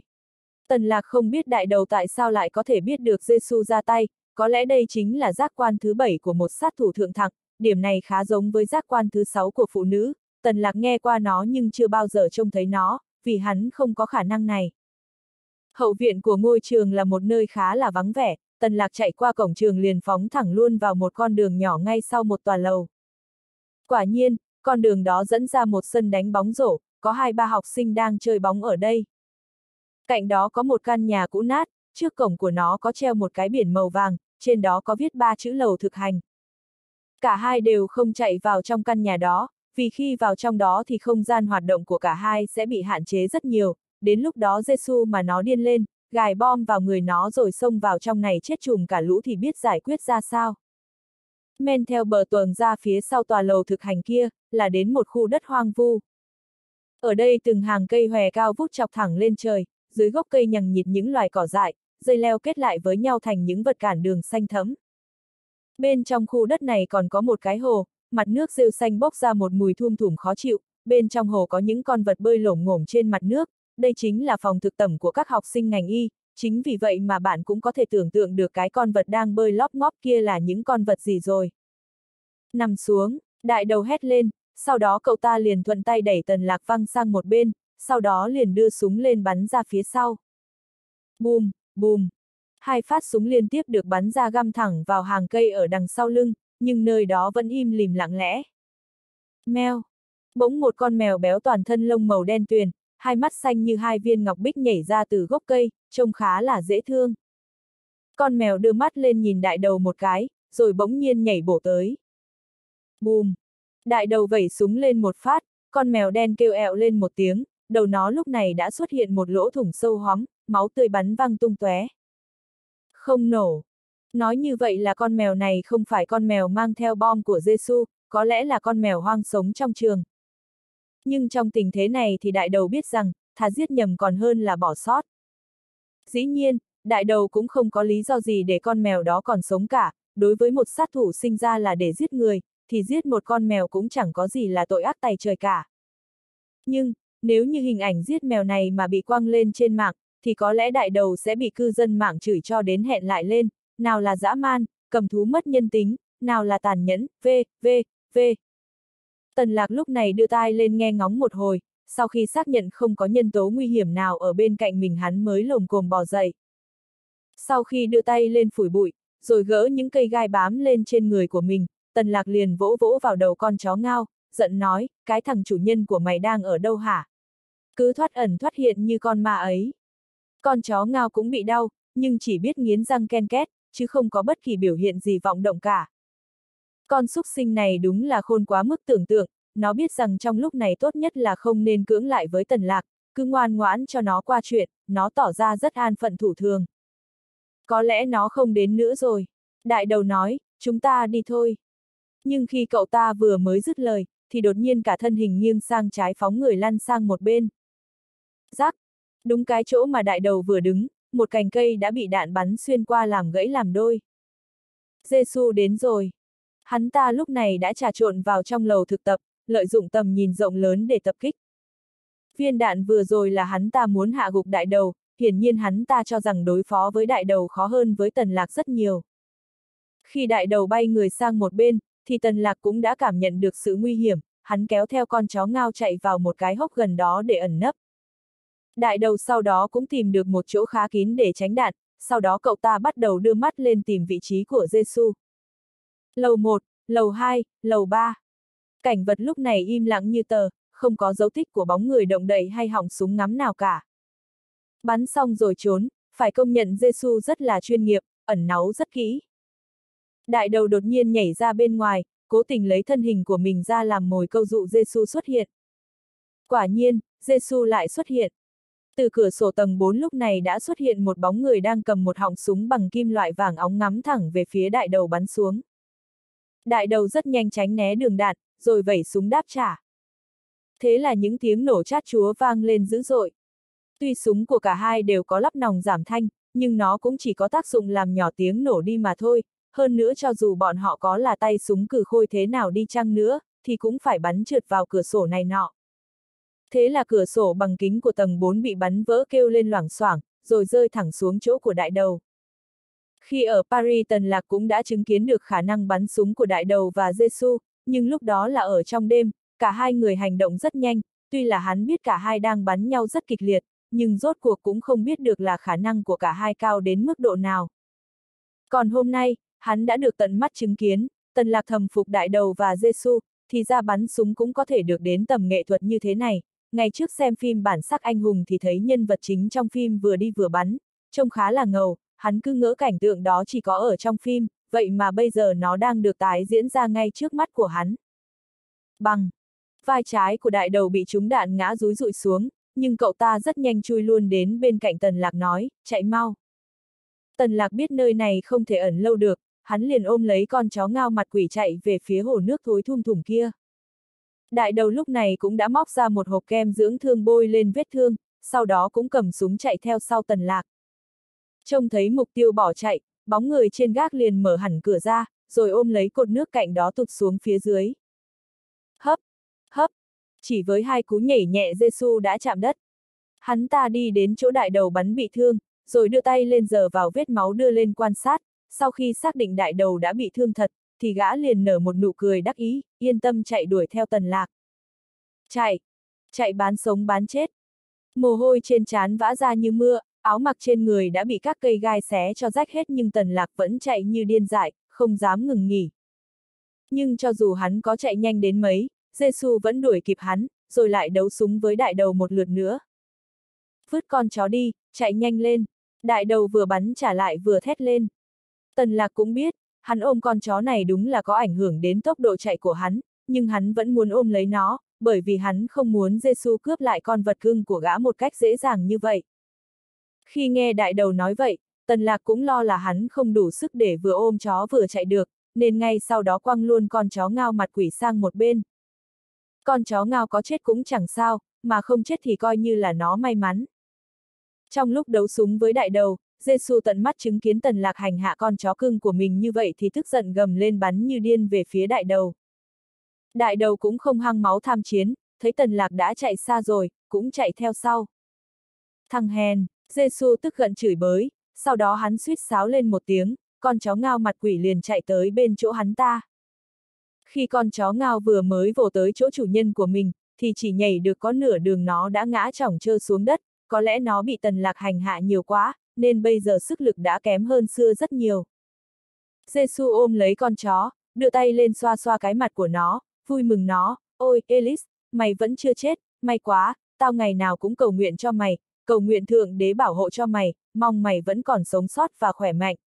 Thượng đế thật đúng là đã không phụ lòng con tin của người. Con chó ngao mặt quỷ muốn liếm vào tay của chủ nó, nhưng cái đầu của nó bị dọ bởi cái lồng sắt, nên nó không thể nào thể hiện được lòng yêu thương của nó đối với chủ. Mẹ kiếp, Giêsu phát hiện ra biểu hiện khác thường của con chó, gã liền giật phăng sợi dây của dọ sắt trên đầu con chó ra nói, bọn chúng sao lại có thể đối xử với mày như vậy? Tao đã cảnh cáo bọn chúng là nên đối xử tốt với mày rồi tao sẽ đến đón mày cơ mà. Nói xong, Giêsu lại phát hiện ra móng vuốt sắc nhọn của chó ngao mặt quỷ đã mất, mà thay vào đó là bàn chân toàn thịt êm như đệm. Giêsu thất sắc gầm lên, ôi, không. Ôi, bọn chúng sao lại có thể đối xử với Elis như vậy được cơ chứ? Ôi chúa ơi, không phải con không tin người, nhưng bọn chúng thật là bọn khốn nạn. Con xin lấy danh nghĩa là một con tin trung thành bậc nhất của người, xin người hãy giáng xuống bệnh dịch và tai họa xuống đầu bọn khốn đó. Ngào, ngào. Con chó ngao mặt quỷ cũng gào lên theo chủ nhân nó, sau đó liền thè lưỡi ra liếm vào mặt của Giêsu, hiển nhiên là nó đã thấu hiểu lời thỉnh cầu của chủ nhân nó. Nhưng từ miệng của con chó lại bốc ra một mùi hôi thối vô cùng khó tả, làm cho Giêsu bất giác cau mày lại một cách khó chịu, gã đẩy con chó cưng của mình ra nói, ôi, bọn chúng thật là khốn nạn, để cho mày uống nước bẩn, ôi. Con chó thấy vậy chỉ biết kêu ngao ngao lên mấy tiếng, rồi không dám liếm vào mặt của Giêsu nữa.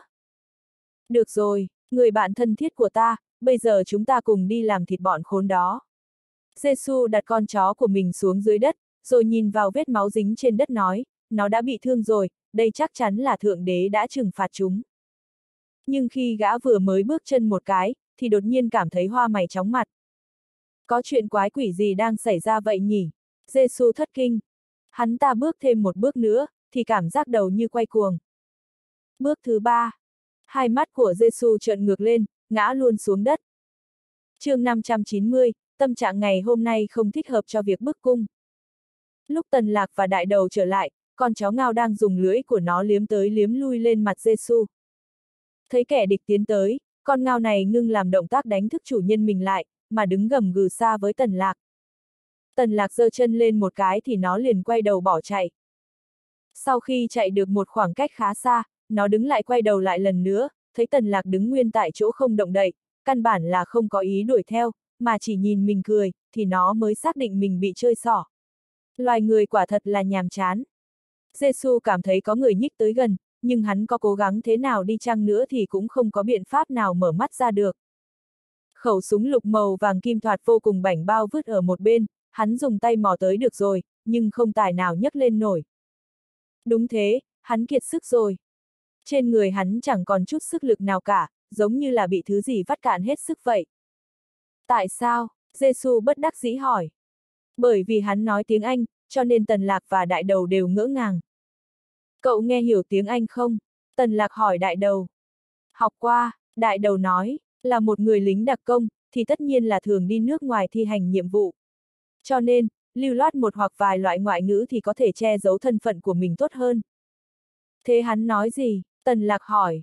Tôi không rõ, đại đầu trả lời, tôi cũng không học cho đàng hoàng tử tế. Tôi bị làm sao thế này? Giêsu hỏi lại một lần nữa. Lần này, hắn dùng tiếng Trung Quốc. Người ta làm sát thủ có khác, trình độ ngoại ngữ tốt hơn một người làm quân nhân như đại đầu này rất nhiều. Mày bị trúng độc rồi. Tần lạc cười khà khà nói. Độc, Giêsu hỏi một cách nghi hoặc, sao tao lại trúng độc, thượng đế, chúng con căn bản là chưa từng tiếp xúc với nhau. Đúng thế, tần lạc lời, chúng ta chưa từng tiếp xúc với nhau. Nhưng mà, mày đã từng tiếp xúc với con chó xấu xí đó. Elise, làm sao có thể như thế được? Giêsu nói với vẻ mặt khó tin. Nhưng mày cũng tiếp xúc với nó. Mày còn ôm nó suốt. Vậy tại sao mày lại không bị trúng độc? Tần lạc cảm thấy người nước ngoài này ngu ngốc một cách thật đáng yêu.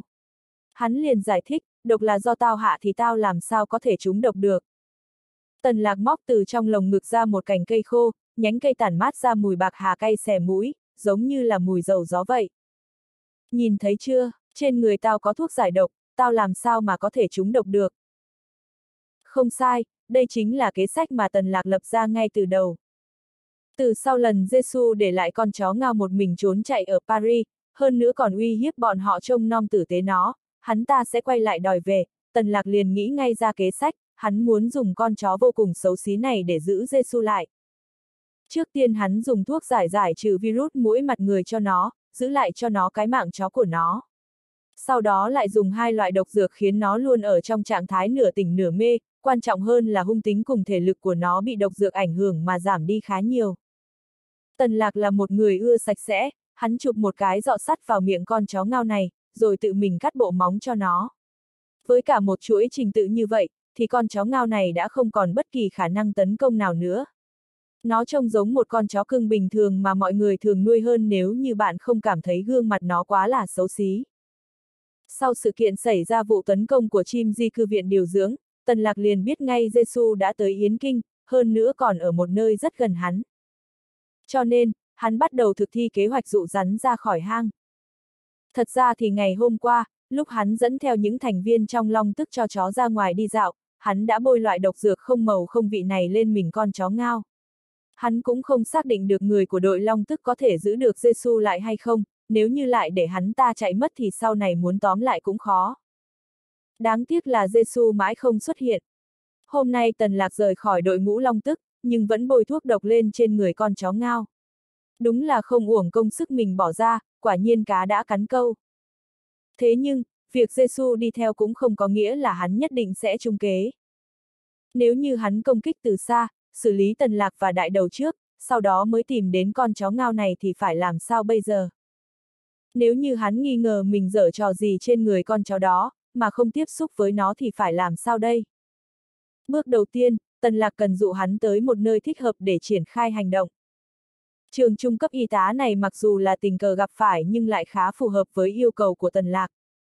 Bước thứ hai, Tần Lạc cần làm hắn mất cảnh giác. Trước tiên, hắn muốn đại đầu bị thương để cho Giêsu có ảo tưởng không có đối thủ. Ngay sau đó, đại đầu cùng Tần Lạc hoang mang chạy chối chết. Tiếp theo, hắn trong tình huống bất đắc dĩ liền bỏ rơi con chó ngao mặt quỷ, khiến cho hắn có ảo tưởng người khác có thể tiếp xúc được thì mình cũng có thể tiếp xúc được. Vì vậy, sau một loạt liên tiếp những cạm bẫy mai phục, Giêsu đã trúng chiêu. Thật ra thì trong cả quá trình, đại đầu chỉ biết một chuyện, tần lạc đã bôi thuốc độc trên người con chó ngao đó. Đại đầu bị thương là do cậu ta cố ý, cũng là bước khởi động cho kế hoạch lần này của cậu ta. Cậu ta kéo dài việc phục kích cũng là cố ý muốn lớn tiếng nhắc nhở tần lạc, thả chó ra, chạy mau, thế nên, tần lạc liền thả con chó ngao ra. Từ thành công của kế hoạch lần này có thể thấy được thời gian hai người phối hợp với nhau tuy ngắn ngủi, nhưng đủ để ăn ý với nhau mà không cần tới quá nhiều lời nói. Các người là lũ người Trung Quốc giảo quyệt, Thượng Đế sẽ trừng phạt các người. Giê-xu oán hận nói. Tần lạc đi tới đạp lên gương mặt tuấn tú của hắn, nói, nếu mày còn nói nữa thì tao sẽ trừng phạt mày trước tiên. Nếu nửa tiếng nữa tao không đưa thuốc giải cho mày, thì tim của mày sẽ bắt đầu suy kiệt, hô hấp khó khăn, sẽ tắt thở mà chết. Chết tiệt, Giê-xu nguyền rủa. Cậu không sao chứ? Tần lạc xoay người nhìn về phía vết thương của đại đầu, hỏi với giọng quan tâm. Không sao, đại đầu trả lời, chỉ là xây sát ngoài ra thôi. Bởi vì cậu ta cố ý chứ không phải là bị động trúng thương, có thể nói là, cậu ta đã chủ động đem thân thể của mình nghênh đón hướng viên đạn, vì vậy mà cậu ta chẳng qua chỉ bị thương ngoài ra mà thôi. Đem hắn ta về long tức đi, Tần Lạc nói. Đại đầu liền đi tới ôm lấy Giêsu, Tần Lạc tiến lên dắt theo con chó ngao mặt quỷ, hai người đi dọc theo góc tường ra ngoài. Vì Tần Lạc vẫn lo lắng việc Ly tiếp tục trả đũa báo thù, nên hắn không dám vào trong tiểu lầu, mà bảo đại đầu đem Giêsu đến thẳng phòng thẩm vấn. Biết Tần Lạc lại dẫn phạm nhân đến thẩm vấn, hỏa dược, hòa thượng, tiểu lý thám hoa đều chạy tới xem trò vui. Tần Lạc nói với tiểu lý tham hoa, tôi còn có một chút chuyện, anh có thể giúp tôi tra hỏi được không? Tiểu lý thám hoa vẫy tay liên tục, nói, không được, không được. Tôi làm sao dám múa dìu qua mắt thợ, những việc chuyên môn như vậy, để những người chuyên nghiệp như anh làm thì tốt hơn. Tần lạc đi tìm hỏa dược, hỏa dược lạnh lùng cự tuyệt, nói, không ai có thể thuần thục hơn anh cả. Vẫn chưa tìm được hòa thượng, hỏa dược liền tự tìm cớ, nói, tôi không dám giết người ngay cả gà tôi cũng không dám giết. Đại đầu, khi tần lạc xoay người muốn tìm đại đầu thì mới nhớ ra, hắn đã bảo đại đầu đi ra sau băng bó mất rồi. Tần lạc bất đắc dĩ, hỏi, trong phòng thẩm vấn có thể mở băng ghi hình không? Không thể, tiểu lý thám hoa nói. Vậy tại sao có thể quay lại được? Cái này, Ly nói rồi. Tiểu lý thám hoa cười khổ nói. Tôi biết chắc Ly sẽ không giấu giếm. Nếu như anh thực sự thấy việc đó là cần thiết, thì thật ra là cũng là có thể. Tần lạc gật đầu, nói, vậy thì tốt, tôi vào trong gọi hắn tỉnh dậy, sau đó anh mở băng lần trước tôi thẩm vấn cho hắn xem. Nửa giờ sau, Tần Lạc một lần nữa đi vào phòng thẩm vấn. Lúc này, đoạn video biến thái kinh khủng làm cho người ta sởn tóc gáy vừa mới kết thúc. Mày cảm thấy như thế nào? Tần Lạc cười hỏi. Mày thích hợp để làm sát thủ. Tay chân Giêsu tuy cũng giống như hai tên bận đồ đen trước đều bị trói trên cây giá sắt, trạng thái tinh thần của hắn lại rất tốt, và cũng vô cùng lạc quan. Thật không biết là hắn có xem hết đoạn video bức cung vừa rồi hay không, hình như tâm trạng của hắn không hề bị đoạn băng video kia ảnh hưởng. Đáng lẽ chúng ta nên làm cùng một nghề. Tao là bác sĩ, một bác sĩ trung y được mọi người tôn trọng tần lạc nói. Tao nghĩ, mày chắc chắn là vì bản thân mà tới giết tao đúng không? Tao và mày vốn không hề kết thù kết oán. Về sau thì khó nói lắm. Giêsu nói, những điều mày đã làm sẽ đưa mày xuống địa ngục. Thượng đê rất nhân từ. Thiên đường không chào đón loại đồ tể giết người như mày. Tần lạc cười híp mắt, nói, mày biết không, dùng tiếng Trung Quốc của chúng tao mà nói, thì hành vi của mày chính là một hành vi giả tạo một cách điển hình, vẫn còn một câu nói có thể miêu tả được đó là làm điếm mà còn đòi lập đền thờ. Chính mày mới là sát thủ, giết người như ngoé. Không, không, không. Giêsu phản bác, từ lúc tao xuất đạo tới nay, tao mới giết 16 người mà tao đều có lý do để giết họ. Thượng đế sẽ tha thứ cho tao, bởi vì tao là một trong những tín đồ thành tín nhất của người. Vậy mày giết tao với lý do gì? Tần lạc tò mò hỏi. Bởi vì tiền, có người đồng ý trả cả triệu đô la cho việc này.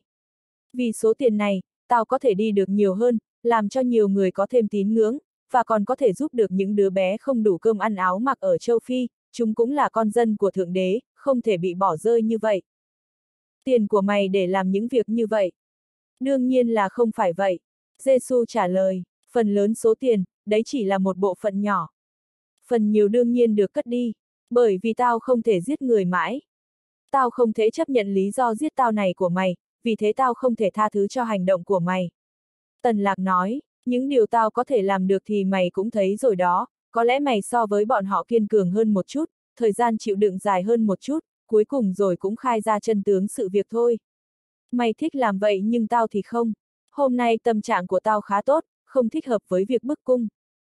Tần lạc rút từ trong túi ra một khẩu súng lục, vừa tìm hỏa dược mượn. Mở chốt bảo hiểm, sau đó dí nòng súng vào đầu Giêsu, nói, nói cho tao biết chân tướng, hoặc là tao sẽ bắn một phát cho nát óc mày ra. chương 591, tôi chỉ đang diễn kịch. Thế giới sát thủ đều phải chuẩn bị tư tưởng giết người và bị người giết. Đây là câu đầu tiên trong tập hồi ký cuộc đời sát thủ của tôi được viết bởi vương lão tử sát thủ thế giới sau khi ông ta đã về hưu. Một khi đã đi con đường này, chính là đã đặt một nửa thân thể vào quan tài. Bọn họ lấy đi tính mạng của người khác nhưng cũng từng bước dẫm chân vào vũng bùn không thể quay đầu lại. Muốn cậy mồm lấy tin tức từ một kẻ sát thủ khó hơn rất nhiều so với một tên lính đặc trùng. Sự cố chấp điên rồ của bọn chúng không phải là truyền thống đạo đức gì.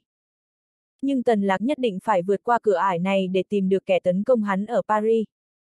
Vì thế Tần Lạc mới để tiểu lý thám hoa trong phòng thẩm vấn khi hắn bức cung hai kẻ áo đen.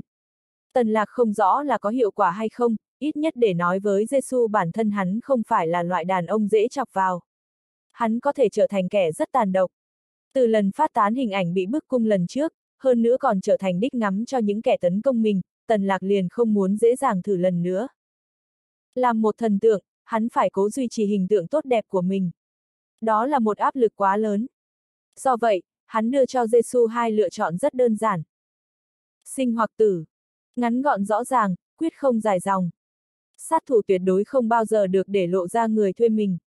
Đây là một quy tắc hành nghề, lẽ nào mày không biết? Giêsu dùng lời lẽ mỉa mai châm chọc tần lạc như một kẻ rốt đặc đang dùng âm mưu quỷ kế moi móc hắn.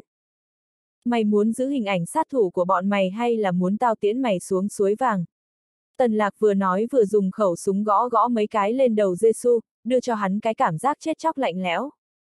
Chết chỉ là sự bắt đầu, có thể quay trở về vòng tay của Chúa là lý tưởng lớn nhất của ta. Giêsu thản nhiên nói. Được, Tần Lạc đành gật đầu, đụng phải một kẻ giáo đồ cơ đốc cuồng ngoan đạo như hắn, Tần Lạc cũng đành bế tắc tao thành toàn cho mày. Nói xong, Tần Lạc chuẩn bị bóp cò. Đợi đã Giêsu đột nhiên hét to. Trong lòng Tần Lạc cười thầm, ngoài mặt thì lạnh lùng hỏi, còn chuyện gì không? Mày thật muốn giết tao? Không phải uy hiếp chứ? Giêsu nói mày đủ sức làm thế không? Đây là một loại hành vi ngu xuẩn cực lãng phí. Đã tìm được nhân chứng có lợi phải làm mọi cách để lấy được thông tin cần. Nhưng nếu như bị bắn chê, mày cái gì cũng không có, đúng là lãng phí thời gian và sức lực. Làm sao mày biết tao thực muốn giết mày? Có thể tao đang muốn uy hiếp mày. Tần Lạc nói. Không, mày không phải. Giêsu nói, tao nghe rõ âm thanh ma sát cò súng và lực ngón tay mày. Tao là một tay súng tất nhiên phải biết thủ đoạn bắn súng nào là thật, thủ đoạn nào là giả. Tần Lạc hiện đã hiểu rõ nguyên do, cảm thấy bản thân mình đã bại dưới tay của một kẻ lành nghề. Tốt, mày đã hiểu rồi, vậy thì hãy nói cho ta biết sự thật. Tao không muốn lãng phí thời gian nữa. Tần Lạc nói tiếp vẫn là hai lựa chọn. Một nói cho tao biết kẻ nào thuê mày. Hai một phát súng này sẽ làm nổ tung đầu mày. Giêsu im lặng trong chốc lát. Rất lâu sau, hắn mới hỏi, mày nói xem, tao có thể lên thiên đàng được không? Không biết, Tần Lạc nói có lẽ vậy, mày nên tin thế. Nhưng tao đã giết nhiều người rồi Giêsu mang một bộ mặt thống khổ nói thượng đế khoan dung có thể tiếp nhận một tín đồ không tuân thủ giáo điều như tao sao? Tao không phải thượng đế, mày phải hiểu rõ nhất. Tần lạc cười cười, kẻ này điên rồi, trước khi chết lại còn muốn nói vớ vẩn mấy thứ hư vô mờ mịt mà chả ai biết đáp án. Thượng đế, thiên đường, mày nhìn thấy chưa? Dù sao, tần lạc chưa từng gặp qua, cho nên hắn cũng không cách nào trả lời Giêsu tao muốn cầu nguyện người, người còn ban tặng cho chúng mày một đấng cứu thế, vĩnh viễn tồn tại. Đó chính là chân lý của Thánh Linh, những kẻ trên đời này không thể nào hiểu được. Bởi vì không nhìn thấy cũng không biết người, ngược lại người lại biết bọn mày, bởi vì người luôn cùng tồn tại cùng chúng tao, cũng là ở trong bọn mày. Vì sao mày không buông đao xuống, tin theo Chúa của tao? Giêsu đọc thuộc lời của Chúa, rồi mong chờ câu trả lời của Tần Lạc. Mày đang khuyên tao tin vào Thượng Đế. Đúng vậy, mày tin, người sẽ ở trong mày. Mày không tin, người sẽ không có. Giêsu nói tiếp nếu như trước khi chết tao khuyên mày tin vào người, người nhất định sẽ tiếp nhận tao lên thiên đàng. Chấm, gạch dưới gạch dưới. Tần lạc lúc này bị tên khùng này làm cho tức điên rồi. Hắn vậy mà cũng muốn giao dịch với Thượng Đế. Hắn cho rằng, chỉ cần trước khi chết khuyên Tần Lạc tin vào Thượng Đế thì Thượng Đế sẽ biết sự thành kính của hắn mà tiếp nhận hắn lên thiên đàng. Nhưng, không phải chính Tần Lạc giết hắn là phạm vào tội ác tài trời. Bản thân tin vào Thượng Đế, Thượng Đế sẽ để Giêsu lên thiên đàng. Chả khác gì cảm hóa được 10 tên đại ác nhân. Tần Lạc nhất quyết từ chối, nói, xin lỗi, tao tạm thời không có ý nghĩ như vậy. Ai Giêsu tiếc nuối thở dài. Tao không muốn lãng phí thời gian nữa. Tần Lạc tiếp tục nói nếu mày không đưa thứ tao cần, tao sẽ bóp cò. Giả dụ mày có cơ may gặp Thượng Đế, thì thay tao hỏi thăm lão ấy tao sẽ nói cho mày biết. Tao không phải là một sát thủ hợp cách, tao cũng không thể chỉ dựa vào cái nghề này. Giêsu nói, mày hình như đã bỏ qua một vài thứ, người chết thì không thể nào làm sát thủ được, hơn nữa, không làm sát thủ càng tốt hơn. Vậy thì, mày có thể một lòng một dạ đi truyền giáo rồi. Đợi đến khi mày tích đủ công đức, tao nghĩ về sau mày có thể lên thiên đàng. Giêsu nghĩ đi nghĩ lại, chậm chạp nói, mày hình như đã thuyết phục được tao. Vậy, tao muốn đáp án. Nếu tao nói cho mày, mày sẽ không giết tao chứ? Đúng vậy, Tần Lạc chắc chắn. Tao muốn mày phải thề trên danh dự và tín ngưỡng của mày. Tao thề, tao không giết mày, Tần Lạc nói nhưng tao phải chặt đứt hai cái đùi của mày. Không, nói vậy tao không có gì bảo đảm. Đợi đến lúc tao ra khỏi đây, tao liền bị truy sát. Mày không có tư cách trao đổi với tao. Nếu tao cho mày đáp án thì tao sẽ làm miễn phí cho mày một việc. Tần Lạc nghĩ lát, mới nói ok. An toàn, Giêsu nói tìm hắn. Tần Lạc không hỏi an toàn là kẻ nào, bởi vì bản thân hắn sẽ có cách điều tra ra được. Chỉ một mình hắn. Chỉ có hắn liên lạc với tao. Thôi được, mày đã đáp ứng tao một chuyện, mày hãy đi giết hắn. Không, điều này vi phạm. Bằng. Tần Lạc đã bóp cò bắn vào một đùi của Giêsu, cả cơ thể của hắn đau đớn đến mức gập cả người lại. Vi phạm cái gì? Thủ tục của sát thủ. Tần lạc cười nhạt mày bây giờ đã không còn là sát thủ. Mày là một linh mục. Được, con mắt xanh lè của Giêsu nhìn chằm chằm vào tần lạc, nói một cách nghiêm túc. Hắn tự nhiên phát hiện, kẻ có khuôn mặt thanh tú trước mặt mới thực giống sát thủ. Còn hắn làm một cách tùy ý, không có bất cứ quy luật nào đáng nói. Tao sẽ cho người đưa mày ra ngoài. Tần lạc thu khẩu súng vào trong ngực. Mày không sợ tao thất hứa? Giêsu hỏi. Sợ, Tần lạc nói. Sau đó, hắn lấy từ trong túi ra một bình sứ nhỏ màu vàng, rút nút bình lên, rồi đổ ra một viên dược hoàn màu đen kịt hình tròn, nói với Giêsu, ăn cái này. Giêsu đành hé miệng, tần lạc nhét viên dược hoàn vào miệng hắn. Phiêu dược hoàn vừa mới chạm vào miệng hắn liền đã tan ra, để lại mùi vị tanh thối vô cùng. Đó là thuốc độc phải không? Giêsu cười lớn hay là cho trẻ con ăn kẹo? Nếu như trước mặt có một chiếc gương, tao chắc là mày sẽ không nói như vậy. Tần lạc nhìn vẻ mặt của Giêsu rồi cười lớn. Gương mặt của hắn giờ đã biến thành màu đỏ tía, giống hệt như gan heo được nấu chín bán trong chợ. Tần lạc lại từ trong người móc ra một bình sứ nhỏ màu trắng nhét vào túi áo của Giêsu, nói, dược hoàn màu trắng này là thuốc giải, ba ngày ăn một viên. Cái này đủ dùng cho ba tháng, sau ba tháng, đến tìm tao. Đương nhiên nếu mày sớm hoàn thành lời hứa, vậy thì có thể đến tìm tao sớm hơn. Tần lạc mở cửa phòng thẩm vấn liền nhìn thấy đám người tiểu lý thám hoa, hỏa dược, hòa thượng, đại đầu đứng chờ ở ngoài. Mọi người sao ở hết đây vậy? Tần lạc ngạc nhiên hỏi tôi còn tưởng mọi người ở bàn máy tính xem kịch vui chứ. Con dao trong tay Ly xoay tròn, nàng đi qua bên cạnh tần lạc. Ly, em làm gì vậy? Tần lạc nhìn vẻ mặt hầm hầm của nàng, vội vàng đuổi theo hỏi rõ. Giết người. Giết ai? Tần lạc hỏi lại, hỏi xong liền cảm thấy câu hỏi này thật sự quá ngốc. Trong phòng thẩm vấn có hai người, một là bản thân, hai là Giêsu. Tuy bản thân không có lý do gì ngoài việc nhìn chằm chằm vào ngực nàng ta thì cũng chả có tội gì đáng chết. Vậy thì, chỉ còn lại một khả năng, Ly muốn giết Giêsu. Ly không hề trả lời, đưa con dao nhẹ nhàng lướt qua cổ Giêsu. Là vậy, động tác gọn gàng mau lẹ, đơn giản dễ dàng chả khác gì giết một con gà. Trong thế giới của nàng, không hề có tội ác mà cũng chả có sự cảm thông. Chỉ có phải hay là không phải. Tần lạc nắm chặt lấy cổ tay của nàng, nhẹ nhàng nói, Ly, không thể giết hắn. Hắn phải chết, Ly nói. Hắn là một cao thủ, nếu không giết hắn, về sau thế nào cũng rước phải rắc rối. Giọng của hỏa dược nặng nề vang lên, cả mấy người bọn họ đều đã bước vào phòng thẩm vấn. Tiểu lý thám hoa cũng cười cười nói tiếp, tần lạc tôi không thể không thừa nhận nhiều cách làm của anh rất quái dị. Trao đổi với một tên sát thủ, tôi đúng là lần đầu gặp đấy. Giết hắn đi, dù sao cậu cũng đã rõ sự thật, hoàn toàn không cần vẽ vời thêm làm gì. Điều này thật sự quá mạo hiểm. Hắn có thể làm thì tôi cũng có thể làm. Đại đầu cũng ở bên cạnh khuyên nhủ. Tần lạc đưa mắt nhìn Giêsu, cười nói, tôi hiểu rõ mình đang làm gì. Tôi cũng biết là quá mạo hiểm, nhưng mà, chúng tôi đã trao đổi rồi, sẽ không có chuyện bội tín hay thất hứa. Tôi tin hắn một lần.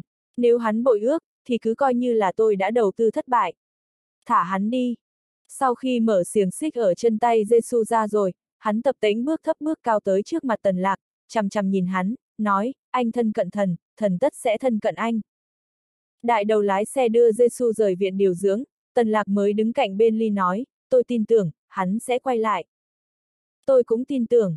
Em tin tưởng, tần lạc kinh ngạc hỏi em vừa rồi không phải muốn giết hắn sao? Ngu xuẩn, ly khinh thường cái IQ của tần lạc, nói, tôi chỉ là đang diễn kịch. chương 592, sự giảo hoạt của người hoa hạ.